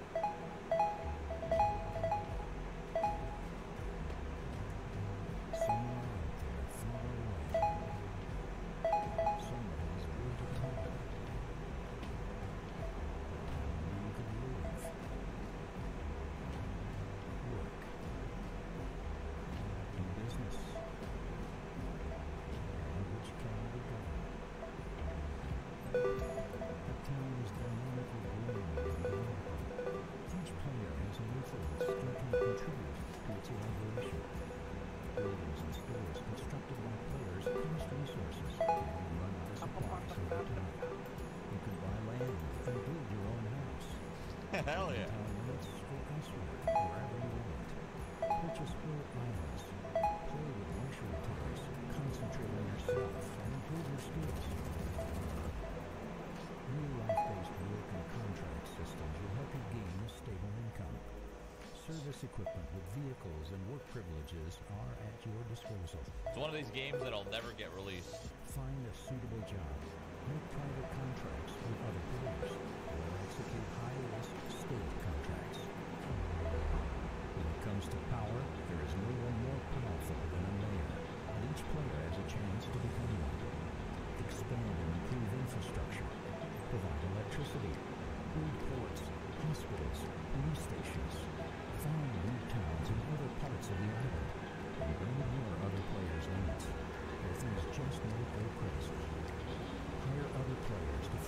a and the sky is the limit.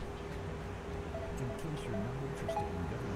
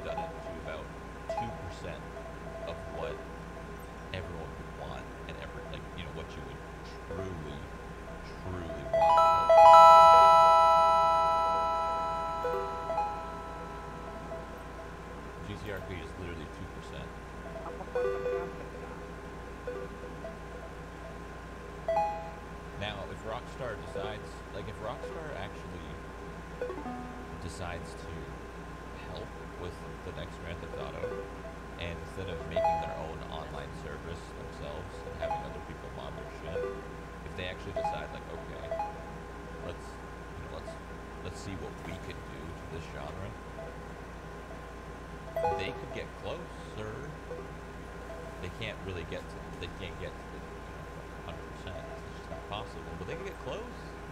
Or, you know, they can get to like 30%, I'd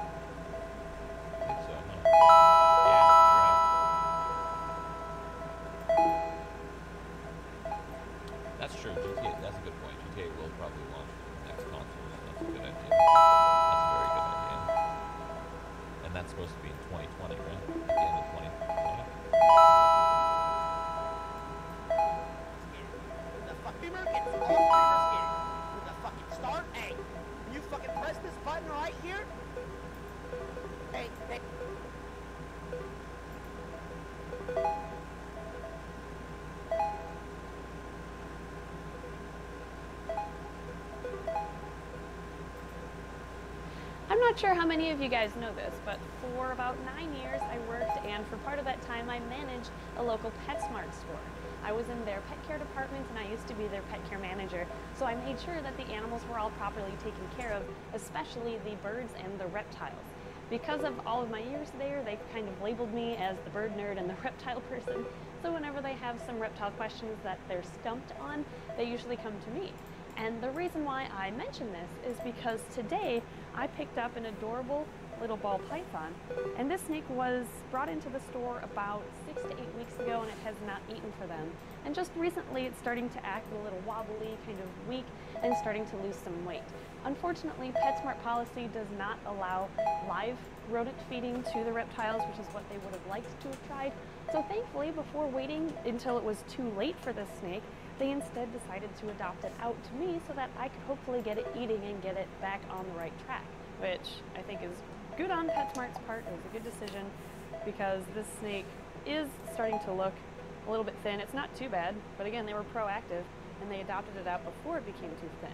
Now you can see the top comes to a point. If you look up here, the snake isn't round like it should be, but that, and that tells us that it's a little bit underweight. I can also feel the vertebrae as I run my thumb down its spine, but again, it's not terribly bad, and it's a cute little snake. Although I'm not a huge fan of where PetSmart acquires their reptiles from, I do love the fact that most PetSmart locations, anyway, truly do put the animals first, and they will do whatever is necessary to make sure that animal is taken care of. Again, I can't attest this to all locations, but at least the store that I work for really does care about their animals. So the plan is to probably end up feeding this snake live, but I kind to see if I can get it to eat frozen thawed first. There's a possibility that it was just too stressful of an environment or something was off in its environment that was causing it not to eat. Here's the small enclosure I have set up for this little guy or gal. The reason why it's a little smaller than I'd recommend for a ball python is because first, this is quarantine. Second, smaller enclosures sometimes make stressed out snakes eat better. So I'm going to give this a shot. I have a cave on the warm and the cool end, water dish of course, and a humidity box. We'll see if that helps too. Okay, little girl. I think you're a girl. Check it out, calm down, and then we'll try to feed you. Okay, are you ready for this? It is nighttime, as you can see, and this should have given her plenty of time to calm down. And tip number two, by the way, to getting picky snakes to eat, since tip number one is to use a smaller than normal enclosure, Tip number two is to feed nocturnal species at night and diurnal species during the day because that's when they're naturally active and searching for food. Tip number three is to make sure that the mouse is warm, especially with nocturnal species.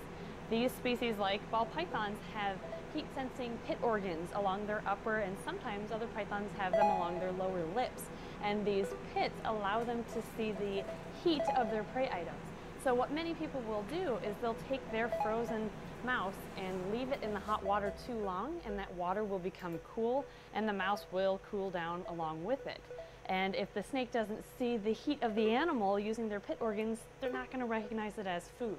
So we're going to see if, oh, good night fish. We're going to see if we can get her to eat on day one using all three of these techniques. Here we go. Where is she? I think she's in that cave. So let's, hmm, I don't want to stress her out too much, but we're going to try this. Okay, yep, there she is. Hi, cutie. Mouse, meat, snake.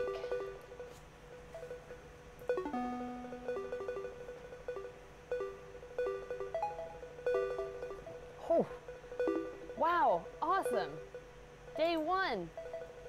Okay, I actually was not expecting that tonight. That's fantastic. Uh, I don't want you to lay it in the bedding. Okay, we are laying her in here so that she does not get a bunch of bedding stuck to it. But look at that! I guess she just needed a different environment, maybe a different technique for feeding helped out, but she's eating for me. This is fantastic. These three techniques, by the way, can be used for snakes that are currently being fed live and are being stubborn in the transition to frozen thawed. The new manager did seem to know what she was doing. She was trying to scent the mice there with African soft fur juice, which I've yet to determine whether juice is just old bathwater from African soft furs or if it's something else. I kind of don't want to know. Regardless, it seemed like she knew she, what she was talking about, but nothing was working at the store. So my guess is maybe the store environment was just too stressful for this snake and she needed somewhere calmer to feel secure enough to eat. Maybe the mouse was the wrong temperature or they were feeding at the wrong time of day.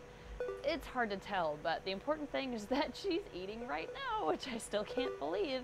Ball pythons are native to Africa where they spend a decent amount of their time in hot, humid termite mounds. Now, they don't spend all of their time in these mounds, which is why you shouldn't have a permanently humid environment for them, or they can develop things like scale rot. Instead, I recommend giving them an environment with dry aspen for substrate and a humid retreat or a humidity box. That humidity box will act as a termite mound and they will go in and out of it as they need to to rehydrate themselves. I also recommend having a cave on the warm end of the enclosure, and that way they can stay hidden whether they want to be in a humid environment or a drier environment. I won't be keeping this ball python forever, I just took her in temporarily to get her back to a healthy weight, and then I'll find her a new forever home, or since I'll have her anyway, maybe I'll do a ball python care video finally. In case you're wondering, she will be up for adoption once she's a healthy weight, but please do not comment with your address below. That's just not a good idea. If you are interested in her, just keep an eye on the website under the available reptiles tab, and once she is ready for adoption, I'll post her on there and we'll find her her forever home. Thanks for watching this adorable ball python eat. Don't forget to vote for next week's Feed My Pet Friday in the top right corner, and we'll see you next week.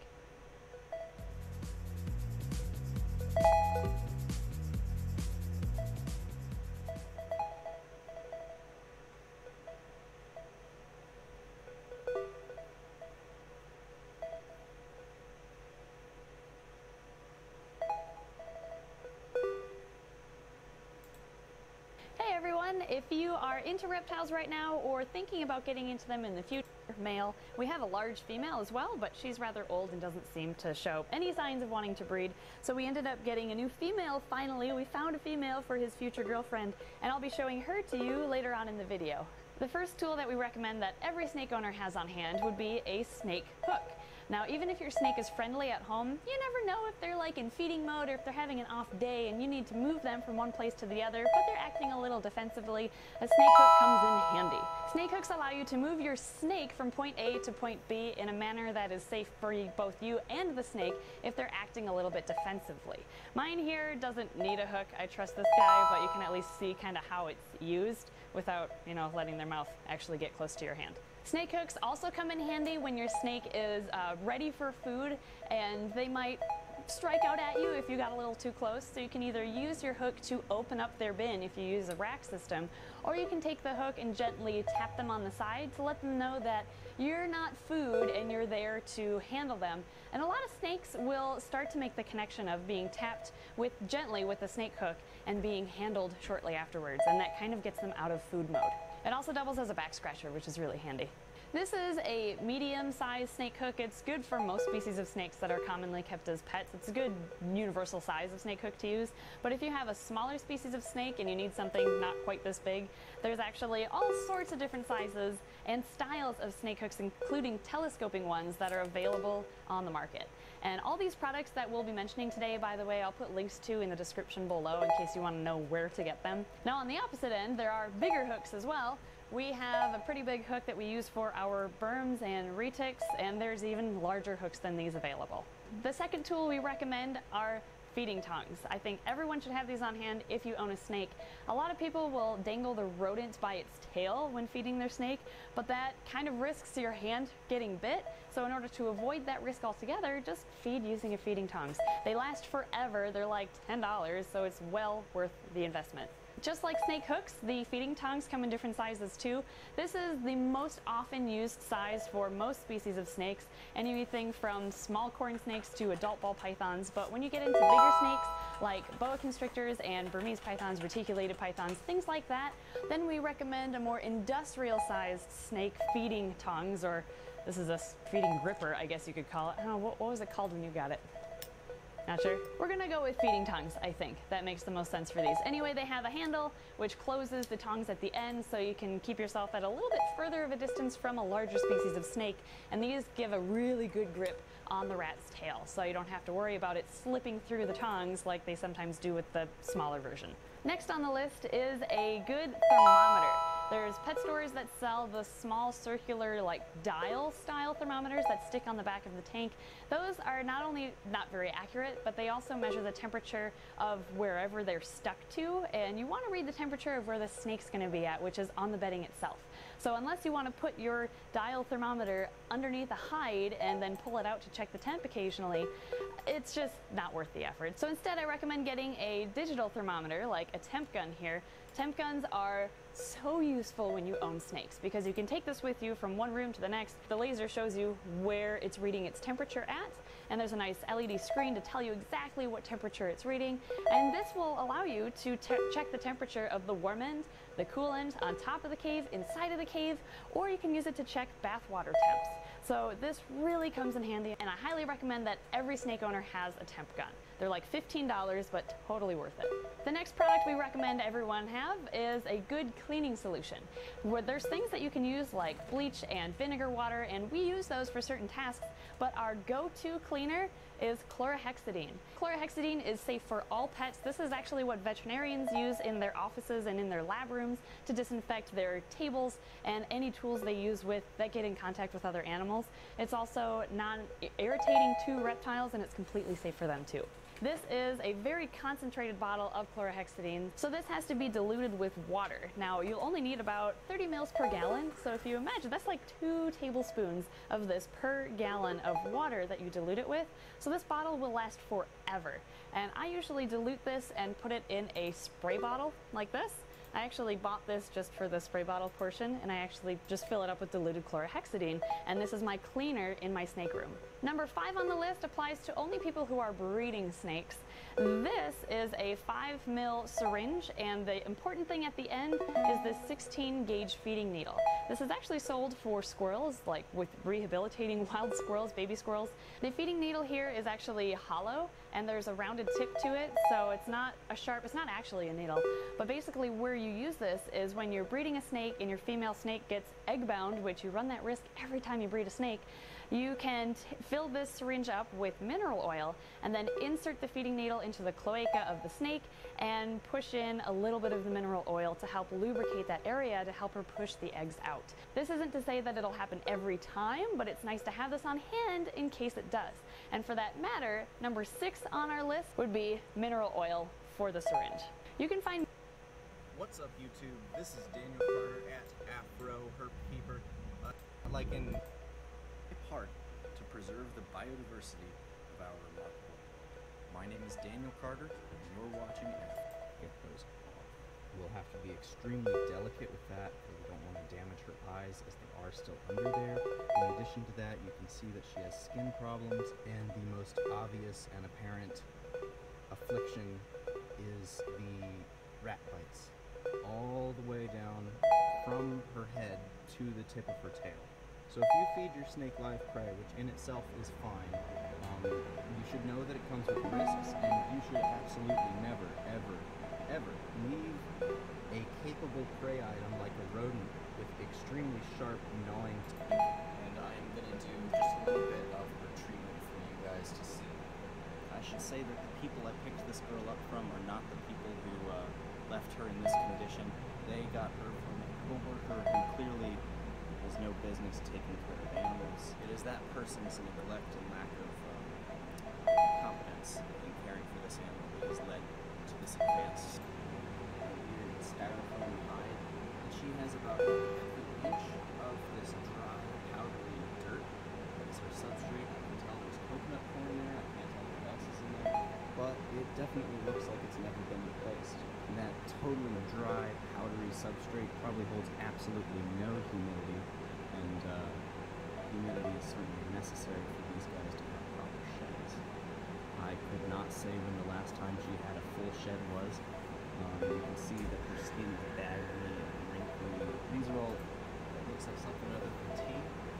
Um, and it is also safe for her to drink, which is good because this soap has two purposes. Uh, one, the general antiseptic is good for cleaning her wounds and making sure that infection doesn't set in.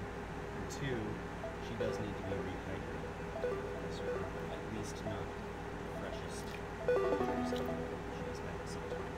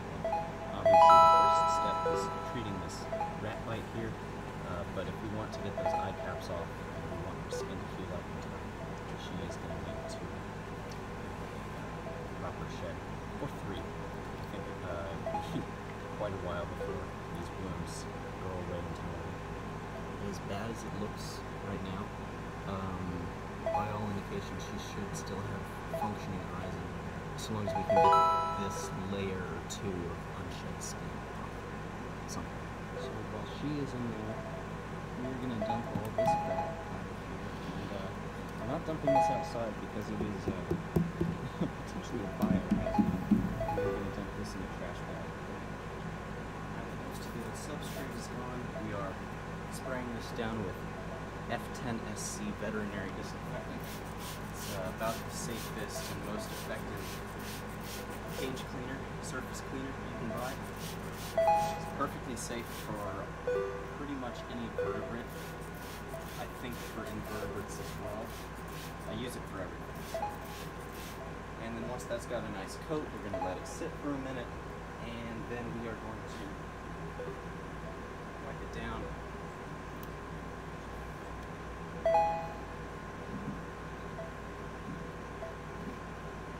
Because this is a quarantine setup, we're going really basic on the substrate. We are just going to use some paper towels. They get the job done, and they're very easy to replace anytime they get this.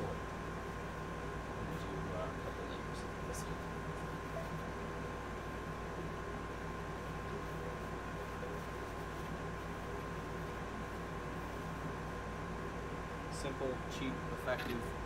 Not something I would use long term, but for a sick animal, uh, it's better to go simple and easy. I collect used hides and equipment uh, just for this purpose, in case I have a new face or two or three. So I've picked out a few things, and we're going to give them the same treatment we gave the cage.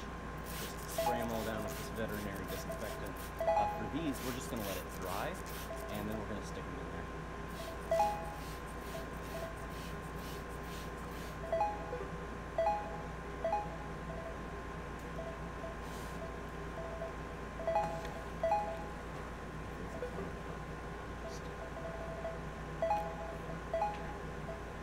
We are witnessing a bowel movement. As gross as that may be, it's an excellent first step for him. Because who knows when the last time he had one of those was. Probably physically could not until we put him in this. So, good job, buddy. Okay, let's finish this up so I can get him out of his poopy water. For his water dish, we are also going super simple. Just a Pyrex Tupperware container. Um, it's big enough to fit him inside. Okay, while the uh, hide boxes are drying, you can probably see some of the interesting head the products that Spider Ball Pythons have. He's exhibiting. So, before you get all poopy, take you out of here. And so, uh, this is what spider ball pythons.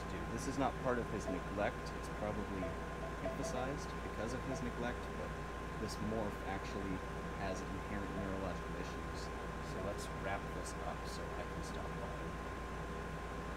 It's pretty severe. So on top of everything else, it looks like this guy has a very pronounced um, head wobble.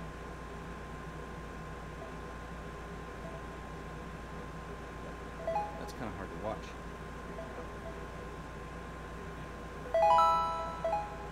So we're going to place him in here so that he can stop picking up. So this is interesting. Not quite what I expected to see. Um, I'm not sure if this is attributable to the spider morph or if this is indicative of a more severe neurological issue. So I'm going to be looking into that on top of everything else that he has going on. Did have a bowel movement, and as I said, that's an excellent first step towards recovery. Um, what we're going to be doing now, this is the second part of his treatment regimen. We're going to be doing both the soap and this every 48 hours. But what we're doing now is applying this Silvadene, silver sulfadiazine cream, uh, to all of his bite marks. So basically all the way down his spine. This is a topical antibiotic disinfectant um, made by Ascend Laboratories LLC. We're just going to take a dab of this at a time and uh, brush it on his back, uh, starting with probably the worst looking spots. And we're really going to go to town on this because we want it disappearing sooner rather than later.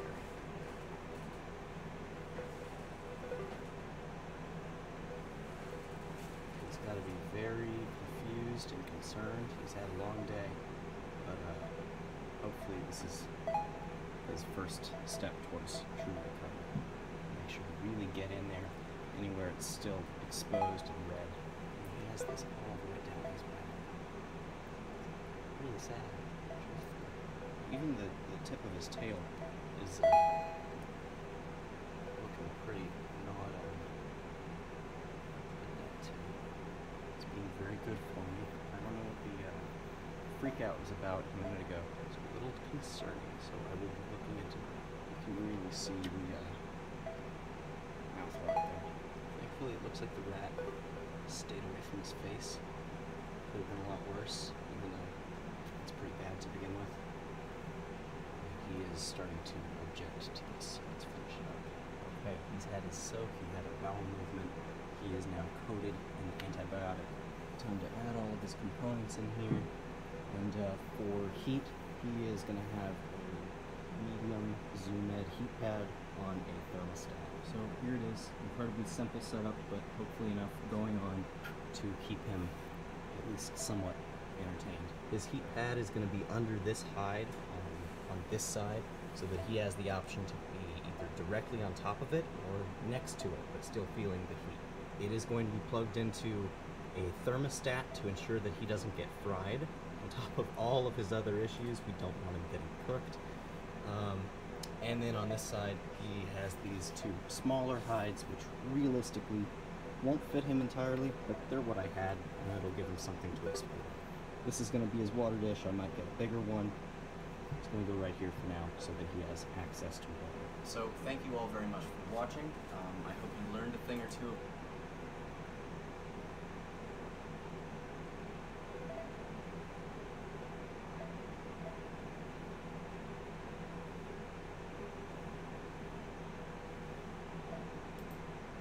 Alright guys, we're back with another feeding video. This is the rabbit, or kind of beat rabbit. I'm doing this, I'm keeping an eye on the girl too, so she's little crazy. I'm gonna keep an eye on this. And, there it is guys. Oh my god. She was stretched out from that far. See, that shows you right there. She can reach me to put my hand in there. So you guys get that. Nice.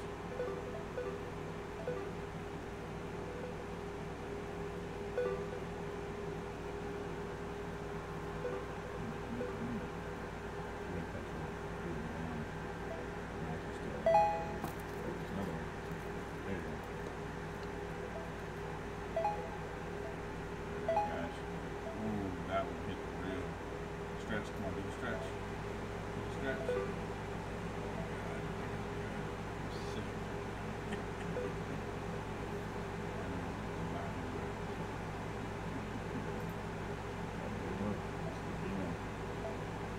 Bad girl, for sure, man.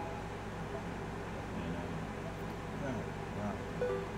How fast she came out for this guy? Let me get my intro. This is my female rock rattlesnake. Two hits already on this. And she's only. Oh my god, girl. This is why you gotta be careful with snakes.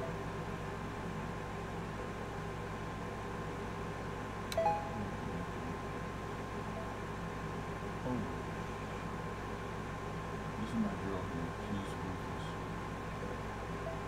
Stretch. Baby stretch going on. Yeah. This is something else. I can tell she was not playing no games with nobody. She's not color. She just shed too. She just piece on the side of it.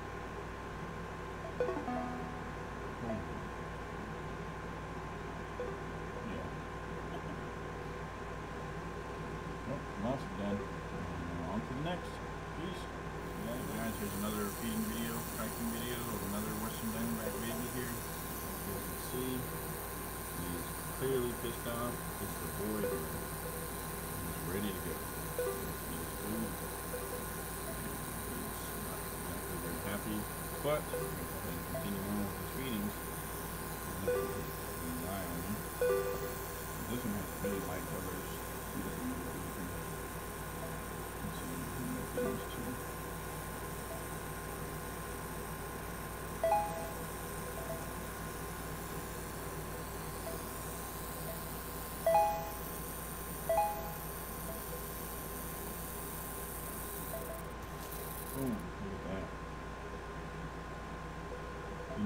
stop rattling when they're in feeding mode. They don't make any noise. Before they strike, they don't rattle, so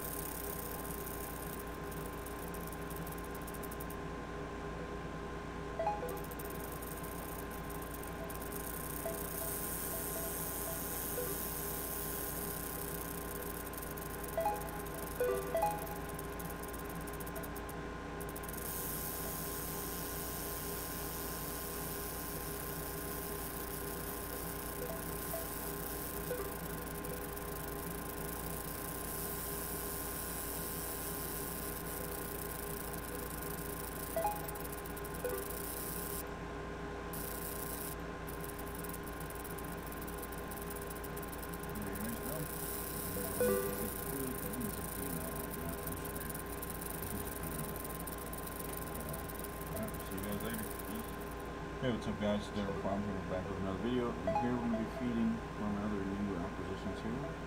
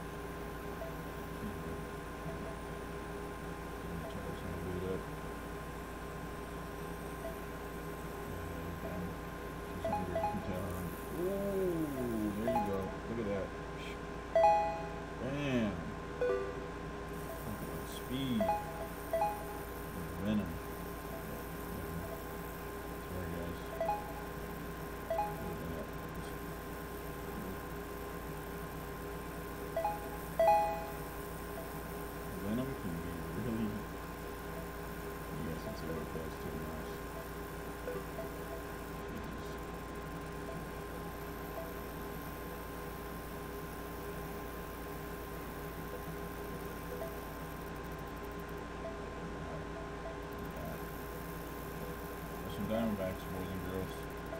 And bad son again. The reason why I got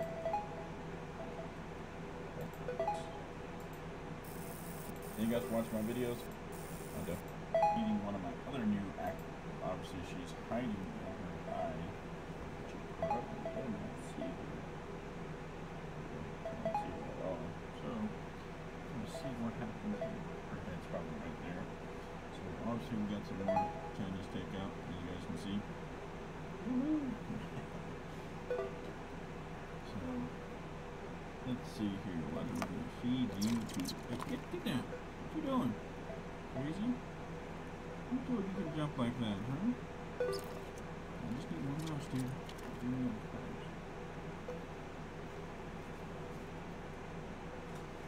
There's some mouse. Let's see. Hey, what's up, guys? It's Des Wolf Farm here. We're back with another video, and I got some new stuff. And as you guys can see here, that this can be free. Take that right there. Alright, let's see what we got here. I'm gonna go ahead and put this guy in here. And this little mouse. here. Let's go with the mouse.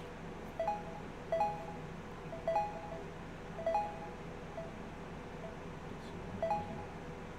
Remember, they go off heat since, so they use you see, he probably doesn't even notice it yet. Uh, give it some time. I just pooped right there earlier. Okay, he's done. He's done. Boom, there you go. Oh, he, he should have got him. That was close. Close call, man, little mouse. Get out of That's mm, not great. Hide. That's fun. As you guys can see there, the mouse decided to go hide in the hide, so that's going to be fun. Oh, there he goes.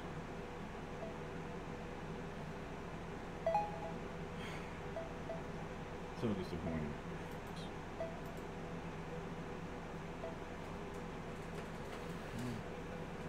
Let's go. Mouse. There we go. Good job. There you go. Come on, dude. You're done. Oh my god, really? No? Ah, dude, what's going on here? That's interesting. Does not want to eat in front of me. What the?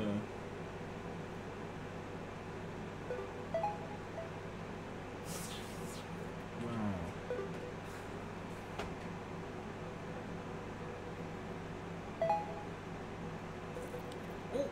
There we go. That's what I'm talking about, boys and girls. Little time, but hey, we made it happen, guys. All right.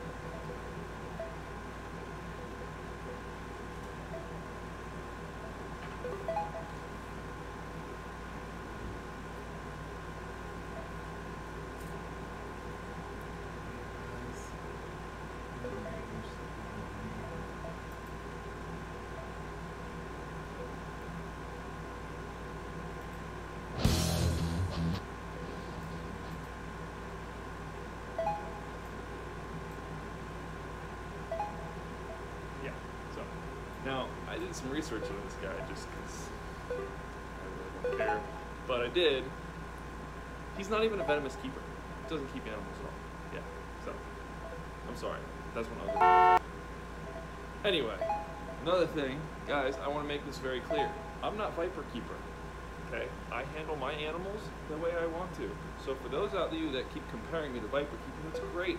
Al is an awesome guy. He's an amazing keeper, but I'm not Al. Al's been doing this for a very long time. I respect Al very, very much. So I handle my animals the way I do, and if you don't like it, you don't have to watch. But for those of you that do watch and do like it, I appreciate it. I do see your guys' comments. I'm sorry I don't always answer back. Um, I do my best. But today is an awesome day. Chandler is still out of town, and I need to feed Kevin. It's been a little while since Kevin ate. Um, I do have a snake for him defrosting currently right now. He is beyond ready. I know he is. So we're gonna start feeding him. It is again, but super excited. Again, the head is missing. Get over it. So right there, and uh, yeah, the other hand to uh, feed Kevin. So this should be very interesting. I have to grab my handy dandy tongs. This is definitely going to be interesting. So sorry if I do get crappy footage, guys, but I'm going to do my best to get good footage. So here we go.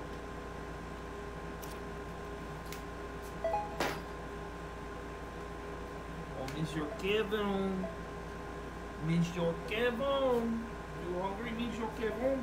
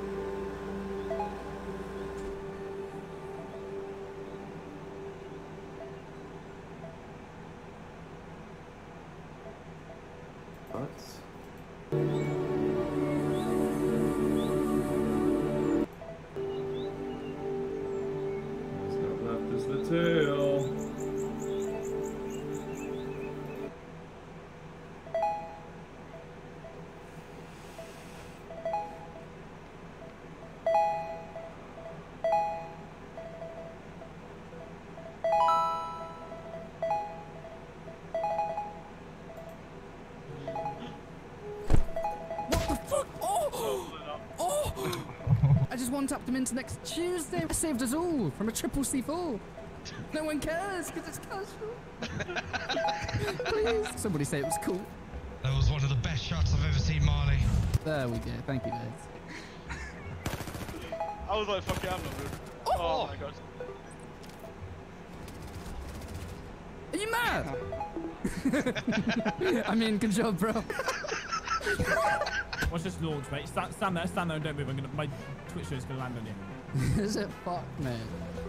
This is the Yeet Olympics, man. Yoi! No! this guy's just stood there watching. It's the Yeet Olympics, my friend. Uh, Dr. Hawkeye, can you can you throw a drone into the air? Holy! Oh! Uh, I got you, buddy. 2v5, mate, we can do it. Oh, that's ninja, surely. Yep. Um, excuse me, what the? Oh! Oh! No way! Drop shot, baby! Let's Oh go! my- Oh my god, dude.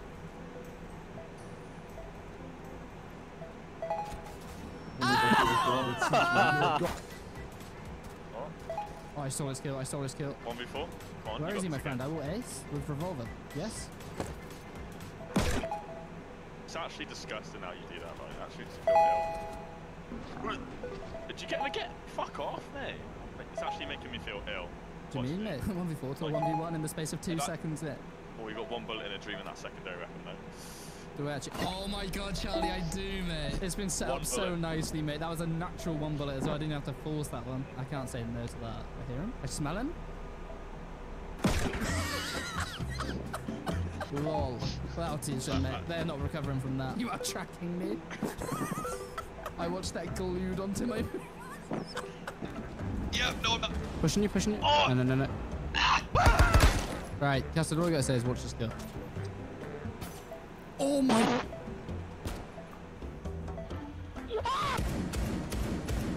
Oh my god, that was oh. fucking lot of shots that took. Definitely not clipping that. He's clip. What was that? You literally point blank skull fuck. Oh, that just aced through that wall. Mate, Yeah, you aim. You ace through the fucking wall.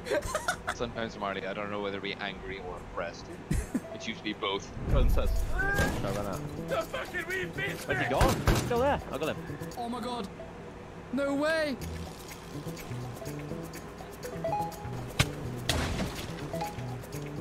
No way. I'm putting him. No. Whoa. What the? I- I'm actually shaking with anger. I've never been more disappointed in myself than that. that that's a new level of copper. It was diamond to copper in about four seconds, man. John, do you know the good thing about Nøkk? Her primary is the FMG9, which I already have black eyes for. Imagine only having one primary black eyes. Imagine, imagine how sad that'd be, especially at level like what level are you, like 200 or something. Imagine how many alpha packs you've opened and never got. I can't imagine. I honestly, mate, if it was me, I would have got, got a refund on this game by now. That would just make me feel sick. Like, all those alpha packs. Yo, anybody got a reinforcement? You got a reinforcement? Yeah? Could you put it right there? Yeah, reinforce that. My guy, thank you. Dom! I'm sorry, mate.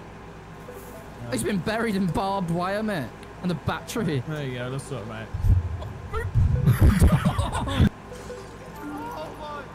I shouldn't have realized I did it. I was going to get back. Look at this fuse. What, the hell is he doing? Whoa! Oh my god! Right, Dom, stop team killing. Hey. Oh my god! What the hell is happening? No, no, no, Dom. you are. Thank you, mate. Thank you so much. So, mate, good luck. I really wish you the best.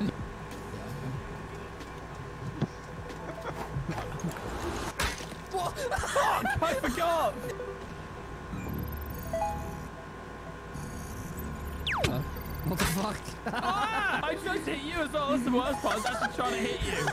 And you like dodged out of the way of it. And you zapped yourself and then drove Oh, into an yeah. electrified wall. Push into the objective. We are making progress.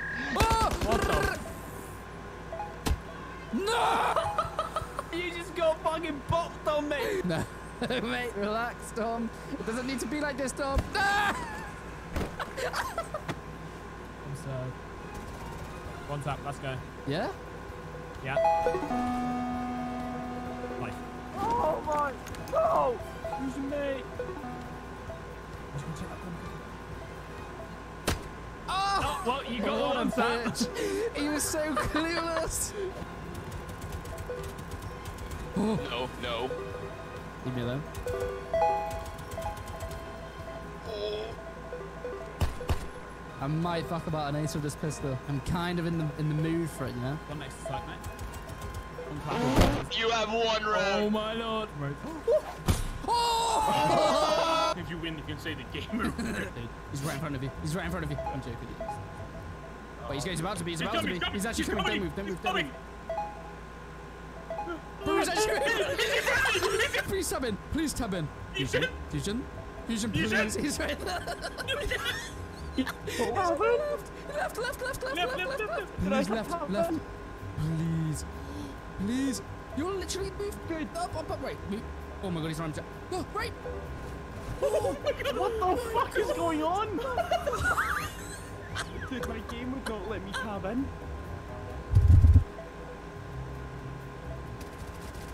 What? What? Hello? Wait, what? Mate. Did you see him stuck in what? place? Yeah. Oh, I can't play, I can't play, I can't play. I have one bullet in this, I have one bullet in this gun. Oh! Mate, that was sick. I see you just jump out, so you puss into it. That's-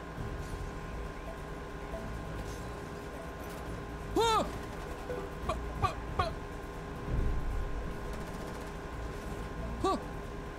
How have you just? How, how are you dodging this? How? No way, you dodged this again. No way! Did you dodge that? I'm getting back out, I'm getting back out, I'm not done. I'm... Oh, these are pretty good. Ah, come again! I don't know what's happening. This is chaos. Come again! What? I don't know what. No. No! Oh, no! mate, we're Stop! not even done. I'm going to go get the last kill as well, and you are gonna be absolutely human. If you get the last kill, man, I'm throwing my keyboard out the window. Yeah?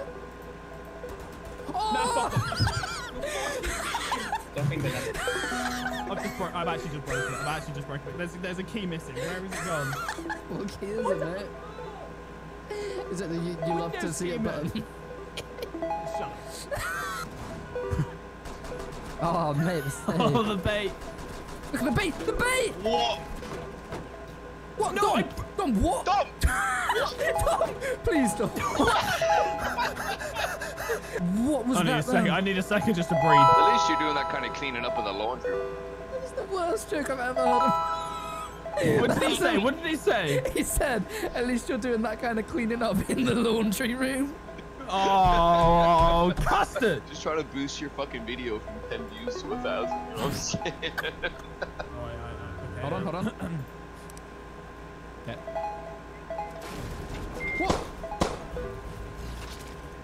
What? What? What? What? Where is he? Where is he? Where is he? Ah! Oh my What did you do? What was that? Mate, what did we just do to these guys? Like, what did you just do? I don't even know, mate. But I'm glad I did it. What's up? Oh my! No way! What the fuck? What? what? Mate, you threw a fucking barrel cover black his noggin! What do you mean? Alright, I need to breathe, mate. Do I get this ace or do I not? That is the question. Yeah, Cav on set. What the fuck? Oh, Cav on set. oh!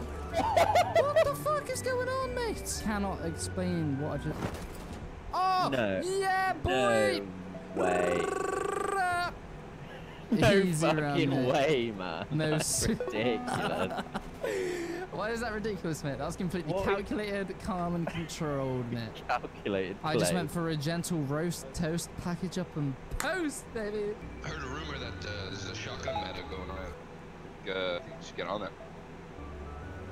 Still laugh at Judge. Justin, how's that shotgun magic? Shotgun meta! Fucking one meter away from a shotgun. He should be sucking down pellets in his fucking gravestone. Shotgun meta.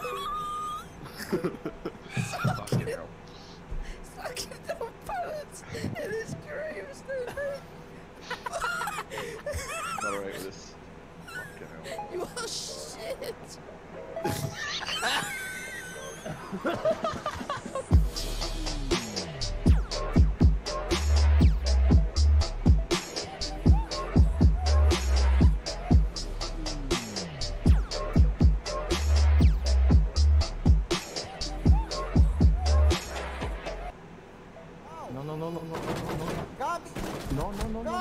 no, no, no, no, no, no, no. Gabi! No. No!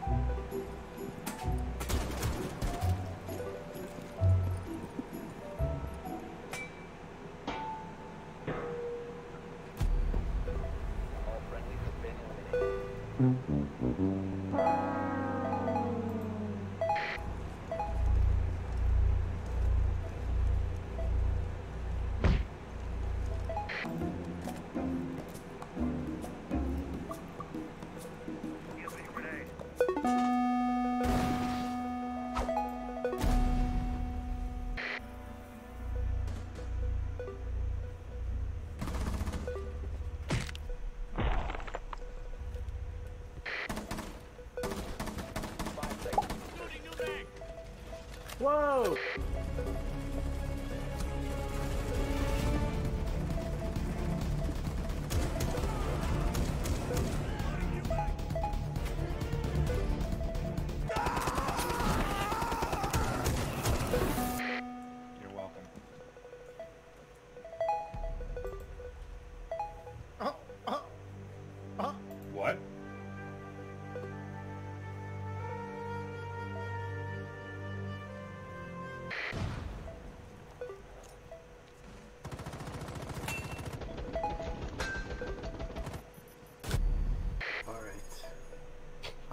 Ah, what's the pack?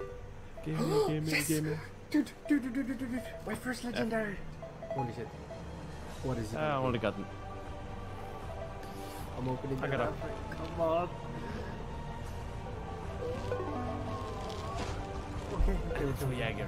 No, no, no, let's see. Oh, I think they're about to throw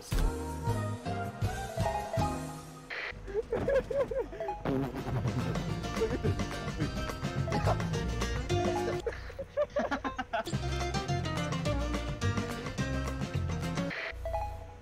Surprise, motherfucker!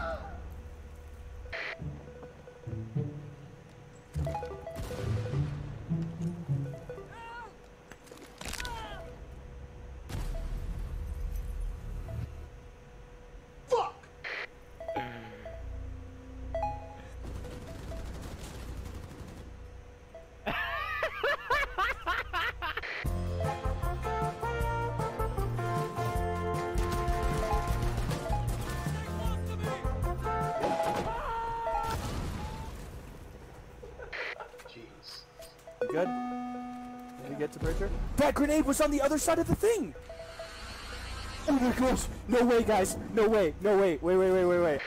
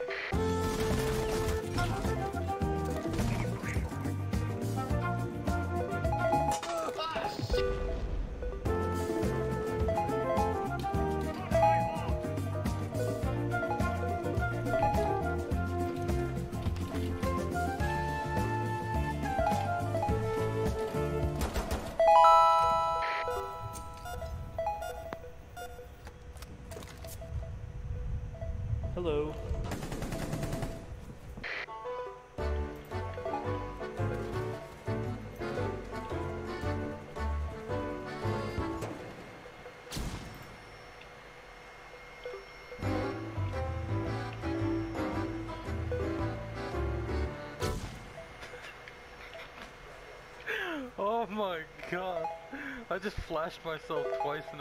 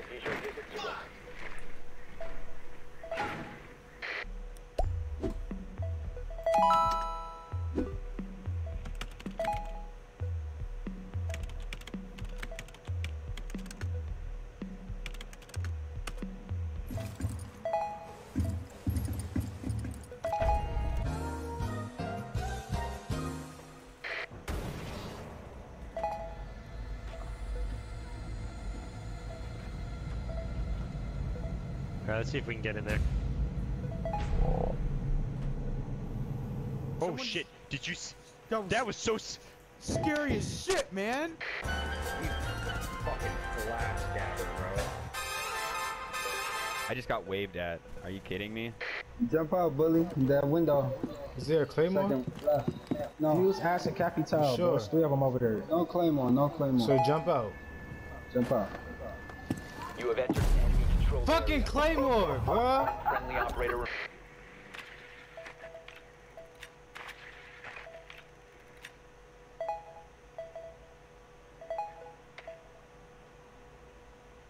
Do you need some? Cool. Ten seconds before No? insertion. Okay.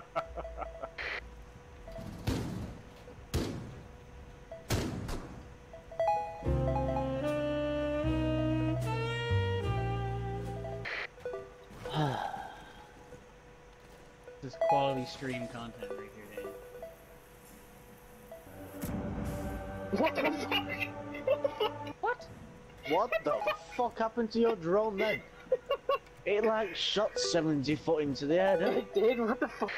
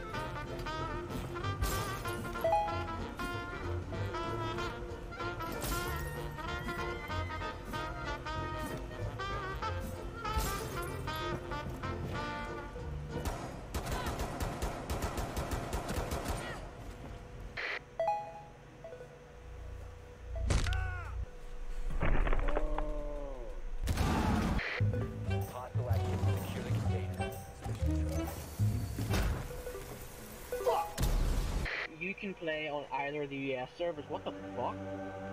What the fuck?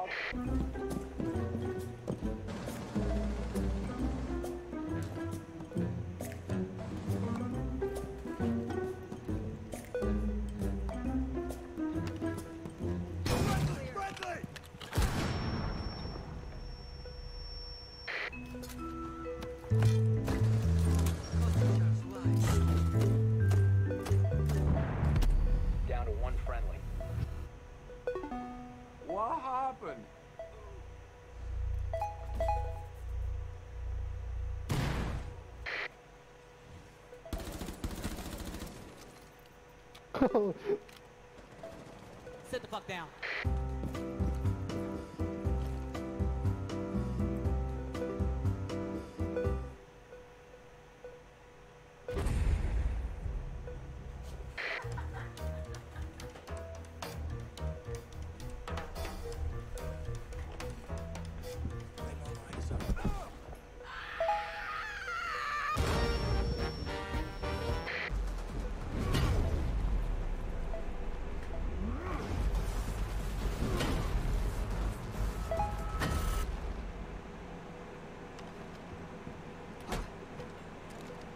Should I do with them? Should I let them win? No, just end it. And noob number one, and noob number two. You missed. Boy, more than five times. Oh my god! Eight.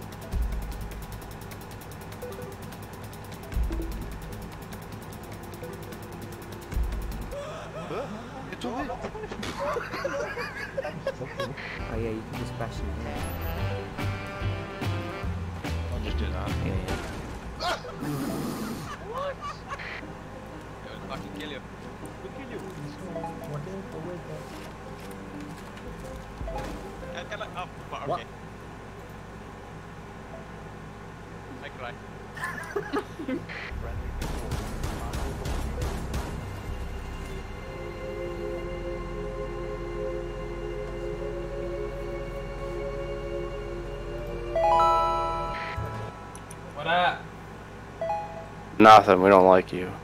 What up, Eric? Hey, have you ever seen uh, Kate's pictures, Ladyboy? Hold on. Fucking Civ 6 is going wild right now. What'd you say? I was talking to Ladyboy. Oh. Have you ever seen Kate's photos? Of what? His like, his outfit, like his black outfit, dude. No. He's just the he's the fucking Punisher. Bro, dude, I, I'm gonna show you this real quick. Don't tell anyone I showed this to you. He looks like like It looks like, Like a an- strangle skins, dude. a Nazi. Hold on, hold on, hold on, hold on. Oh wait, I thought I have seen that before. I mean, you have. You, you said he strangles people at night. Well, if you haven't seen it, this is gonna confirm your beliefs. That's what. That's what Cade looks like. He's a cool guy, but he's fucking. He looks like a molester guy. I used. It looks like he he uh, captures women and sells them to for a very nice price. or a very low price. Dri- drives them down south to Mexico to the cartels. Oh, Jesus. That shit's hilarious,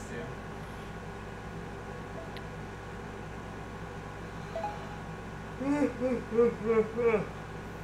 His voice doesn't match his look though. Fuck, no it doesn't. I thought he was gonna be some skinny nerdy guy. Nope, he's the Nazi from from Indiana Jones, bro. That's what that. That's what I was thinking. Hey, you know the big? I think it's uh Resident Evil 2, where it's like it's just a big guy in that exact same outfit that just stomps and follows you around. I'll, I'll find a picture. Hold on, hold on. I wonder if he I, sent me I two sent it to pictures. Cade. How do I get to check Cade's chat? Wait, wait for it, wait for it, wait I for sent it. it, where's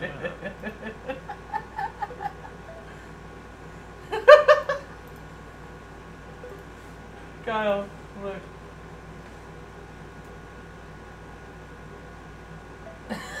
Hold on.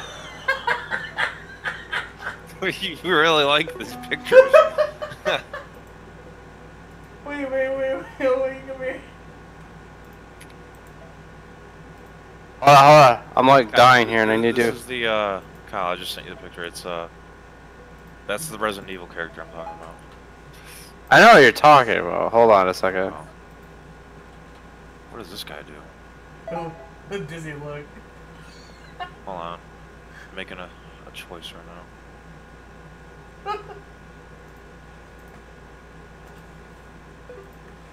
Both Yeah, I know that's I know that's what he looks like. And he's in college. No way. Yeah. Hey, he's, he's taking classes. What? No? Do you think he's a dumbass or something? He looks like he's 40. I think he's 30 something. No, I was just saying, he, he doesn't look like he's in college. He was fucked up like. I forgot what the sickness is called, but he had like a disability. Dumb. Put him in the hospital. No, like. medical. That's fucked, bro. That's fucked. I know something's wrong with me. Tyler agrees. Hold on. Oh, he sent the fucking the Indiana Jones. Okay, this is what I'm talking about. This is a character in uh, like a big giant character in uh, Resident Evil.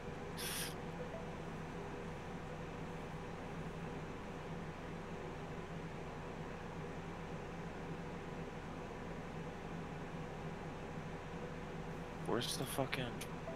Where?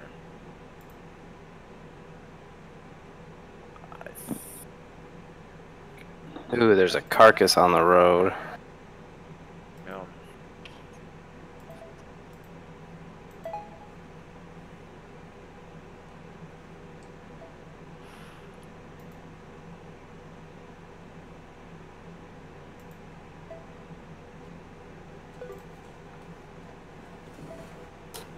Dude, my nut. What's wrong with it?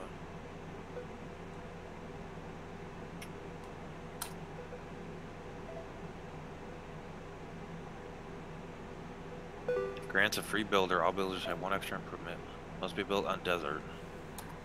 Well, I have that.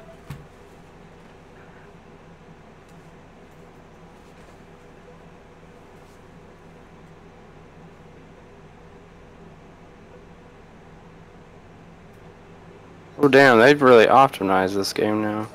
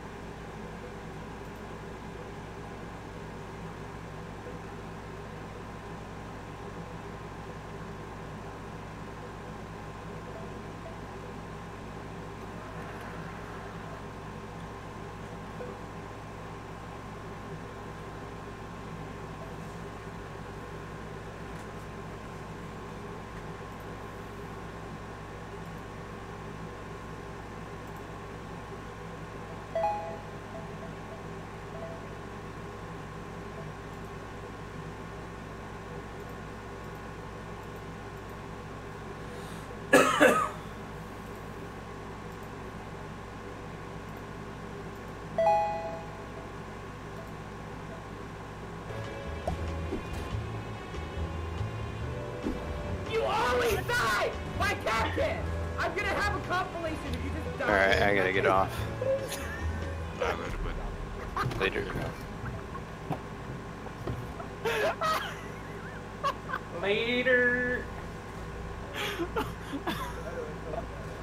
That's a funny picture, Disney. That's the uh, Resident Evil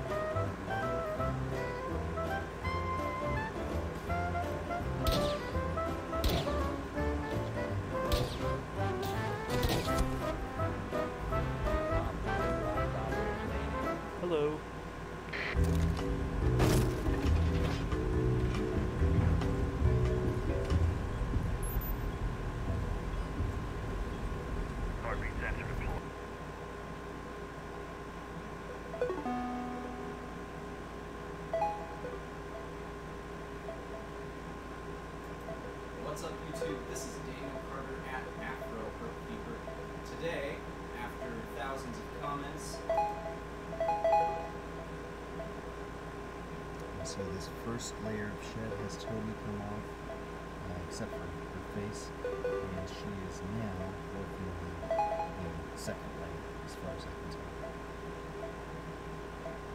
Her, yeah, we just got one of two layers off. If that's the case, we definitely have a chance getting it's mostly bright pink. It doesn't seem that any sort of infection or rot stayed in the plate.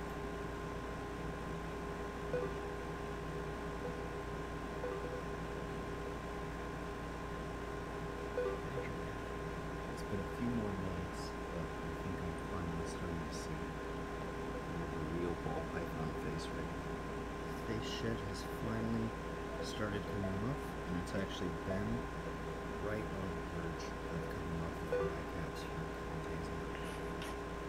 So, here we are today. It's been about a month since I uh, took in Saturn, and in that amount of time, she has shown some really incredible progress. For a snake that looked like she was already half dead when I first picked her up, Saturn has made a near complete recovery. So, let me go over everything that's happened to Saturn since the last video. As you can see, right off the bat, Saturn looks like a completely different snake. Though her spine is still covered in bite marks, um, they have healed incredibly well. I think this is attributable to the Silvadene that we treated her with. In the last month alone, she has lost two layers of stuck shed, apart from this little bit on her neck and uh, the very tip of her tail. Apart from this, her skin is bright, clear, and healthy. Her colors are popping, and the contrast of her pattern is much higher than. Underneath all of the scar tissue is a really beautiful ball python. While her spine is clearly still covered in bite marks, the scar tissue has healed over. Uh, this is what it looked like underneath two layers of scabbing. For an entire month, every 24 to 48 hours, I gave her a soak in diluted betadine for about 15 minutes, and uh, after each soak, I applied a layer of silver sulfadiazine or Silvadene cream way along her spine. I haven't used any oral antibiotics or anything because the gunk that was in her mouth in the last video actually cleared out within the first week.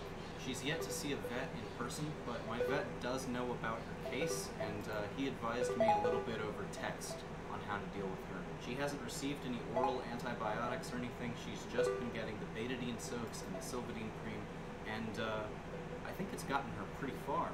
So as you can see, because she is a spider ball python, she still has this genetic wobble going on. She's going to have that for the rest of her life. It is a hindrance to her, but it doesn't affect her all that much. She can live out her life in a tank just fine. You can also probably tell that she is rather skinny. Uh, she has not yet eaten for me. I've tried twice with frozen thawed rodents. Because her diet with her previous owner was live rats, that's what I'm going to try next. It may be the only thing she'll take. Uh, obviously, because of her injuries, I will be supervising the feeding, and as I made clear in the last video on this girl, you should never ever leave a live prey item uh, for any extended period of time unsupervised in your snake's tank because they can cause damage with their teeth. So yeah, overall, Saturn is a beautiful little girl. Uh, I'm very, very proud of her progress. Uh, proud of myself for having gotten her this far, especially because of the attention she's gotten. Metal detecting is something I always wanted to do since I was a kid, and I finally bought like a real deal waterproof metal detector, and it's actually waterproof up to like I think 300 feet deep. But what's also really cool is that when I'm searching in a spot, I can potentially find a real deal like gold diamond ring that's worth a lot of money. And with three people out here searching, I honestly think we're gonna get super lucky and find something awesome. So before we get out there, we're excited to team up with the guys, and there's no telling what we're gonna find today. So hopefully we get lucky. So today's gonna be my first time metal detecting. I even bought a metal. The person who lost his ring, I'll mail it out to him for free. But this is awesome, man. Found my first ring today, and it's gold, and it has a little diamond.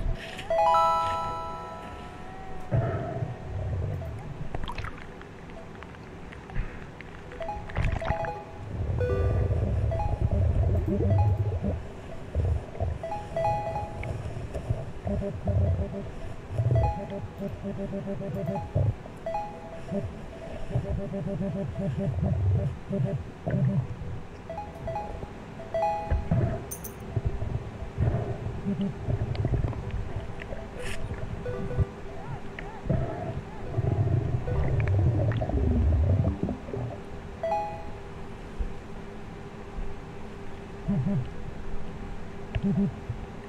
do do do do.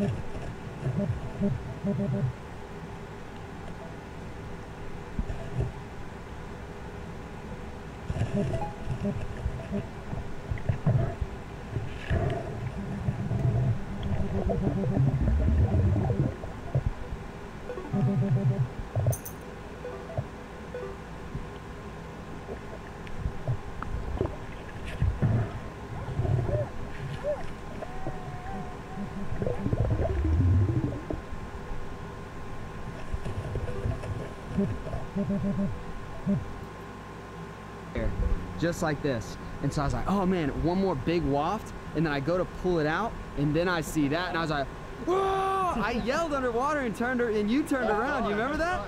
Dude, I just want to let you know that you're killing it. Yeah, you're doing a good job, man. And you know, with that said, we want to take things to the next level. Yeah. Oh my. Why don't y'all ever get anybody else? If you guys, Hunter, uh, by any chance, did you lose a ring? Yes, I did. Oh yeah? What's it look like?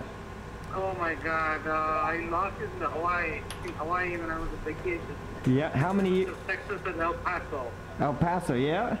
What? Uh. Got my name inside engraved, Mohan Govindarajan. Yeah, man. It looks like I found your ring. Oh my god, are you serious? Yeah. Are you snorkeling in the bay? I was uh, I was actually metal detecting, and I uh, went around. I found a few rings, but this was the only one with a name, and I've been saving on to it, trying to find you, and it looks like I found you today. Oh my god. you know what? I never expected. Oh my god.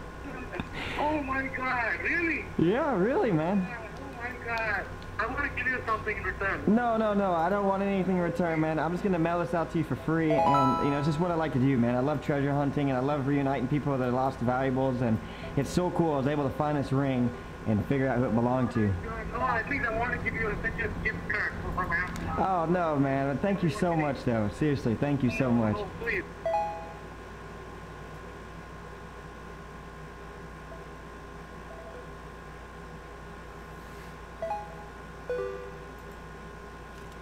Did you? Okay, jack it over there? I was like close left, close left. Let's go Blind to the ball. back entrance. Uh, open up the hole. It's not both though. Open up the hole.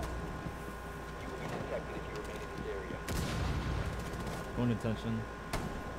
I got somebody outside a break. Gonna get some hidden meeting.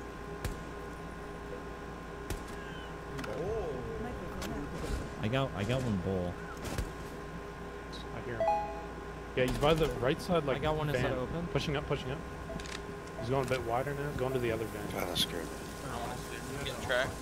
Like he's gonna be big truck now. Crouch behind big back? truck. Yeah, Up. yeah, he's speaking it. He's on drone, on drone, on drone. Coming down main. Coming down main. Let's. Crossed over. I got him. That was garage boy. Yeah, yeah. That's Main, him. main, main. He's on main. Yeah, that's main. That's main. I got server. Let's come in server. Morning We can both push up if you want, Those beepers. That's him. That's diffuser. I have diffuser. I'm gonna go push kitchen side. He's in kitchen, right side.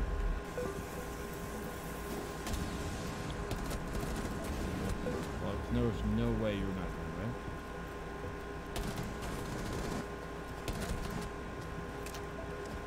Okay, one was metal. That's metal. That's a good turn. Coming offices.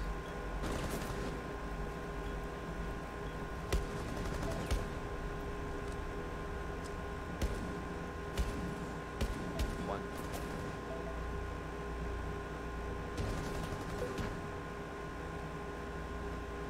The bunk wall is soft if you want to try to nitro to make it rotate. One second. I'm enjoying it. I'm Tag enjoying that it. motherfucker. Alright, five train. Yeah, I'm paying. Five are in train. I'll try to watch you. I'm tagged this shit. If, are you trying to make it rotate? Yeah, I'm on the yellow side. Lisa bonnet. Dude, trying to get the wall. I got the twitch. The twitch. I got a Bana. Yeah, one guy bomb. Dude, there's another On the center, center.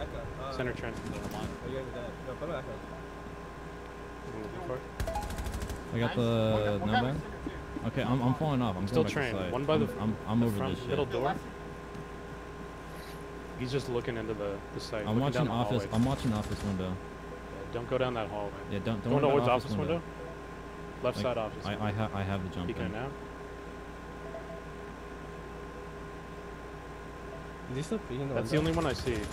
Yeah, just one on the Just, window. just don't worry about the Looking for jump in. Don't expose yourself to the window because I have it. Wait, you can see the jump in? I can see the jump in the office. The Don't worry, worry about the train door. Yeah, yeah. I got office window. In window. In window. Window's tagged. Okay, last In- guy's coming in in A. office side. Doesn't have bomb. Doesn't have bomb. You're good.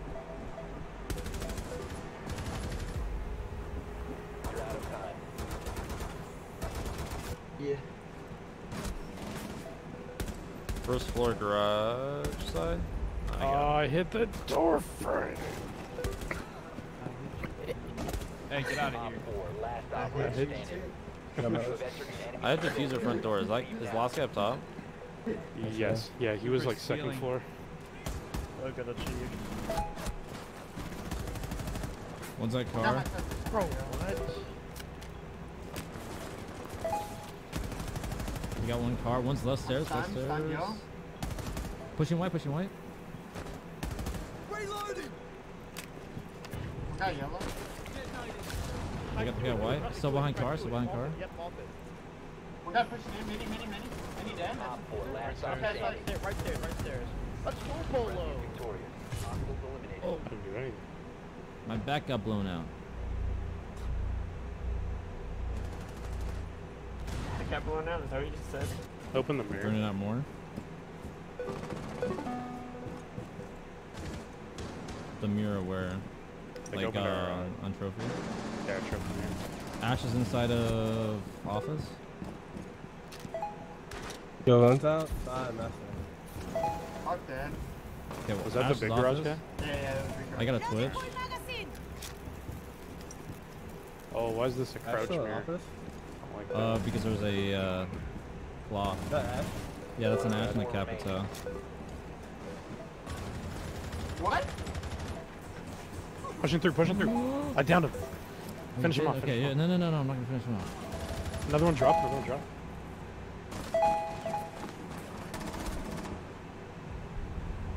Op 4, last. Probably Skylight last. Op 4 eliminated. Mission successful. I can't believe I downed him with a bubble. Very nice.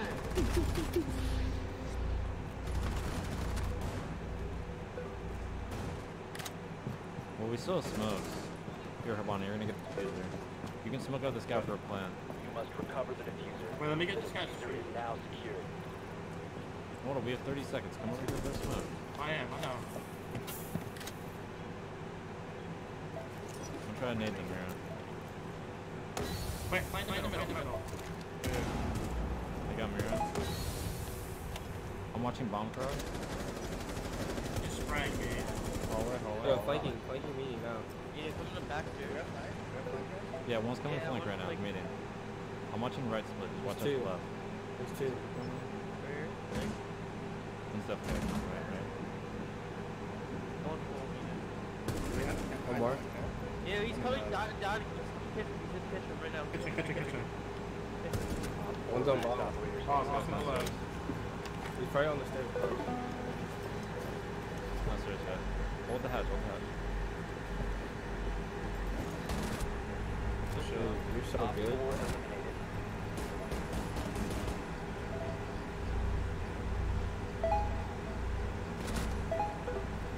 Quick location and diffuser. That's a legion? Oh, nice. Off the game. Off the game. buddy. You, uh, Think he's playing it? He's right there. Right. Hey, drone it for you? I got Oh, you. yeah, I'll call as well. Yo, behind the bar, behind the bar. Behind the bar. Peek in the bar, white swinging it. So white swinging it. I can stun her. Stun. Nice. good shit. Then quick out, slide down through the stairs. Awesome. Yeah, I heard him. I heard a little shuffle. No, no, Yeah. down behind this half wall, behind the half wall. How? Are? Right here. Yeah, yeah, right there. That is ridiculous, man. Okay, I got another call here. Hold on, hold on, I'm calling, calling. I'm on you. Located a bomb. The diffuser is no longer in your possession. Is he, uh, It's, uh, sound? thanks, thanks, thanks. What's his You, hit you now? wait, no, we have y'all, we have y'all, and then pink. What's with the y'all? Oh, I'm going. No way! He gunned me through the smoke. Yo, I'm down. I might be safe. Nice. Op 4 eliminated.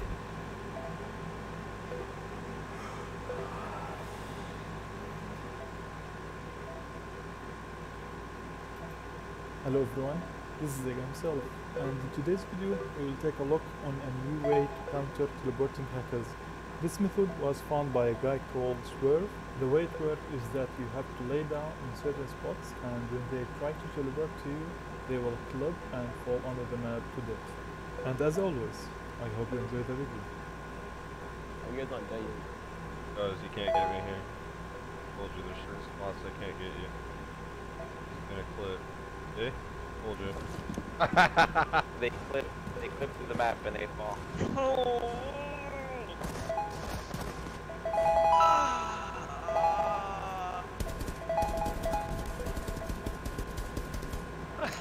I got him! I got him, boys! I got him! I did it! Let's go! I'm doing it! Let's go, baby! Really? Yes! You got you got a prone next to certain things. Shout out to Swerve! Shout out to Swerve! Protect the bomb. Enemy is about to scan the area.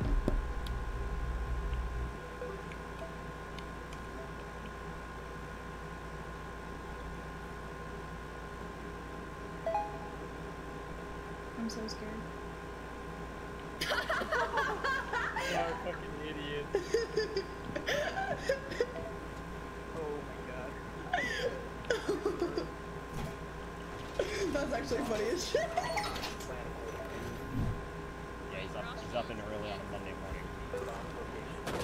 He's dead.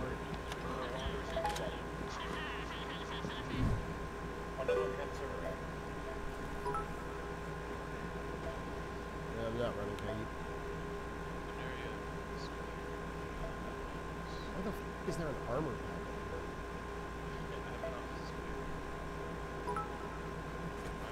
Nope. Open area was not clear, dude. Open area is not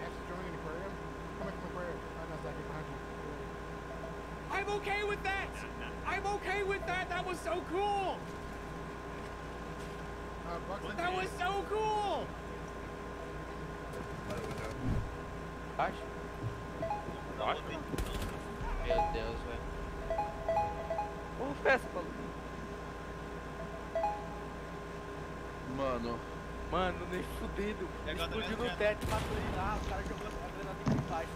Explodiu ali matou ele. Que susto, viado.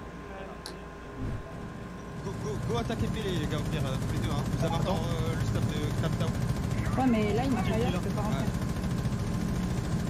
Vas-y, rentre, rentre, rentre. Non, je peux pas, c'est Ah, fire, mec. fallait- Attends, reste là. hein. Je plante. Does look like Healthcare is gonna drop right behind the bomb, and it does look like Ysera is getting pushed, and he might just be taken out soon.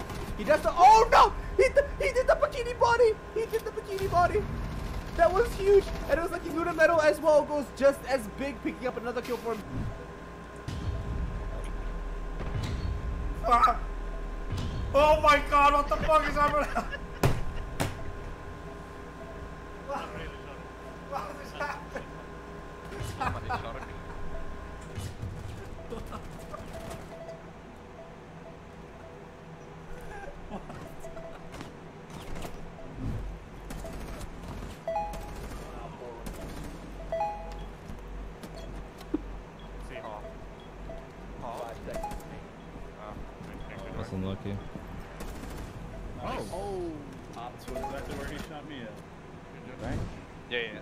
Having sandwich? Guy in CCTV. CC.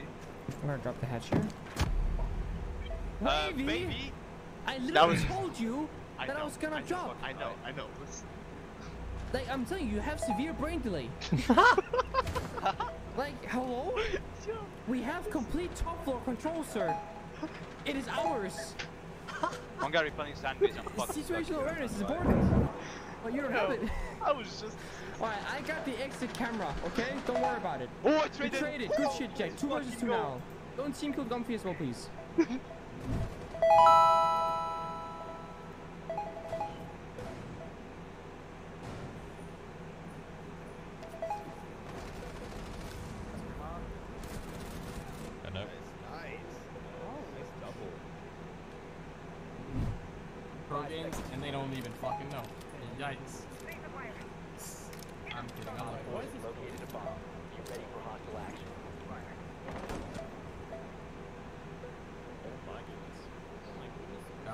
I would have been extremely upset if that was Just saying, chat. Just saying. Just I mean, the guy standing in Oh, face plant, baby.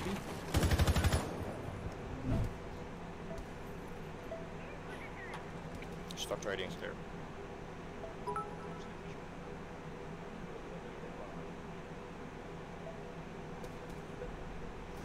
saw that coming. Uh, I got killed by Kaid behind the bomb in sight. Wow. What a shot that was.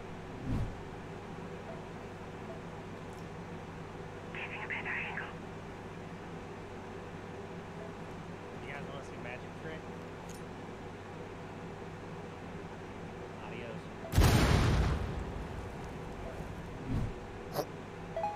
Stop killing people. God, I hope he falls for stuff again. And the servers are crashed. Ah. And DDoSing? Wait, but then if they DOS the servers, then the points. So. I'm confused. So that means we have a cheater, but they have a DDoSer.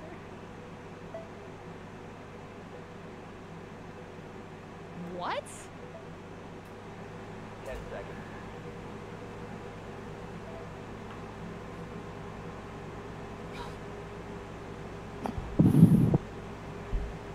What is this game?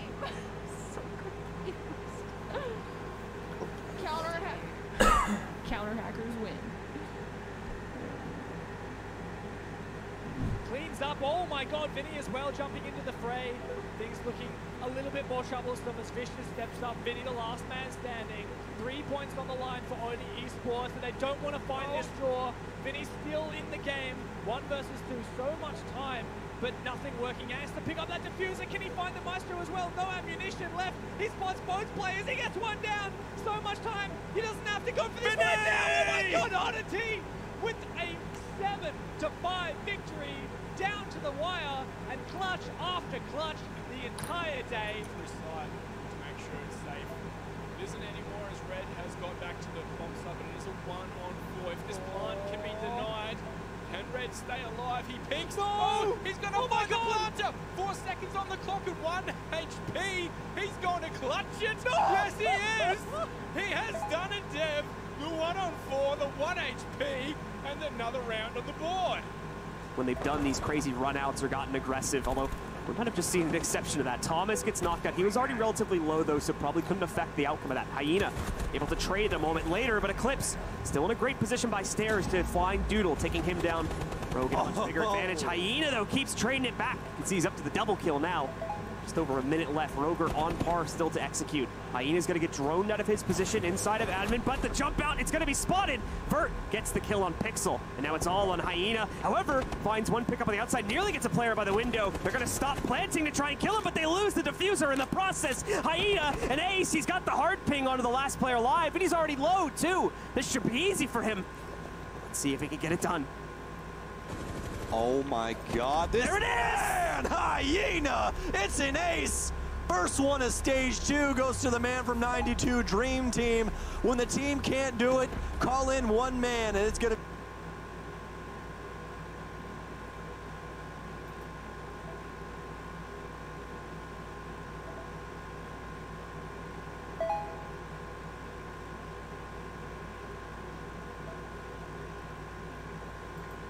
A very common question with beginner snake owners is what size of rodent should you be feeding to your snake?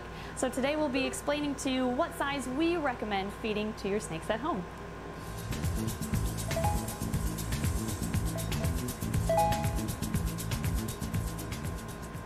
Generally, the rule of thumb is that you want to feed a rodent that is slightly larger than the thickest part of the snake's body.